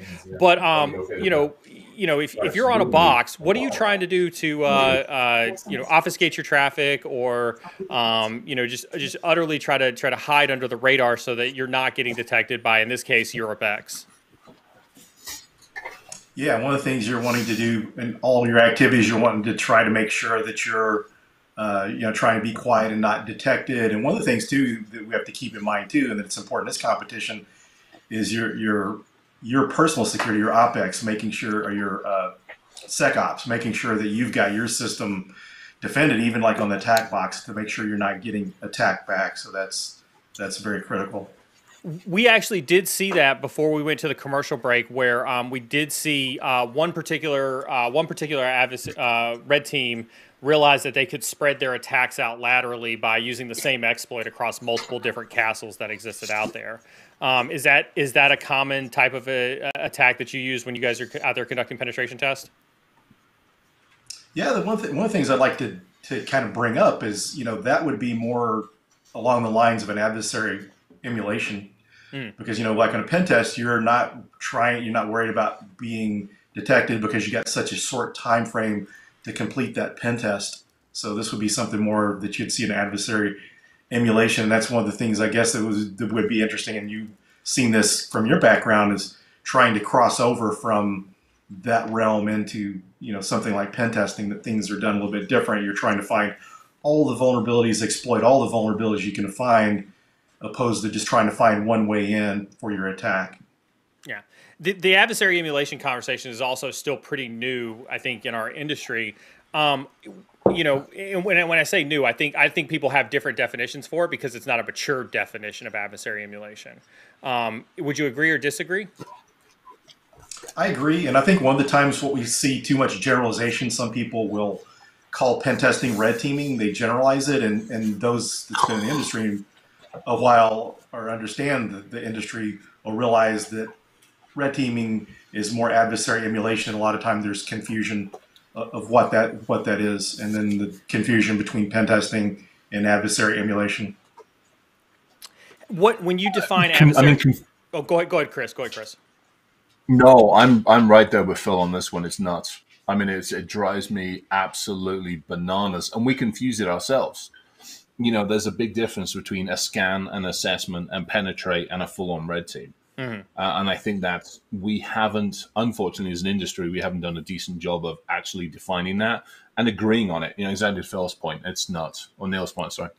It- well, I, I think I think we we're afraid to define it. I'm gonna I'm gonna step out and I'm gonna be a little edgy on this one, right? I think we're afraid to define it. I think I think the the the pen testing community, the hacker community, they're afraid of uh, of standards, and I'll use that word very very loosely, right? They don't want checklist, right? Mhm. Because checklist, you know, quote unquote, deprives them of the the freedom of thought to execute exploits how they want to. They're they're afraid to standardize what the definition of pen testing or red teaming or adversary emulation is because they're afraid of standards. Um, I, I think it's I think we we self sabotage ourselves by not trying to come to some type of agreement as an industry. I'll throw that grenade on the room and see who wants to jump on it. I, I, I mean, I'll go if you don't mind. I'll, I'll hit that one briefly because actually, from a client's perspective, it's terrible because it's like, what am I paying for? Yeah. Am I paying for somebody just to scan something? Am I paying for somebody to to scan it and sniff it and maybe poke at it? Am I paying for somebody to throw the kitchen sink at it, or am I paying for you know a proper red team to actually get out there and and dig in? And then and then it's like, okay, red team is it plant the flag or is it focus on or you know, I, I think it frustrates the hell out of me from a, I, I pisses me off from a client's perspective. Now, I we we got to do about because you're right. I mean, it, it allows us freedom, but that's also freedom to rip off a client, which is also the thing that annoys the hell out of me. Ripping off clients? You mean you be paying three hundred dollars for a uh, for a for a uh, vulnerability scan is uh, is is a bad Freaking idea? Rebadge Nessus scan for crying out loud with a good heading title on it. I'm going to charge you twelve grand for it. Welcome to government's. yeah, don't even. but I mean, I think I think from from my perspective, right? That's that's the that's the reason that we need to, in- from my perspective, that's why we need to adopt, um, you know, some some better discipline, if you will, when it comes to trying to standardize our, our industry. And I, I, I know that it it's very it's a very top uh, conversational topic. Philip, I, I want you to comment on that one as well. Yeah, and, and mentioning, I've seen cases where that talk to people who've had pen tests done before that basically someone ran a Nessus scan and put it in their report, uh, boilerplate template, you know, and, and turn that in, which is unscrupulous. And one of the things, you know, I was having breakfast with a friend this morning, and we were talking about, you know, like voter security and some of the different uh, local governments and stuff that because the people there in part of his budget aren't educated well enough, they're coming in. These are critical areas that need to be tested but they're bringing in some of these teams or these companies to test things that really aren't qualified, aren't finding things. So they have this false sense of security. And I really think that's happening probably throughout our country, like on a global scale. Ooh, I want to throw another grenade in. Go I for it. Throw Throw another another- grenade in. throw another Go for grenade. Do Voter it. security. Voter security. An oxymoron. How so? What's the what's the grenade? What's the grenade you're going to jump on there? Th- That there is no voter security? Oh my giddy aunt, there's no voter security.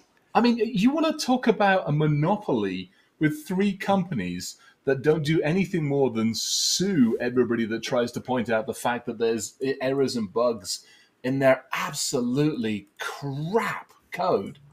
I mean, the code's good gods alive. Milo could write better code than half that freaking stuff. Ugh. It's terrible. and it's defaults. I mean, you want you want to change voter records? Great. I'll tell you what. Go use. I think what is it? Everest. Everest exclamation mark. Or something like that. What on earth is got? We got we got things. Oh, it's just I was just refreshing the scoreboard. Just refreshing the scoreboard. Got it. We need to refresh the, the poor poor Phil is uh, he's he's like lagging. Poor Phil's lagging. His video is lagging like ten minutes behind the rest of us. He he is. I I, I I'm I'm not sure what happened there. That's okay. We'll we'll push through. We'll push we'll push through a little bit. It's it, I can, we uh if, Phil Phil reminds me of that, that stream I did that one time from a hotel room. Uh, you know, with uh, with hotel Wi-Fi that one time. It was pretty disastrous. Um, I remember that. you remember that one? Yeah, you remember that one. Uh, Yeah. We tried to we tried to do that stream from that hotel. It was pretty terrible. Um, I just want to do a check in on the scoreboard really quick. We do still have the U.S. Uh, uh, at number one, um, but we do see Canada um, coming up pretty quickly uh, with with twelve thousand five hundred eighty, and then Europe X uh, coming in third uh, as well. I'm, I'm hearing that Canada um, continues to uh, implement um, uh, some defensive uh, uh, countermeasures. They're they're finding some IOCs and they're putting in some blocks and things like that, um, which is contributing to uh, their increase in score as well. So uh, Ca- Canada's Canada's creeping up on the U.S. when it comes to to implementing some of those defenses. Good old Canada. It's nice to see Canada do well. I mean, that way we're not going to blame them for absolutely everything. Now, if they overtake, if they overtake the US, I mean, then that's you know at that point in time we just have to invade and be done with it. uh, it's it's it's funny it's funny you say that right? Because it's like it, you know I, I sad but true. No we would never invade canada. I'm kidding. I'm kidding. We want to work together as a team. Um phil what do you got what do you got going on sir? What's going on in your life Yeah, so I just recently made a, a job change to CyCognito. They're an external attack surface management uh, platform. So it's pretty interesting. And one of the things that really got me interested in it was the fact that it uses a lot of the things that people use as pen testers, you know, reconnaissance, OSINT, and some vulnerability scanning and that sort of thing, and discovering assets that you normally may not find during your, your pen tests and stuff. So that kind of started that. It's been pretty interesting uh, so far. So I'm doing evangelism as well as uh, enablement, teaching people internally. While I was in Israel, our Tel Aviv office, I got to do a pen testing 101 uh, little session for our analysts there. So that's kind of what I've been up to and continuing with the, the podcast and speaking at RSA coming up here pretty soon. nice nice what are you talking June. about at rsa soon. Uh, cloud-based pen test platforms. nice So you know, basically setting up infrastructure where you can uh, perform you know externally facing pen tests. Nice. So I did a I did a little write up on Medium a year or two back, and someone asked, "Hey, you know, requested something like that." So I kind of I gave the talk at Texas Cyber Summit last year, and I'll be giving it at, at RSA. Nice. When we talk about external attack surface uh, management, right? How is that different than pen testing? Like, what what is what are kind of the nuanced differences there that exist in that conversation? Yeah, it's kind of the the overall picture, and one of the things too that from some of the pen tests, and one of the things that have kind of hurt the quality of pen tests is sometimes pen testers are given a scope, a narrow scope of IP addresses or domains to test externally, and a lot of times there's such little time they don't invest time in doing good reconnaissance or OSINT. You know, because one of the things I saw the value in this platform uh, was, you know, back years ago, I was doing a black box external pen test of a company, actually a black box pen test overall of a company. And I did all my reconnaissance, found all the network blocks and domain names and was you know, to perform the pen test externally. But then I was using a tool like Shodan, and I was able to find that they had an FTP server in Indonesia that wasn't in these network blocks. So one of the things with these with attack surface management there's a really big emphasis on trying to discover all the assets because through company acquisitions, they lose track of what they have. They think servers might have been decommissioned. So with these platforms, one of the big things is uh, discovering assets. So it's not so much a pen test, although it does some, most of these platforms do some vulnerability scanning and detecting vulnerabilities, running various other tools and automations in the background to find these vulnerabilities. But the main thing is, is trying to discover and define that attack surface and then prioritizing what needs to be tested. And one of the things some people would say, you know, you're a pen tester, you're worried that this is going to, you know, take away from pen testing. It's not, it's not ruling that out. It's an extra tool. You're able to find, you know, assets that you know about because just like it can't, it escapes me the name of the product, but HD Moore came Um, out with a product Metasploit. in recent years. No, it wasn't Metasploit. It was, it was past Metasploit. It's a new, it's an asset discovery. It's internal Oh. for discovering assets. It's a new thing he started two or three years ago or whatever. But you know, we have products defined and define our internal attack surface, and you know, the asset inventory has been a big deal. And I've done uh, work with companies where we're doing external web app pen tests and not know all the URLs. I mean, you go through these hoops trying to find all that stuff. And with these platforms like uh, CyCognito, it's like from a black box perspective. We know the name of the company. They go out and do all the reconnaissance and discover things. In a lot of cases, they're finding things that the company didn't realize they had. But then going back to a lot of times, pen testers don't have the time, or maybe they don't have the OSINT skills to find these things because you know there's a lot of people in the industry that are awesome with OSINT, and maybe that's all they do. And then there's people that are better on the pen testing side. So that's kind of what it does overall. It's not really replacing all those things. You can still do your vulnerability scanning. It's just an extra tool to make sure you're finding everything that needs to be tested. Nice. Uh, just for those who are watching the screen right now, what are we looking at? We're looking at EuropeX. It seems like EuropeX is starting to dig into those IOCs a little bit more and starting to put in some uh, some firewall blocks, and so we're seeing them um, hopefully going to be able to jump up here on the scoreboard. Uh, hopefully here pretty soon. Speaking of scoreboard, let's head on over to the scoreboard and do a check in uh, with our scoreboard. Um, also slowly. Uh, I want to thank the the SimSpace team for adding the names of the teams to the scoreboard. I really do appreciate it. It makes my my deciphering capabilities easier. There we go. There we go.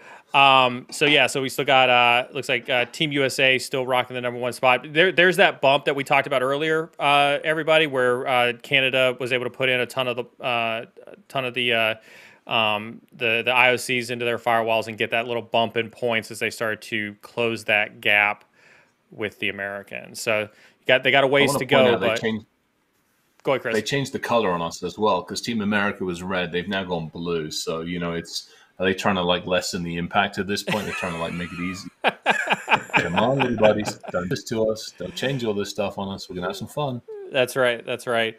Um, Phil, I appreciate you coming in, stopping with us, uh, uh, sharing your experiences and everything with us uh, during the, during this brief time. Um, hopefully, uh, you get some sleep coming back from Israel.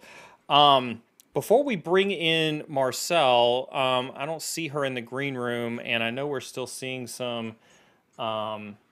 Still seeing got a some bit of lag. Hang on, let's try the lag thing. Uh, no, it's actually not too bad. It's it's yeah, we're in pretty good shape. Well, yeah, it's, it's not words. it's not too bad here for some reason. maybe Poor maybe Phil. I feel bad for him. I do Although uh, somebody asked, uh, we'll figure it out. Yeah, yeah. Um, oh well. Um, oh, there's Marcelle. I see Marcelle Marcelle in in uh, in, uh, in chat now. So we're We- gonna hopefully Marcelle's not lagging as much. If she is, we'll just up her bandwidth somehow or other. yeah. Uh, let's see if see if this works with her. Can you hear us? I can. Awesome! Woo! Can you hear me? The first time we brought somebody in with no audio issues. Good job, tech team. I appreciate it. Well, I'm like the last one of the day, so it makes sense, right? Uh, actually, actually, we got one more after you, so you're not technically the last Oh, one in the day. So, um, uh, close, close. Welcome to the U.S. Cyber Games. Glad to see you. Thank you. I'm super excited to be here.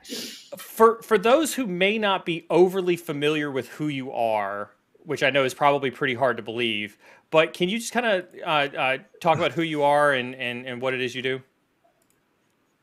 Yeah, sure. So I am Marcelle, and I am a senior security researcher at a company called SecureWorks, which is an MSSP. I am also on the board of directors of the Women's Society of Cyberjutsu, and I lead all our cyber competition programming activity, which is a fair bit actually. So I'm a huge uh, cyber competition enthusiast, both playing and building them. Um, I've been the lead for the past couple of years for the Diana Initiative, CTF Village, although I can't this year because I got other stuff going on. But yeah, so I like all these things and I'm excited for this event. Nice, nice. Well, we're, we're glad to have you here. We're going to jump into um, we're, we will the screens will obviously jump around quite a bit, but we're hopping over into um, uh, I'm, I think we're still checking in on Europe, uh, uh, Europe as they're uh, hunting down some IOCs and, and trying to, to stop. I think they were in the process of getting actively hacked and are uh, are, are, trying to uh, trying to defend them. So so from a since you work with SecureWorks and I've done a lot of work with SecureWorks over the years. Um, you're on the threat research side. Um, you know, you know, we're late stage of the competition. There's been some, there's been an Intel inject with some APT 10 and some APT 40. Um, we've seen several boxes get compromised. We've seen the U.S. take a huge lead by implementing um, uh, uh, defensive countermeasures. Um, you're you're a huge cyber games enthusiast. What are your what's your thought process running in the last 30 minutes of the game today? Oh gosh, so so I think um, you know and having done this myself, like a live uh, competition event, um, trying to to just keep your your defenses strong, because um, there's no stopping, obviously, all the the threat actor activity that's trying to come in, but just being aware of it and, and mitigating it as quickly as possible is key. And obviously, they need to do that the entire time, right? But but it's even more key now. So. Um, and I don't know like what else they get scored on if they're getting scored on like um, you know keeping services running or things like that. But if yeah. they are, then that's an important yeah. part to uh, to keep going as well. Uh, but yeah, it's the other thing that I would say too from personal experience is breathe. Take a sip of water. the human side of things is pretty essential. I think I think that that's critical too because like we talk about incident response, right? And um, uh, one of the I, I, tell people when, when I stream and for my community, I think everybody we, we talk about uh, uh, mandatory military service in some of these countries where you have to go spend two years doing mil- mandatory military service. I think that every infosec person, regardless of your discipline, red, blue, green, yellow, purple, white, whatever your discipline is, should spend at least a year or two sitting incident response so they could learn exactly what you just said right there, which was to breathe. Yeah, it's so true. Um, and you know, I I have not worked as an incident responder, but I work with the incident response team at SecureWorks, um, basically supporting from a threat intel standpoint. Um, so I see it every day, and you know, I've been on the calls with customers that are just you know panicking, and it's uh, I mean, it's pretty it's pretty hard to be an incident responder. I think that would be good experience. I also think everybody should work in a SOC for a yeah. while too, yeah. just to get that experience because it's similar, right? So, so before I pass it over to you, Chris, I just want to let everybody know we're watching Latin America right now. Um, watching their red team, they're still trying to get into that voting box right now. So they're using Burp Suite uh, right now to try to get into that uh, that voting machine. Chris, oh, you were going to say on, something. They can do better than this. Come on, come on, come on, come on. Why are they using Burp Suite? Stop! Get, get, come on, line for crying out loud, you muppets. I know, I know. Eric is over there ah, trying to yeah. trying to cheer on his Latin Latin American team. Uh, you know, trying to. I, to... he bloody well needs to. Come on, people, you can do this. Oh, what do we got going on? Select stuff. Oh, oh, yeah. Come on, we can do this. Uh, looks some like they're still doing. detected. Yeah, it looks like they're still trying to do. Yeah, they got some. They got some love. They're getting there. They got some love. They need to go. I do love the phpMyAdmin stuff though. Come on, they can do this. This isn't that seriously. Right? You know what we need to do? We need to have guests. The guests need to be out every now and again just do injects, measles or injects on a regular basis and have some fun. Why? So we could so we could push. Uh, I, I, got called. Uh, what the hell did I got called? I got. I was at a, uh, an incident we were doing uh, critical incident stuff last week and the week before because of obviously all the stuff that's going on. We were doing some plannings, and I got called a free radical. My, you got called a free radical for that entire. I got called a free radical. wow, wow. yeah, that was totally awesome. I, I was a little because I was I was basically I was, I was both helping on some things, and then unfortunately I was I was pointing out some stuff that we could do that would that would result in unfortunately even more uh, even more casualties. So so, yeah, so it's some it's it's fun to play there. So, so do you do you subscribe to the the mandatory uh, conscription on the incident response team for every cybersecurity uh, uh, person? Oh hell yeah, absolutely. I, I think everybody needs to be, uh, you know, exactly to Marcelle's point. It's the breathing thing is huge because I mean, uh, this is I think actually it's, it's this is where it kind of comes into. I mean, again, coming out of the actual military, that whole you know crawl, walk, run, dry fire, live fire mentality mm-hmm. or even going into situations, observe, orient, decide, act mentality. Mm-hmm. I mean, that's ground into you. Yeah. You know, and yes, we are the ones that run towards the fire and we are the ones that run towards, you know, noise and burning buildings, but we do it in a calculated way. So I think that just that helps across all facets of life. So yeah, and actually to Marcelle's point as well is your ass needs to go sit in the help desk for actually not even just uh, I want you on a help desk because you need to know for every single time we blame a user for something, we actually need to put, we need to go put their shoes on. Seriously, I mean it, it sucks because it's it's you're serious. You're, you're serious, but I want I want to dive into that a little bit though, Chris. Not to interrupt you, just just but yeah. but for people who don't understand, the the user base hates us in security because we were buttholes yeah. to them sitting on help desk. So I'm I'm a I mean, huge we proponent of not victim shaming, not user shaming. It's I think user shaming is a terrible thing, and you know we all know that you catch more flies with honey or whatever that weird expression is. Like if you just make your users part of like the solution instead of part of the problem, it's just so much better all around. I think, and and like effective security programs that I've seen which are few and far between. But, I, I, I they, want to put one caveat. That, There's right? one caveat. I have one caveat in that one. When the CEO yeah, yeah. of the company still uses one, two, three, four because they think they're the CEO and they're the exclusion, that's the one I can take outside. I Yeah. can put in a paddling pool and I can go gangster with the taser. I get one in the one in the forehead, one in the testicles. Maybe we should bring back the pillory, the public uh, shaming poster. it's I, I think the I think the the worst the worst case of that that I ever had was I, I had a, a CEO of a company that that I worked with um, before in the past. He had uh, and this was this was at a time I, I this was at a time where BlackBerry shouldn't have been a thing, right? They'd already moved well past their prime, and um, he had thirteen Blackberries, one in each private jet. So that meant Oh. that that meant that when he wasn't in that private jet, it was just hanging out in the private jet doing its thing, right? And he refused to move to an iPhone because he thought BlackBerry Messenger was more secure than iPhone Messenger. Muppets. He could have gone with a Windows phone. Yeah, yeah, yeah, yeah. but but it brings up a valid point, right? But but see again, we go back to user shaming, right? It's fun to laugh at that, but but you know, I, I had a I go back to to one of my one of my key critical points, right? Our job as cybersecurity professionals is to enable the business to take risk. You know what? It's fun to laugh at them, but we got a job to do. If he, Yeah. if he wants 13 Yeah, blackberries, It's, it's a balance. yeah. It's a balance, and it's it's it's having that risk conversation. You want your thirteen blackberries, have at it. However, here's how we mitigate the risk. Here's how we help you understand what that what those risks are in a language that you understand. But also, here's how we help you mitigate those risks. And it's and if you're not willing to mitigate them, then I need something in writing to say you're accepting those risks. For sure.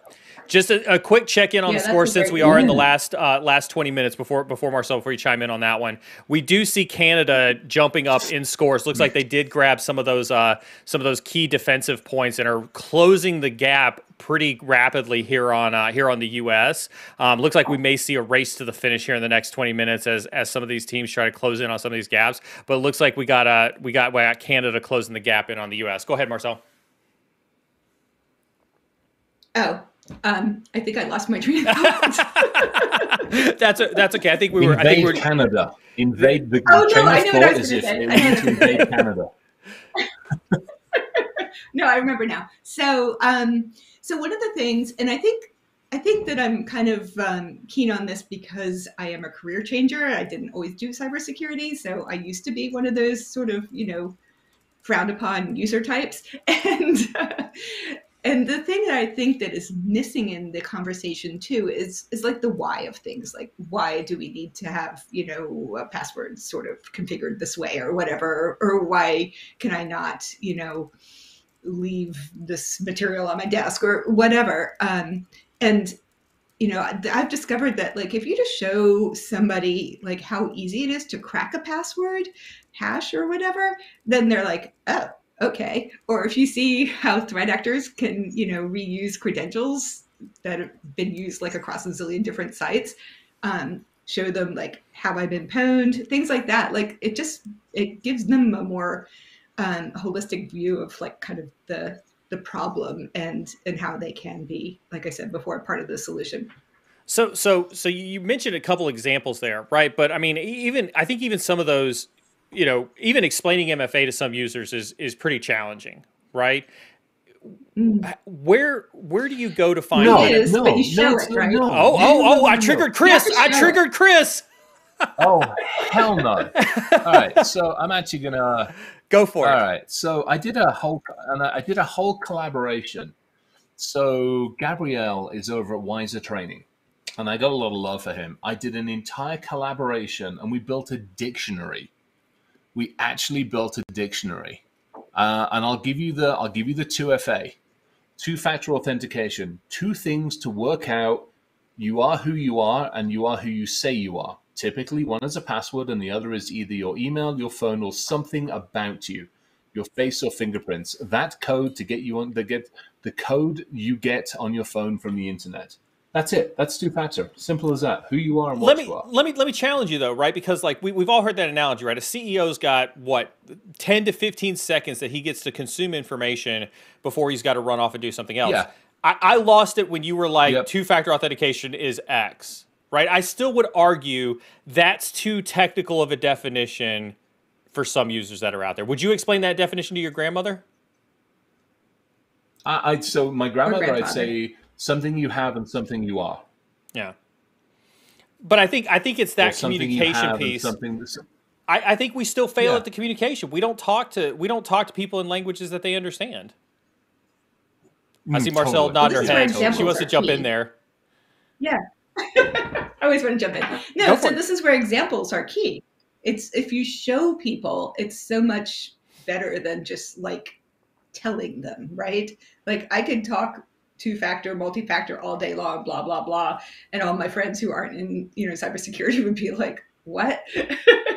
But if i show them how easy it is because it actually is pretty easy to do these days um, then you know people tend to get engaged. And and then also you know there's so many like horror stories about the things that happen if you don't have your multi-factor turned on and so i'm always happy to share horror stories and depress everybody so, so that's another way I want to I want to pull this back over to the scoreboard really quick before we carry on to this because I do got a point I want to make on that one. We see Canada really really jumping up in points here. Seems like they have found their groove here in the last 15 minutes um, in terms of catching up those points, and so we see them really really giving US a run for their money. Uh, uh, here as well, so we'll continue to switch back and forth between this, and we're over on uh, on on Win Hunt uh, uh, two as we watch uh, Canada uh, continue to try to uh, get in some last minute stuff. What what I would argue with the um, uh, with the, the the demonstrative stuff though, um, I, I think people we've talked I've talked about this on, on my stream before. People think what we do is magic, right? And and really it's it's actually really not magic. And, and I know that that like hurts a lot of a lot of cybersecurity folks' feelings when we talk about it really not being magic. It's actually you know, pretty easy stuff. Um, but they see when we start talking about, let me show you the damage it could cause. Let me show you what it could happen. They still just go, why me? Why me? I'm just a I'm just a person. Yeah.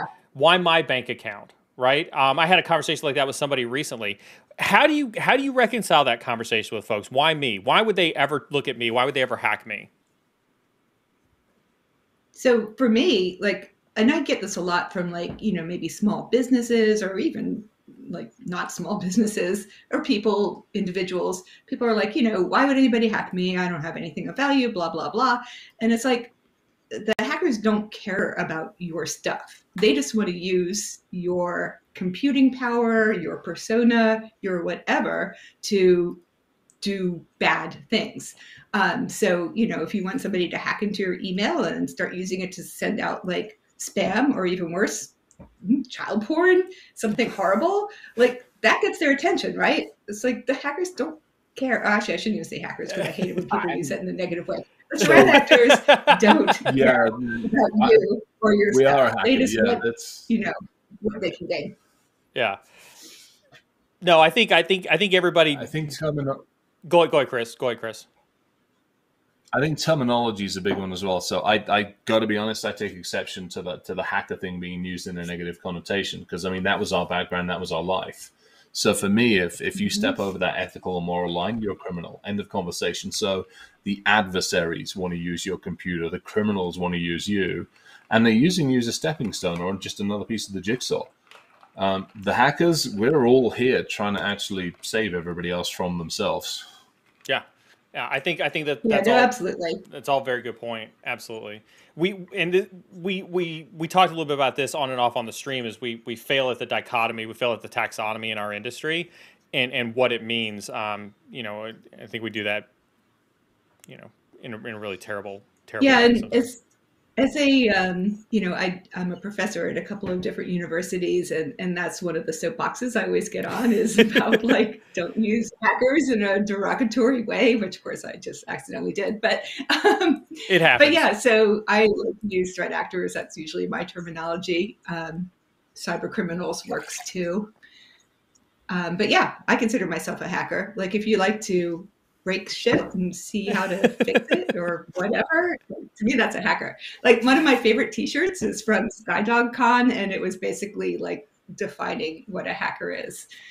I still have that T-shirt, even though SkyDogCon is no longer, yeah. sadly. So I want to, I want to, I want to hack, I want to harp on that. I want to do a follow up question for both of you on this one, but I want to. We're coming up to the last ten minutes of competition. I'm hearing from the the white cell that the teams have effectively given up on red teaming and have got have realized that the defensive strategy is getting them the most points. Shocker there. Um, and so we've got a, a race here in the last ten minutes to see who can get the most defensive points to try to close this gap. So so in chat, we know that the teams are OSINTing on this stream right now. Let's get chat showing your support in chat for your respective teams here in the last 10 minutes um, as they try to uh, try to close this gap on the U.S. Uh, here in the last 10 minutes. And with that being said, um, I get the question a lot in, in my DMs. I'm sure you do, Chris and Marcelle as well. You know, what makes the best hacker in the world? How do you consider yourself an expert? Um, you know, you know, how do I how do I become a hacker and things like that? Chris, I'm gonna start with you, and then I'm gonna go to you, Marcelle, after that. Chris, what is the definition of a hacker?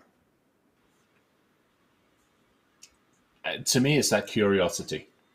It's it's that desire and willingness to understand what makes something tick, and potentially how to make it tick differently. It, it's that asking more questions. It's it's taking that box that we've been given and going, "That's cool," throwing it away and going, "Now what can I do?" That is the definition of a hacker, and I, that can be applied across everything in life, not just compute. Now, now, Marcelle, your definition. So it's a little bit of a riff on what Chris said, but to me, the the box thing, right? So it's thinking outside of the box. So you you have a, a problem, a situation, a something that you want to um, understand better. You you need to be able to think outside of the usual like parameters that we do think in, and and I think that's what hackers do. It's sort of like an intellectual curiosity that not everybody has. Um, and one thing that I always say to people, like you know, if somebody asks me like well why or how or whatever? I'm like that's how you learn things right? You you have these questions in your mind and you go find the answers or find somebody who knows the answers but it's better if you find them yourself if you can. What what I want everybody who's listening to hear now we're in the replay of this if you make it this far is that I didn't hear either of you say you need to know Python.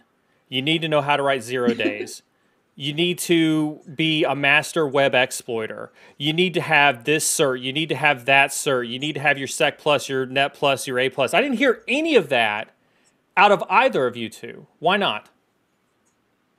That's because it's a mindset. It's not about qualifications. Like I think you you have it or you don't. Really, um, you can you can become a trained and educated and certified cybersecurity professional, but that's not necessarily the same thing as being a hacker. I don't know. What do you think, Chris? I think you're right, and it's it, to me, it's one of those things. It's um, you know, we've brought people in through various companies, and I can teach you how to break into anything. I can teach you how to pass any bloody cert, but what I can't teach you is the drive and the thirst. Do you? Yeah. Now Yeah, I'm gonna. I'm, we are, I'm- we are called passion. Well, well, so so let's Yeah, let's. yeah. I, I love it when people say this. I love it when people say this. I want to challenge this. And, and again, we're we're watching. Um, I don't I don't um, have a mod tell me which team we're watching. We're still watching some threat hunting going on here in um in Splunk. That's what you're kind of looking at now. As we're watching some um. It looks like they're going. So this is America trying to maintain their lead um, against the rest of the team as they're continuing to look for IOCs. Both of you mentioned the passion, but one of the things that people miss in that conversation of passion, right, is that you know what they immediately hear? They immediately hear, "Oh, I've got to stay up 20 hours a day studying all these different things. I've got to stay abreast of news. I've got to stay sharp sharp on skills." What is the definition of passion versus burnout? I am the wrong one to ask because it has taken me until my late forties to figure that shit out. And for me, uh, so today is an exception for me because it's not. I'm not really working, but for me, my Saturdays are off. I will not work on Saturdays. Mhm. Um, and I also don't work between like six o'clock at night and about 9 30, 10 o'clock at night. Now, after 10 at night, I go do my own research until, you know, two, three, four in the morning. But passion is, it, it, it to me, for me, it's that, it's still that thirst for knowledge. It's wanting to sit down and research, but it is, it's that balance as well, which I suck at, which is, hey, I also need to get at least, you know, four or five hours of sleep. How about you, Marcelle? What are your thoughts on it? Yeah, I'm with you on that one. Yeah, so I I agree 100%. And you know, I think sometimes people, you know, wonder when you say passion like a how do you like how do you hire somebody on the basis of passion, right? So I look at things like um like doing cyber competitions. If you're doing cyber competitions, then you're passionate about this stuff, right? Or you've become addicted like many of us do. but, but there's if you're just like doing those extra things to increase your knowledge, then you're passionate. And like for me, it's such a blurred line between like, you know, say my day job and my teaching and my volunteer work and the stuff I do for fun. Like it's all kind of the same thing. And and I too have to make like a really concerted effort to get out from behind the screen because Yeah. I'm not very good at the balance thing either. Yeah, I, I think uh, I think the not very good at the balance thing. I think we're all. I think there's a there's a point where you realize that you're not very good at, and you actively try to change it.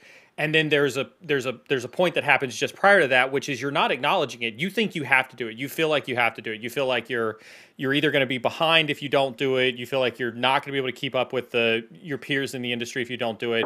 And I think it's that realization. Chris, you, you hit the nail on the head. I don't know that I'm a good person to answer this because I'm late. I'm figuring out in my late 40s. I think that's exactly the right person to ask for that because I'm with you. You know, I'm in my 40s, just now realizing that it's okay to take a step back, still maintain my passion, and realize that hey, I got to walk away from these computer screens and I got to go do my got to go do my thing. Well, I, so I think the other part that comes into this critically, you can't know all the things all the time. This industry has accelerated far beyond what any one of us can keep up on. I mean, years ago we were we were able to keep up on pretty much everything. Let's face it. But then infosec, security, and technology in general has infiltrated everything. So what I love about it is again there is now so much. If you have an interest in agricultural hacking, you can go to all sorts of crazy shit on that side. If, like me, you anything that moves is fair game, that's an entirely different one. If you like research and exploits and, and IoT stuff or any of that stuff, I mean, you can love that one area and just know that you can ask anybody else in the community. Hey, so how did you make that John Deere go circles in the in the? Oh shit, that's cool. But you still have your own sphere and you share. I think that's also a Mhm. huge part of it. So, so real quick uh, uh, before before you jump in there, Marcelle, th- we're watching what we're watching right now is we're watching Europe X um, hold on to a 100 point lead uh, for third place uh, as Oceania is is chasing their heels as they try to close out that last 100 points here in the the, the last three minutes. Um, go go ahead, Marcelle. I didn't know if you wanted to chime in on that conversation as well. I actually wasn't going to say anything, but Okay, I wasn't but I will I- say something. Go for it. Go for it. no, so um, I just was going to say it's uh, it's kind of ironic because right after this, I am actually going to a Python workshop because my Python skills. so you're going to you're going to continue to learn when you leave here for your Python skills. yeah, exactly. And it's kind of funny because I'm usually the one who's like teaching the workshop, so I have to always clarify to everybody. I'm like, no, no, no, I'm taking this workshop.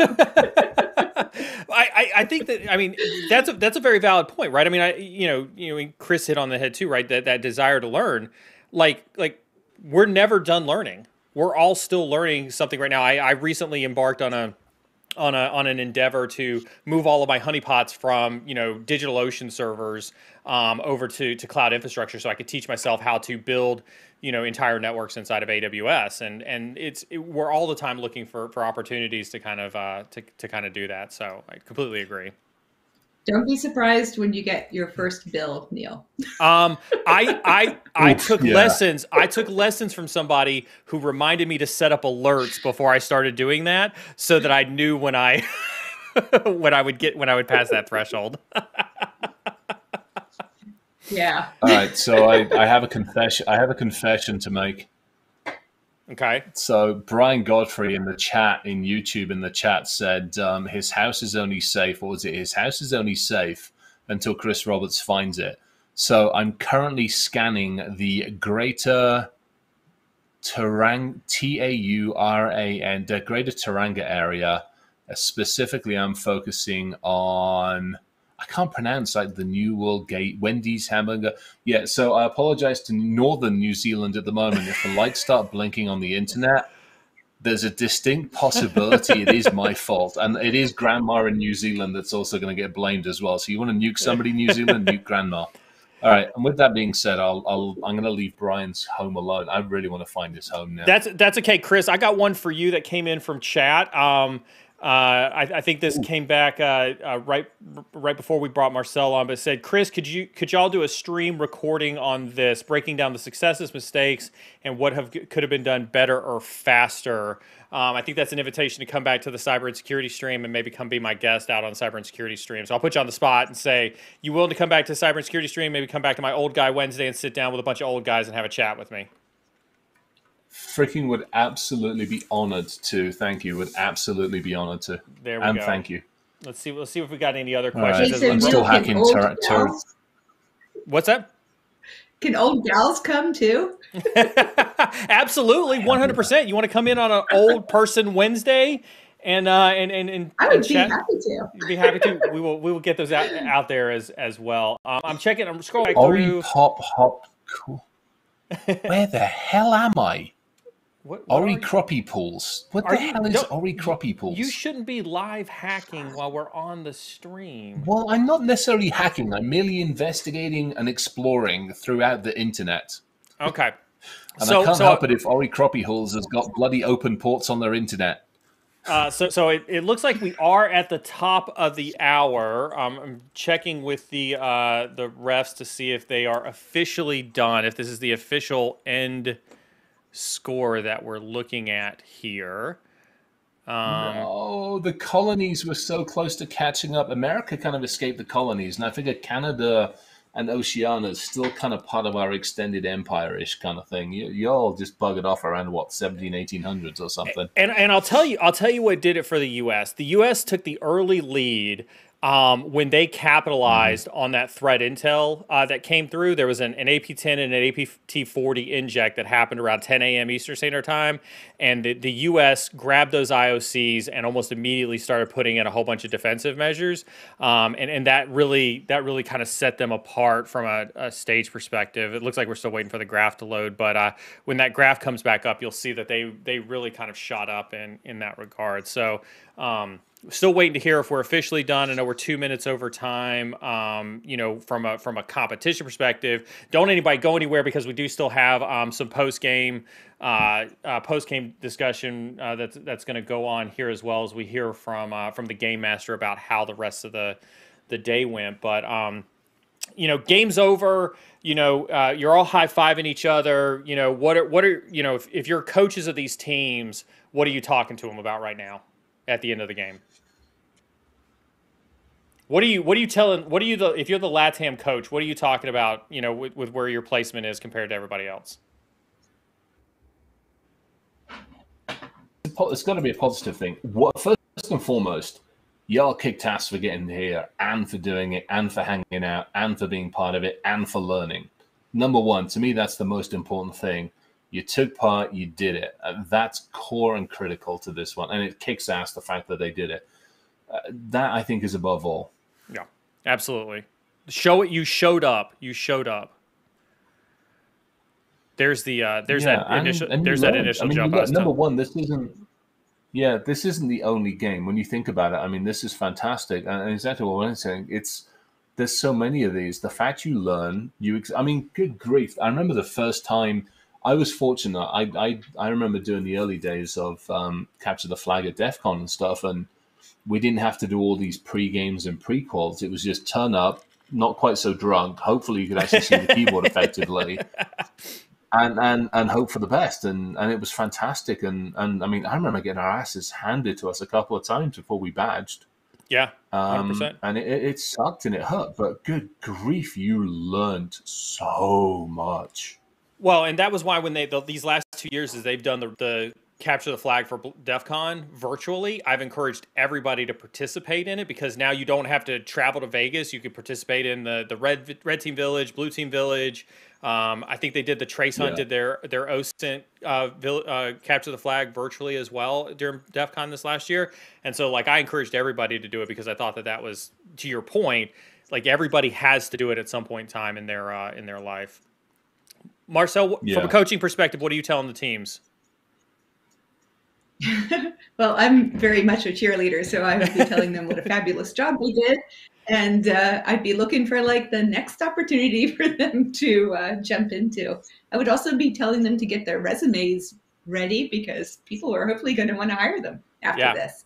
Absolutely. And it doesn't matter if they were first place or last place, just like Chris was saying, just getting here is a huge accomplishment and the dedication to like, you know, be in this environment because it can be a little brutal.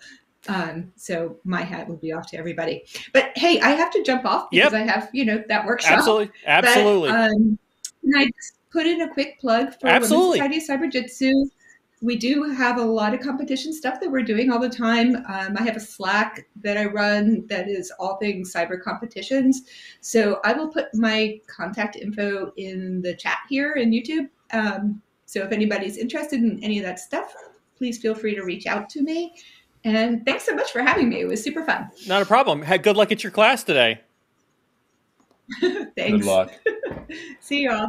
Absolutely. Um, Chris, while we actually uh, we could probably hang out over in the scoreboard and uh, just kind of continue to to take a look at the scoreboard and see uh, uh, if we see any changes to scores as they tally that stuff up here in the last little bit. Um, we're gonna we're uh, there's there was a uh, there was a giveaway that was running in chat. Um, you know, so uh, uh, hopefully uh, some people are getting some good stuff out of those giveaways. Looks like we did have Gabriel S- Silva come through with a Go Team USA um, uh, on the super chat as well. Looks like Steven Rosendahl came came through with the super chat on the uh, the hypes as well. Sounds like uh, we we we made it through all the giveaways pretty uh pretty extensively. So congratulations to all the winners who nice. uh who won giveaways. And Chris, we had we had some crazy giveaways. We had uh 15 cases of of at root, which is the energy drink I've been drinking on um, all morning. I, after this last commercial break, everybody wide up and hopped up. Oh, after this last commercial break, the, the the wife goes, "How many of those energy drinks have you had?" And I just kind of like sheepishly like nodded my head, which is why I've had to switch to switch to, to, to the water. But um, for for today only, if you didn't win those cases of Root, um, there is a discount code for today only where you can get fifty percent off uh, cases of Root um, uh, for today only. So do make sure you do uh, take advantage of that. Normally, uh, our discount code only gets twenty percent, but they gave us a special one for today for the for the cyber games. I want to thank I want to thank TCM Security for giving away um, uh, a, a super bundle of their courses. I want to thank thank uh, Security Blue Team for their Blue Team Labs Online. I want to thank I and E for their um, uh, for their exam vouchers. Um, I want to thank, uh, uh, gosh, who else? Uh, I, think there's some other uh, prize folks that we need to thank as well, but those the rest of them are escaping me. Um, but uh, uh, with that being said, I'm going to put us on one final break while we wait for um, wait for final scores. Chris, um, no commercials this time. We'll just put us on a on a quick BRB. Um, when we come back from this BRB, though, um, what we're going to do is we're going to be talking with uh, with Pete. Pete's going to be going over um, kind of the scoring, some highlights of the uh, of the event, some days. We'll go through the, some of the, some more of the questions and see if there's any questions from anybody else, um, and uh, we'll kind of take a look and see where we're at from that. Uh, Chris, any part you're going to stick with me as we talk to Pete uh, yeah, over the hang-. I have one question though. I have Go one for it. question for you. Go for it. If I hack the at root drinky website, do I get more than fifty percent off? Can I get? There, there is a couple of Easter eggs on the at root uh, website. There's actually a game, I'm or there used to. them. They're Yeah, freaking awesome. Yeah. Well, hey, dude, dude, I lo- like look. It's a it truly it's a nerdy drink. This isn't just like a, a normal energy drink. This is like I hadn't seen it before. I Yeah. hadn't seen it before. It's fun. It's freaking awesome. yeah, I love it. This Yeah. is total. I had.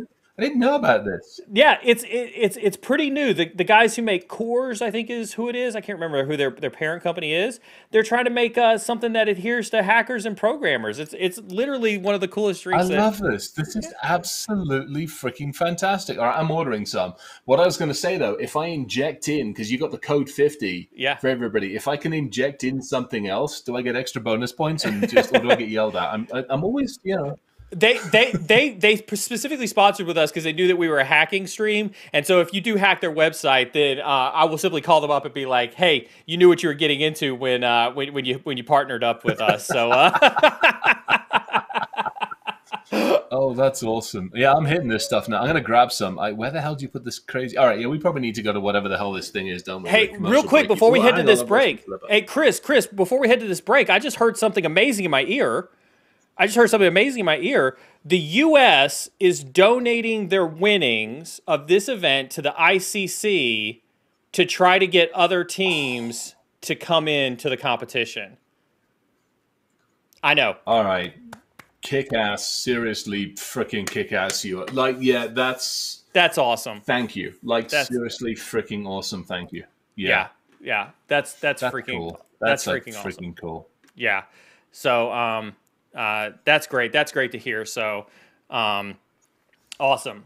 All right. Um we'll be back. Uh we're to take a quick break. We'll be back with uh with Pete. Um we've also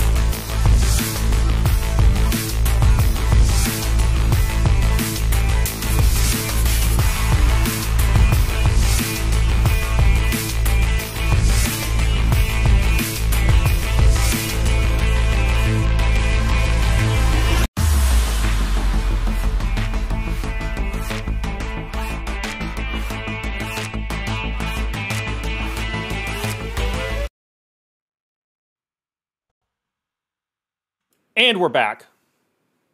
That was a quick break. Um, all right. So uh, while while we're still waiting on, um, looks like we're still waiting on um, a couple of uh, da, da, da, checking. Okay, there it is. I bought some of the drinky stuff. You did buy some of the drinky stuff. Uh, good. I hope you I bought it. some Let of me the drinky you- stuff. let me know if you like it. Um, I did just get. Uh, yep, I see Dane over in the green room now. So we're gonna. Um, we're actually gonna before we bring Pete on to kind of discuss some of the highlights. I want to bring in another. I want to bring on our, our next special guest here, Chris. This is uh, this is Dr. Dane Brown. Um, fantastic um, uh, individual. I had a chance to chat with him the other day. He is the uh, the U.S. Cyber Games Red versus Blue uh, coach for uh, for the USA team, um, and so we're gonna bring him in here as soon as I can find which mouse. There it is. That's what I wanted. Dane, welcome to the show, sir. How are you? Okay, hello. Can you there see we go. me? Hear me? Yes, yes, we've got you. Awesome, fantastic. How's uh? How, you're in the All midst right. of a you're in the midst of a. SANS class. How's it going? Uh, it's it's going pretty well. Uh, we're at the last day of it. You know, it's been a uh, you know these these are really long days, um, but you know really interesting content we get to uh, cover every day, um, and you know get to uh, learn, sharpen your skills a little bit, um, and and bring something back to uh, you know those you work with. Nice. So, um, so, so we just finished the competition. We're waiting for the scores to get finalized and tallied. We had an intense, an intense day of, of cyber games. Uh, nine teams across multiple Yeah. countries. Um, I, I, you, I, I'm sure you didn't get to catch all of it because you were you were in a SANS class, but it was intense. Um, you are you are the you are the coach for the for the U.S. team. Um, you know, for this, what exactly are are you coaching the teams on right now? What exactly are you trying to tell them from a strategic perspective? Um, you know, you know what what are some of the the, the things that are going on, kind of a post competition mindset? Um, you know, right now with the teams. Yeah, um, so we're, we're definitely going to uh, learn a lot from uh, what's going on today, you know, um, and, and kind of be taking notes. You know, this is being the, the first year that we've gotten to run this, uh, assemble the team, the coaches, everybody together.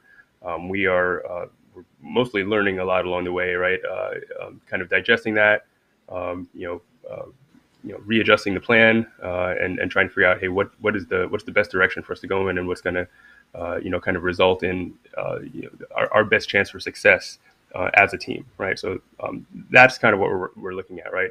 Uh, everyone's really sharp uh, on the technical side, um, and you know, as coaches, we're just trying to really support the team, um, making sure that you know, uh, operationally, uh, they they have uh, everything they need, all the tools, uh, you know, to to be as successful as possible um, in in the event. So, so I want to I want to ask you another question. I want to pivot off of this one. That that's obviously post game, and as, as you look forward to Greece and things like that. North Africa didn't show up. Um, they had some issues getting you know folks Yes. to fill out their roster and things like that. How hard is it from your perspective, from a coaching perspective? What is that like to feel like you you weren't able to do a show, um, you, you know, show a force at an event? How hard is it to bring the teams together to get all of that coordinated to get to the starting line of an event like this? Can you kind of talk through like some of those challenges and hurdles? Um, certainly, yeah. I mean, it, it- it's a lot of what we've been going through on, on the back end, right? Uh, and I and it, and uh, it really goes to uh, the need for you know not only our coaching staff but also the the great uh, support staff we have over at uh, at Katzcy, um, because you know we, we just really wouldn't be able to, to do this without that that team, uh, you know, backing the players and making sure that um, you know things are set up all right, you know, in the right way to, to get all the players where they need to be at the right time, uh, and and for us uh, making sure that they are uh, that they're prepared for it. You know, that, so yeah, definitely you know not being able to show and compete. You know that um, you know especially in something so so early stages of this. Uh, that, that can certainly make it hard to to, to come back and and uh, and remain uh, as competitive as you can be. Mm. What what do you what do you do? I mean, uh, you, you know, how do you keep your team motivated? Um, you know, in, in a situation like that. I mean, we've we you obviously motivation is key, regardless of whether you make the competition or not, regardless of how you place in the competition or not. And then I can only imagine it's even worse when you when you when you don't get a show. How do you maintain that that that level of enthusiasm and excitement for for the next one with your team? Yeah, certainly. Um, you know, our, our athletes bring that. Um, they they have a lot of you know intrinsic motivation that that helps keep them motivated. I think we all know that there's a lot of ups and downs in uh, you know in the sport, and you know there's there's um, uh, a lot of roadblocks that are going to come up, things getting you frustrated, right? I'm, I'm working on a CTF competing today, and, and you're, you're, you you find things that are are, are aggravating, are frustrating, uh, but you know with uh, with patience and you know being able to tell yourself that uh, you can do it, you can um, you know get to that next level. Um, you know you, you, take it kind of you know slowly, you know one challenge at a time, uh, you know one day at a time, and uh, and you, you, kind of build yourself up um, to to that level of excellence. Uh, so uh, yeah, I, I think it's you know b- being able to handle uh, the setbacks and and kind of be able to take it in stride and uh, and and keep your confidence. Uh, know that you're you're going to be able to continue to improve and grow. What do you um what do, what do, what are you kind of your next steps towards Greece? What are you what are you looking forward to? What are you going to take away from this, and what are you going to implement between now and, and mid year as you guys take that road to Greece? Yeah, certainly. I mean that that that uh, is you know what we have to figure out here. You know, um, we're we're going to have to look at the, the lessons learned from today. Uh, you know, and obviously I haven't gotten to, to, to be observing it too closely, unfortunately. Uh, but uh, we are going to um, you know, get together as a team and figure out, you know, what what's working, um, what's uh, what's not working, what what can we um, you know what, what areas can we sharpen tactically you know uh, as, as necessary um, really kind of understand the, the rules and the constructs for mm-hmm. for uh, what is what we're going to have in Greece um, you know you know get get all the travel worries and all the administration uh, you know uh, taken care of that's that's kind of the hurdle we're going over right now you know okay. Um, okay. you know and and and you know and we're trying to shoulder a lot of that right that's that's our, our key for us is you know between you know the Katzcy staff and uh, and and us and the coaches trying to really um, uh, you know take that burden away from the athletes so they can just focus on getting themselves prepared uh, for for the challenge that's ahead of them. Nice, nice. Chris, Chris, you got any uh, you got any questions for uh, for for Dane before I bring in Pete? Uh, I, no, I'm good. I, I got to be honest. I'm working my way through uh, northern uh, northern Tauranga's uh, coffee bars. Um, looking for, and I kid you not, I've actually worked my way through four of them. It's never good when they leave their web cameras open and various other things. Brian, um, Brian, he's coming for you. I'm you got a little breadcrumb of Brian, so when he turns up in the morning for his coffee, they serve him tea. That's all I really care about at this point in time. Right. serious kudos, like kick ass on the team, on the work, and everything else. Like you rock, simple as that. And thank you. Absolutely, Dane. Thank you very much for joining us, and congratulations tentatively on your uh, on your win for today. And we look forward to seeing uh, seeing how you guys do in Greece. Well, our, our, our Navy students here had a had a big. Whoops! I totally just oh we just lost pushed, him. I just pushed him off. Whoopsie! oh, guy. Ah, uh, that that was that was my bad. I apologize for you, Dane, on that one. I thought I thought we were done with you. Pete, tell me you got audio. No audio from Pete. sign language. Oh, is he going to do the whole award ceremony in sign language? All right, all right. Tell you that what, would be actually cool. Wow. All right, all right. We'll, we'll, wait for we'll wait for Pete to we'll wait for Pete to come back in. Is Pete back? I well, think so. Yes. Well, Pete come. Oh, there, there we go. Yes. There we go. Dane, while his audio was working, and uh, and brought in a guy who can't even make a microphone work. Yeah, yeah. Dane's in a hotel making audio work, and you're at your house and you can't even get audio to work. I, yeah, I could tell he was, he was clearly on uh, basically tin tin cans and string Wi-Fi, and I respect his his ability. uh, let's get a let's get a round of applause in chat for um uh, uh for uh, uh Pete and the SimSpace team. You guys uh you guys put in a lot of hard work today keeping that range up and running. How was it? Oh, it was a great time. Um, we saw a lot of really interesting things. Um, you know, it's funny as you were talking to Dane about a debrief. I think maybe we learned as much as the participants. Um, you know, we tried a lot of new things in this extra, in this particular game um, by in, bringing in some uh, DCO scoring. Um, we we were trying to de-emphasize the uh, the compromise of individual flags and make it more about the defending of the flags. That's why you saw some uh, some public publicly available exploits being present. That's why you saw some machines that had uh, public vulnerabilities or existing walkthroughs for them, even because we wanted to make it more about how do you defend when your infrastructure is potentially compromised or when risks have been accepted that you cannot mitigate directly on the host how do you take that step forward and push that into your detections into your uh, firewall rules um, and then kind of in a live environment have to uh, kind of scramble uh, to, to maintain a security posture that's reasonable? So um, it was a really really enjoyable time for all of us Are you uh, are you ready to kind of hit the winners uh, for us and kind of go through the uh, the, the winning roster uh, of the day? Yeah, and I think there's a couple of things that as we announce the individual, um, as we announce the individual awards, um, I want to call out some of the runners up or the the honorable mentions along the way because I we saw, uh, you know, as you were talking with Marcelle, you asked, you know, what are the takeaways for teams who didn't perform as well today? And I think the reality is uh, exactly like like um, like you guys said, it's they're already winners by being here, and we saw some really great things. Uh, even on the teams who are at the bottom of the scoreboard, they actually did some really innovative stuff. So uh, I want to make sure we call that out as well. Absolutely, absolutely. So so shows your shows yours. Let's talk about winners. Who won today? All right. Well, we have uh, we have four categories, right? And the first category is for the total score, and I don't think that one's a mystery. Uh, we saw that uh, USA had the highest total score today, and they are our winner for highest overall score. So congratulations to Team USA um, for a really well played game, and I think that's probably one of the things that's worth mentioning. Again, going back to what Dane was saying, is understanding the rules, looking at the uh, the different things that you are and are not allowed to do, um, and and successfully defending your network and compromising other uh, other nodes and other people's networks. So it was well done.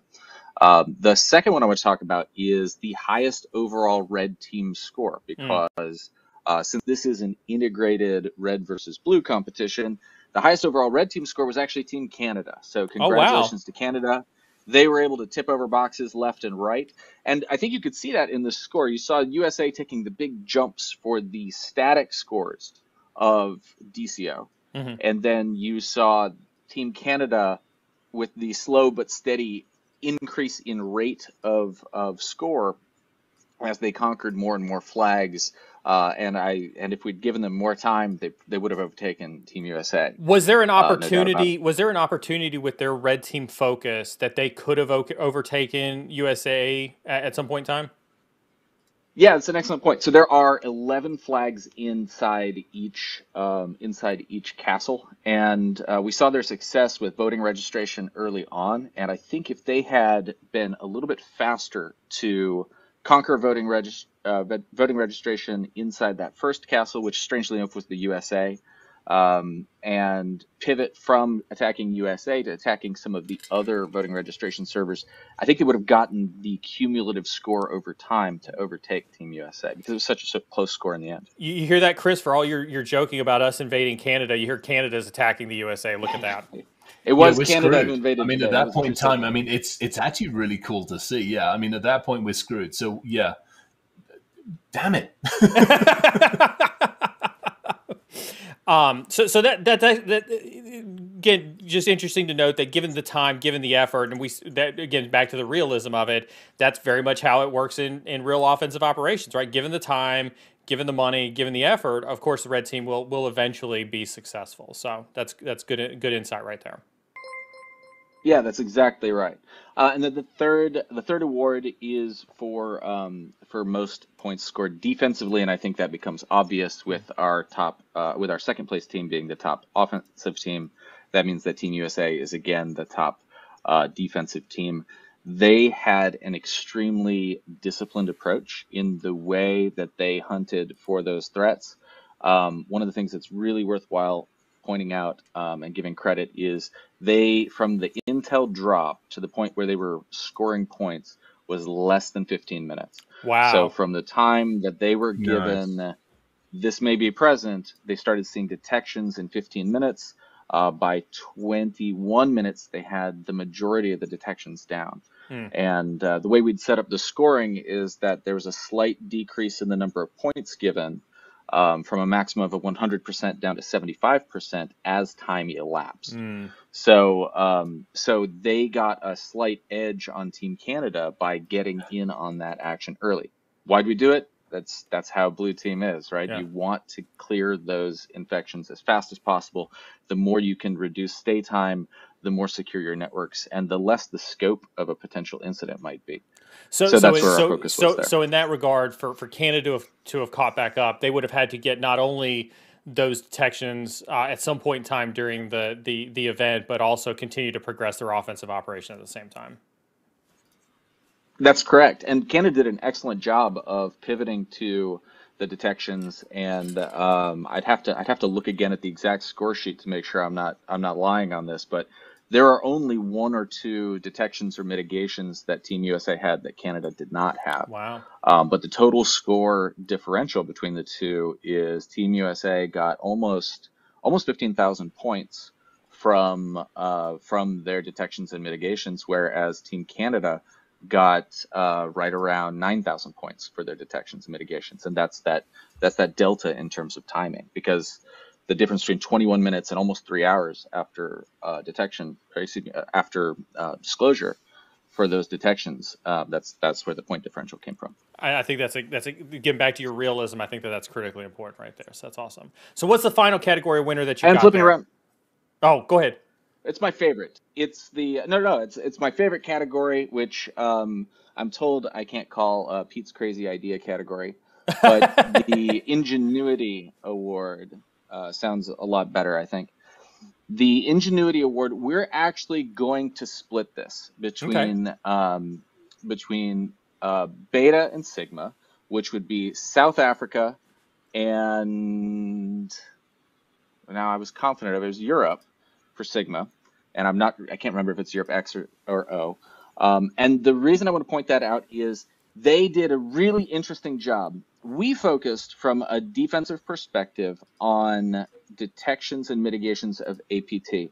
They did a fascinating job of purple teaming their own environment, Hmm. putting together and I, correctly identifying the vulnerabilities that exist in the various machines and putting together fixes for them on the fly. And uh, that absolutely deserves to be called out.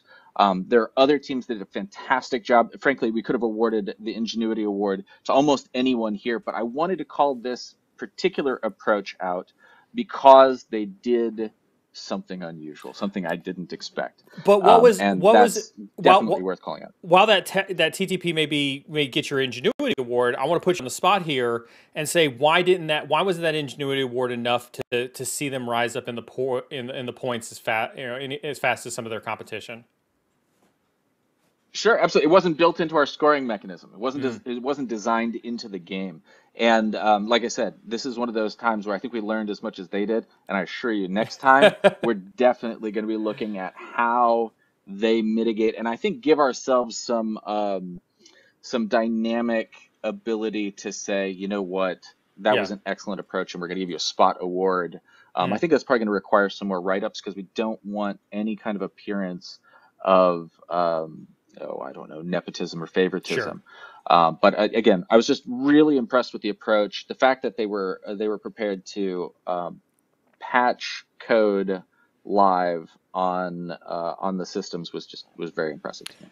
How um how shocking was it that the North African team was able to hold on to a top three spot for as long as they did for not being not having an appearance here? How much of a shocker was that for you? So um, I it's you know it's funny because they didn't. I think so much of the uh, the the attack and defend is if you poke someone in the nose, they have a tendency to poke back, and so I think in some ways uh, the North African team. Uh, by maintaining neutrality, let's just say in this castle v castle, and and then not surrendering many blue team points, um, did an excellent job. Um, I, actually want to call out the Latin America team um, because they they had the lowest point total here, and it is for one reason and one reason alone is that there was an ROE violation on some of their firewall rules, and they made um, made hack 30 firewall rules as opposed to hack 32. And uh, but with that said, so you know, you asked what's the takeaway for them. Um, other than that, they did an excellent job in the competition, and it was just that one violation that continued to undermine the success that they were having in the game. And so I think one of the really great things about that is that's a tiny fix. That's Yeah. that's not uh, you know there's no big hill to overcome here for that team. I think they're really well positioned for future.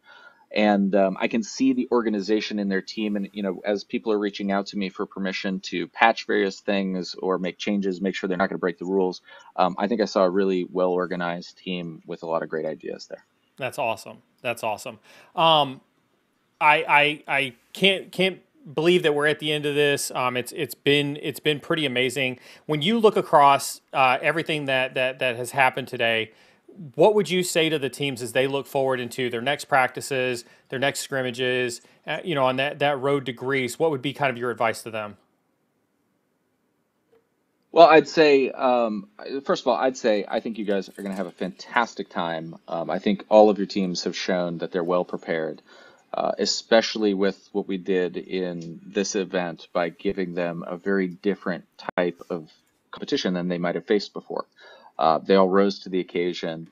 Um, you can see that there's a really, um, really excellent performance from those teams. So, as I look ahead, um, I think we saw the opportunity to improve um, some threat hunting, so some elastic and uh, Oh, yes. maybe Splunk uh, detections. Um, there are a couple of things that could have been sped up by. Actually, one of the things that was commonly missed looking over the detections was lateral movement. So I would give a Mm. strong recommendation that, um, and, and we actually intentionally left off um, providing really detailed IOCs for lateral movement because you had all of the detailed IOCs for everything leading up to that.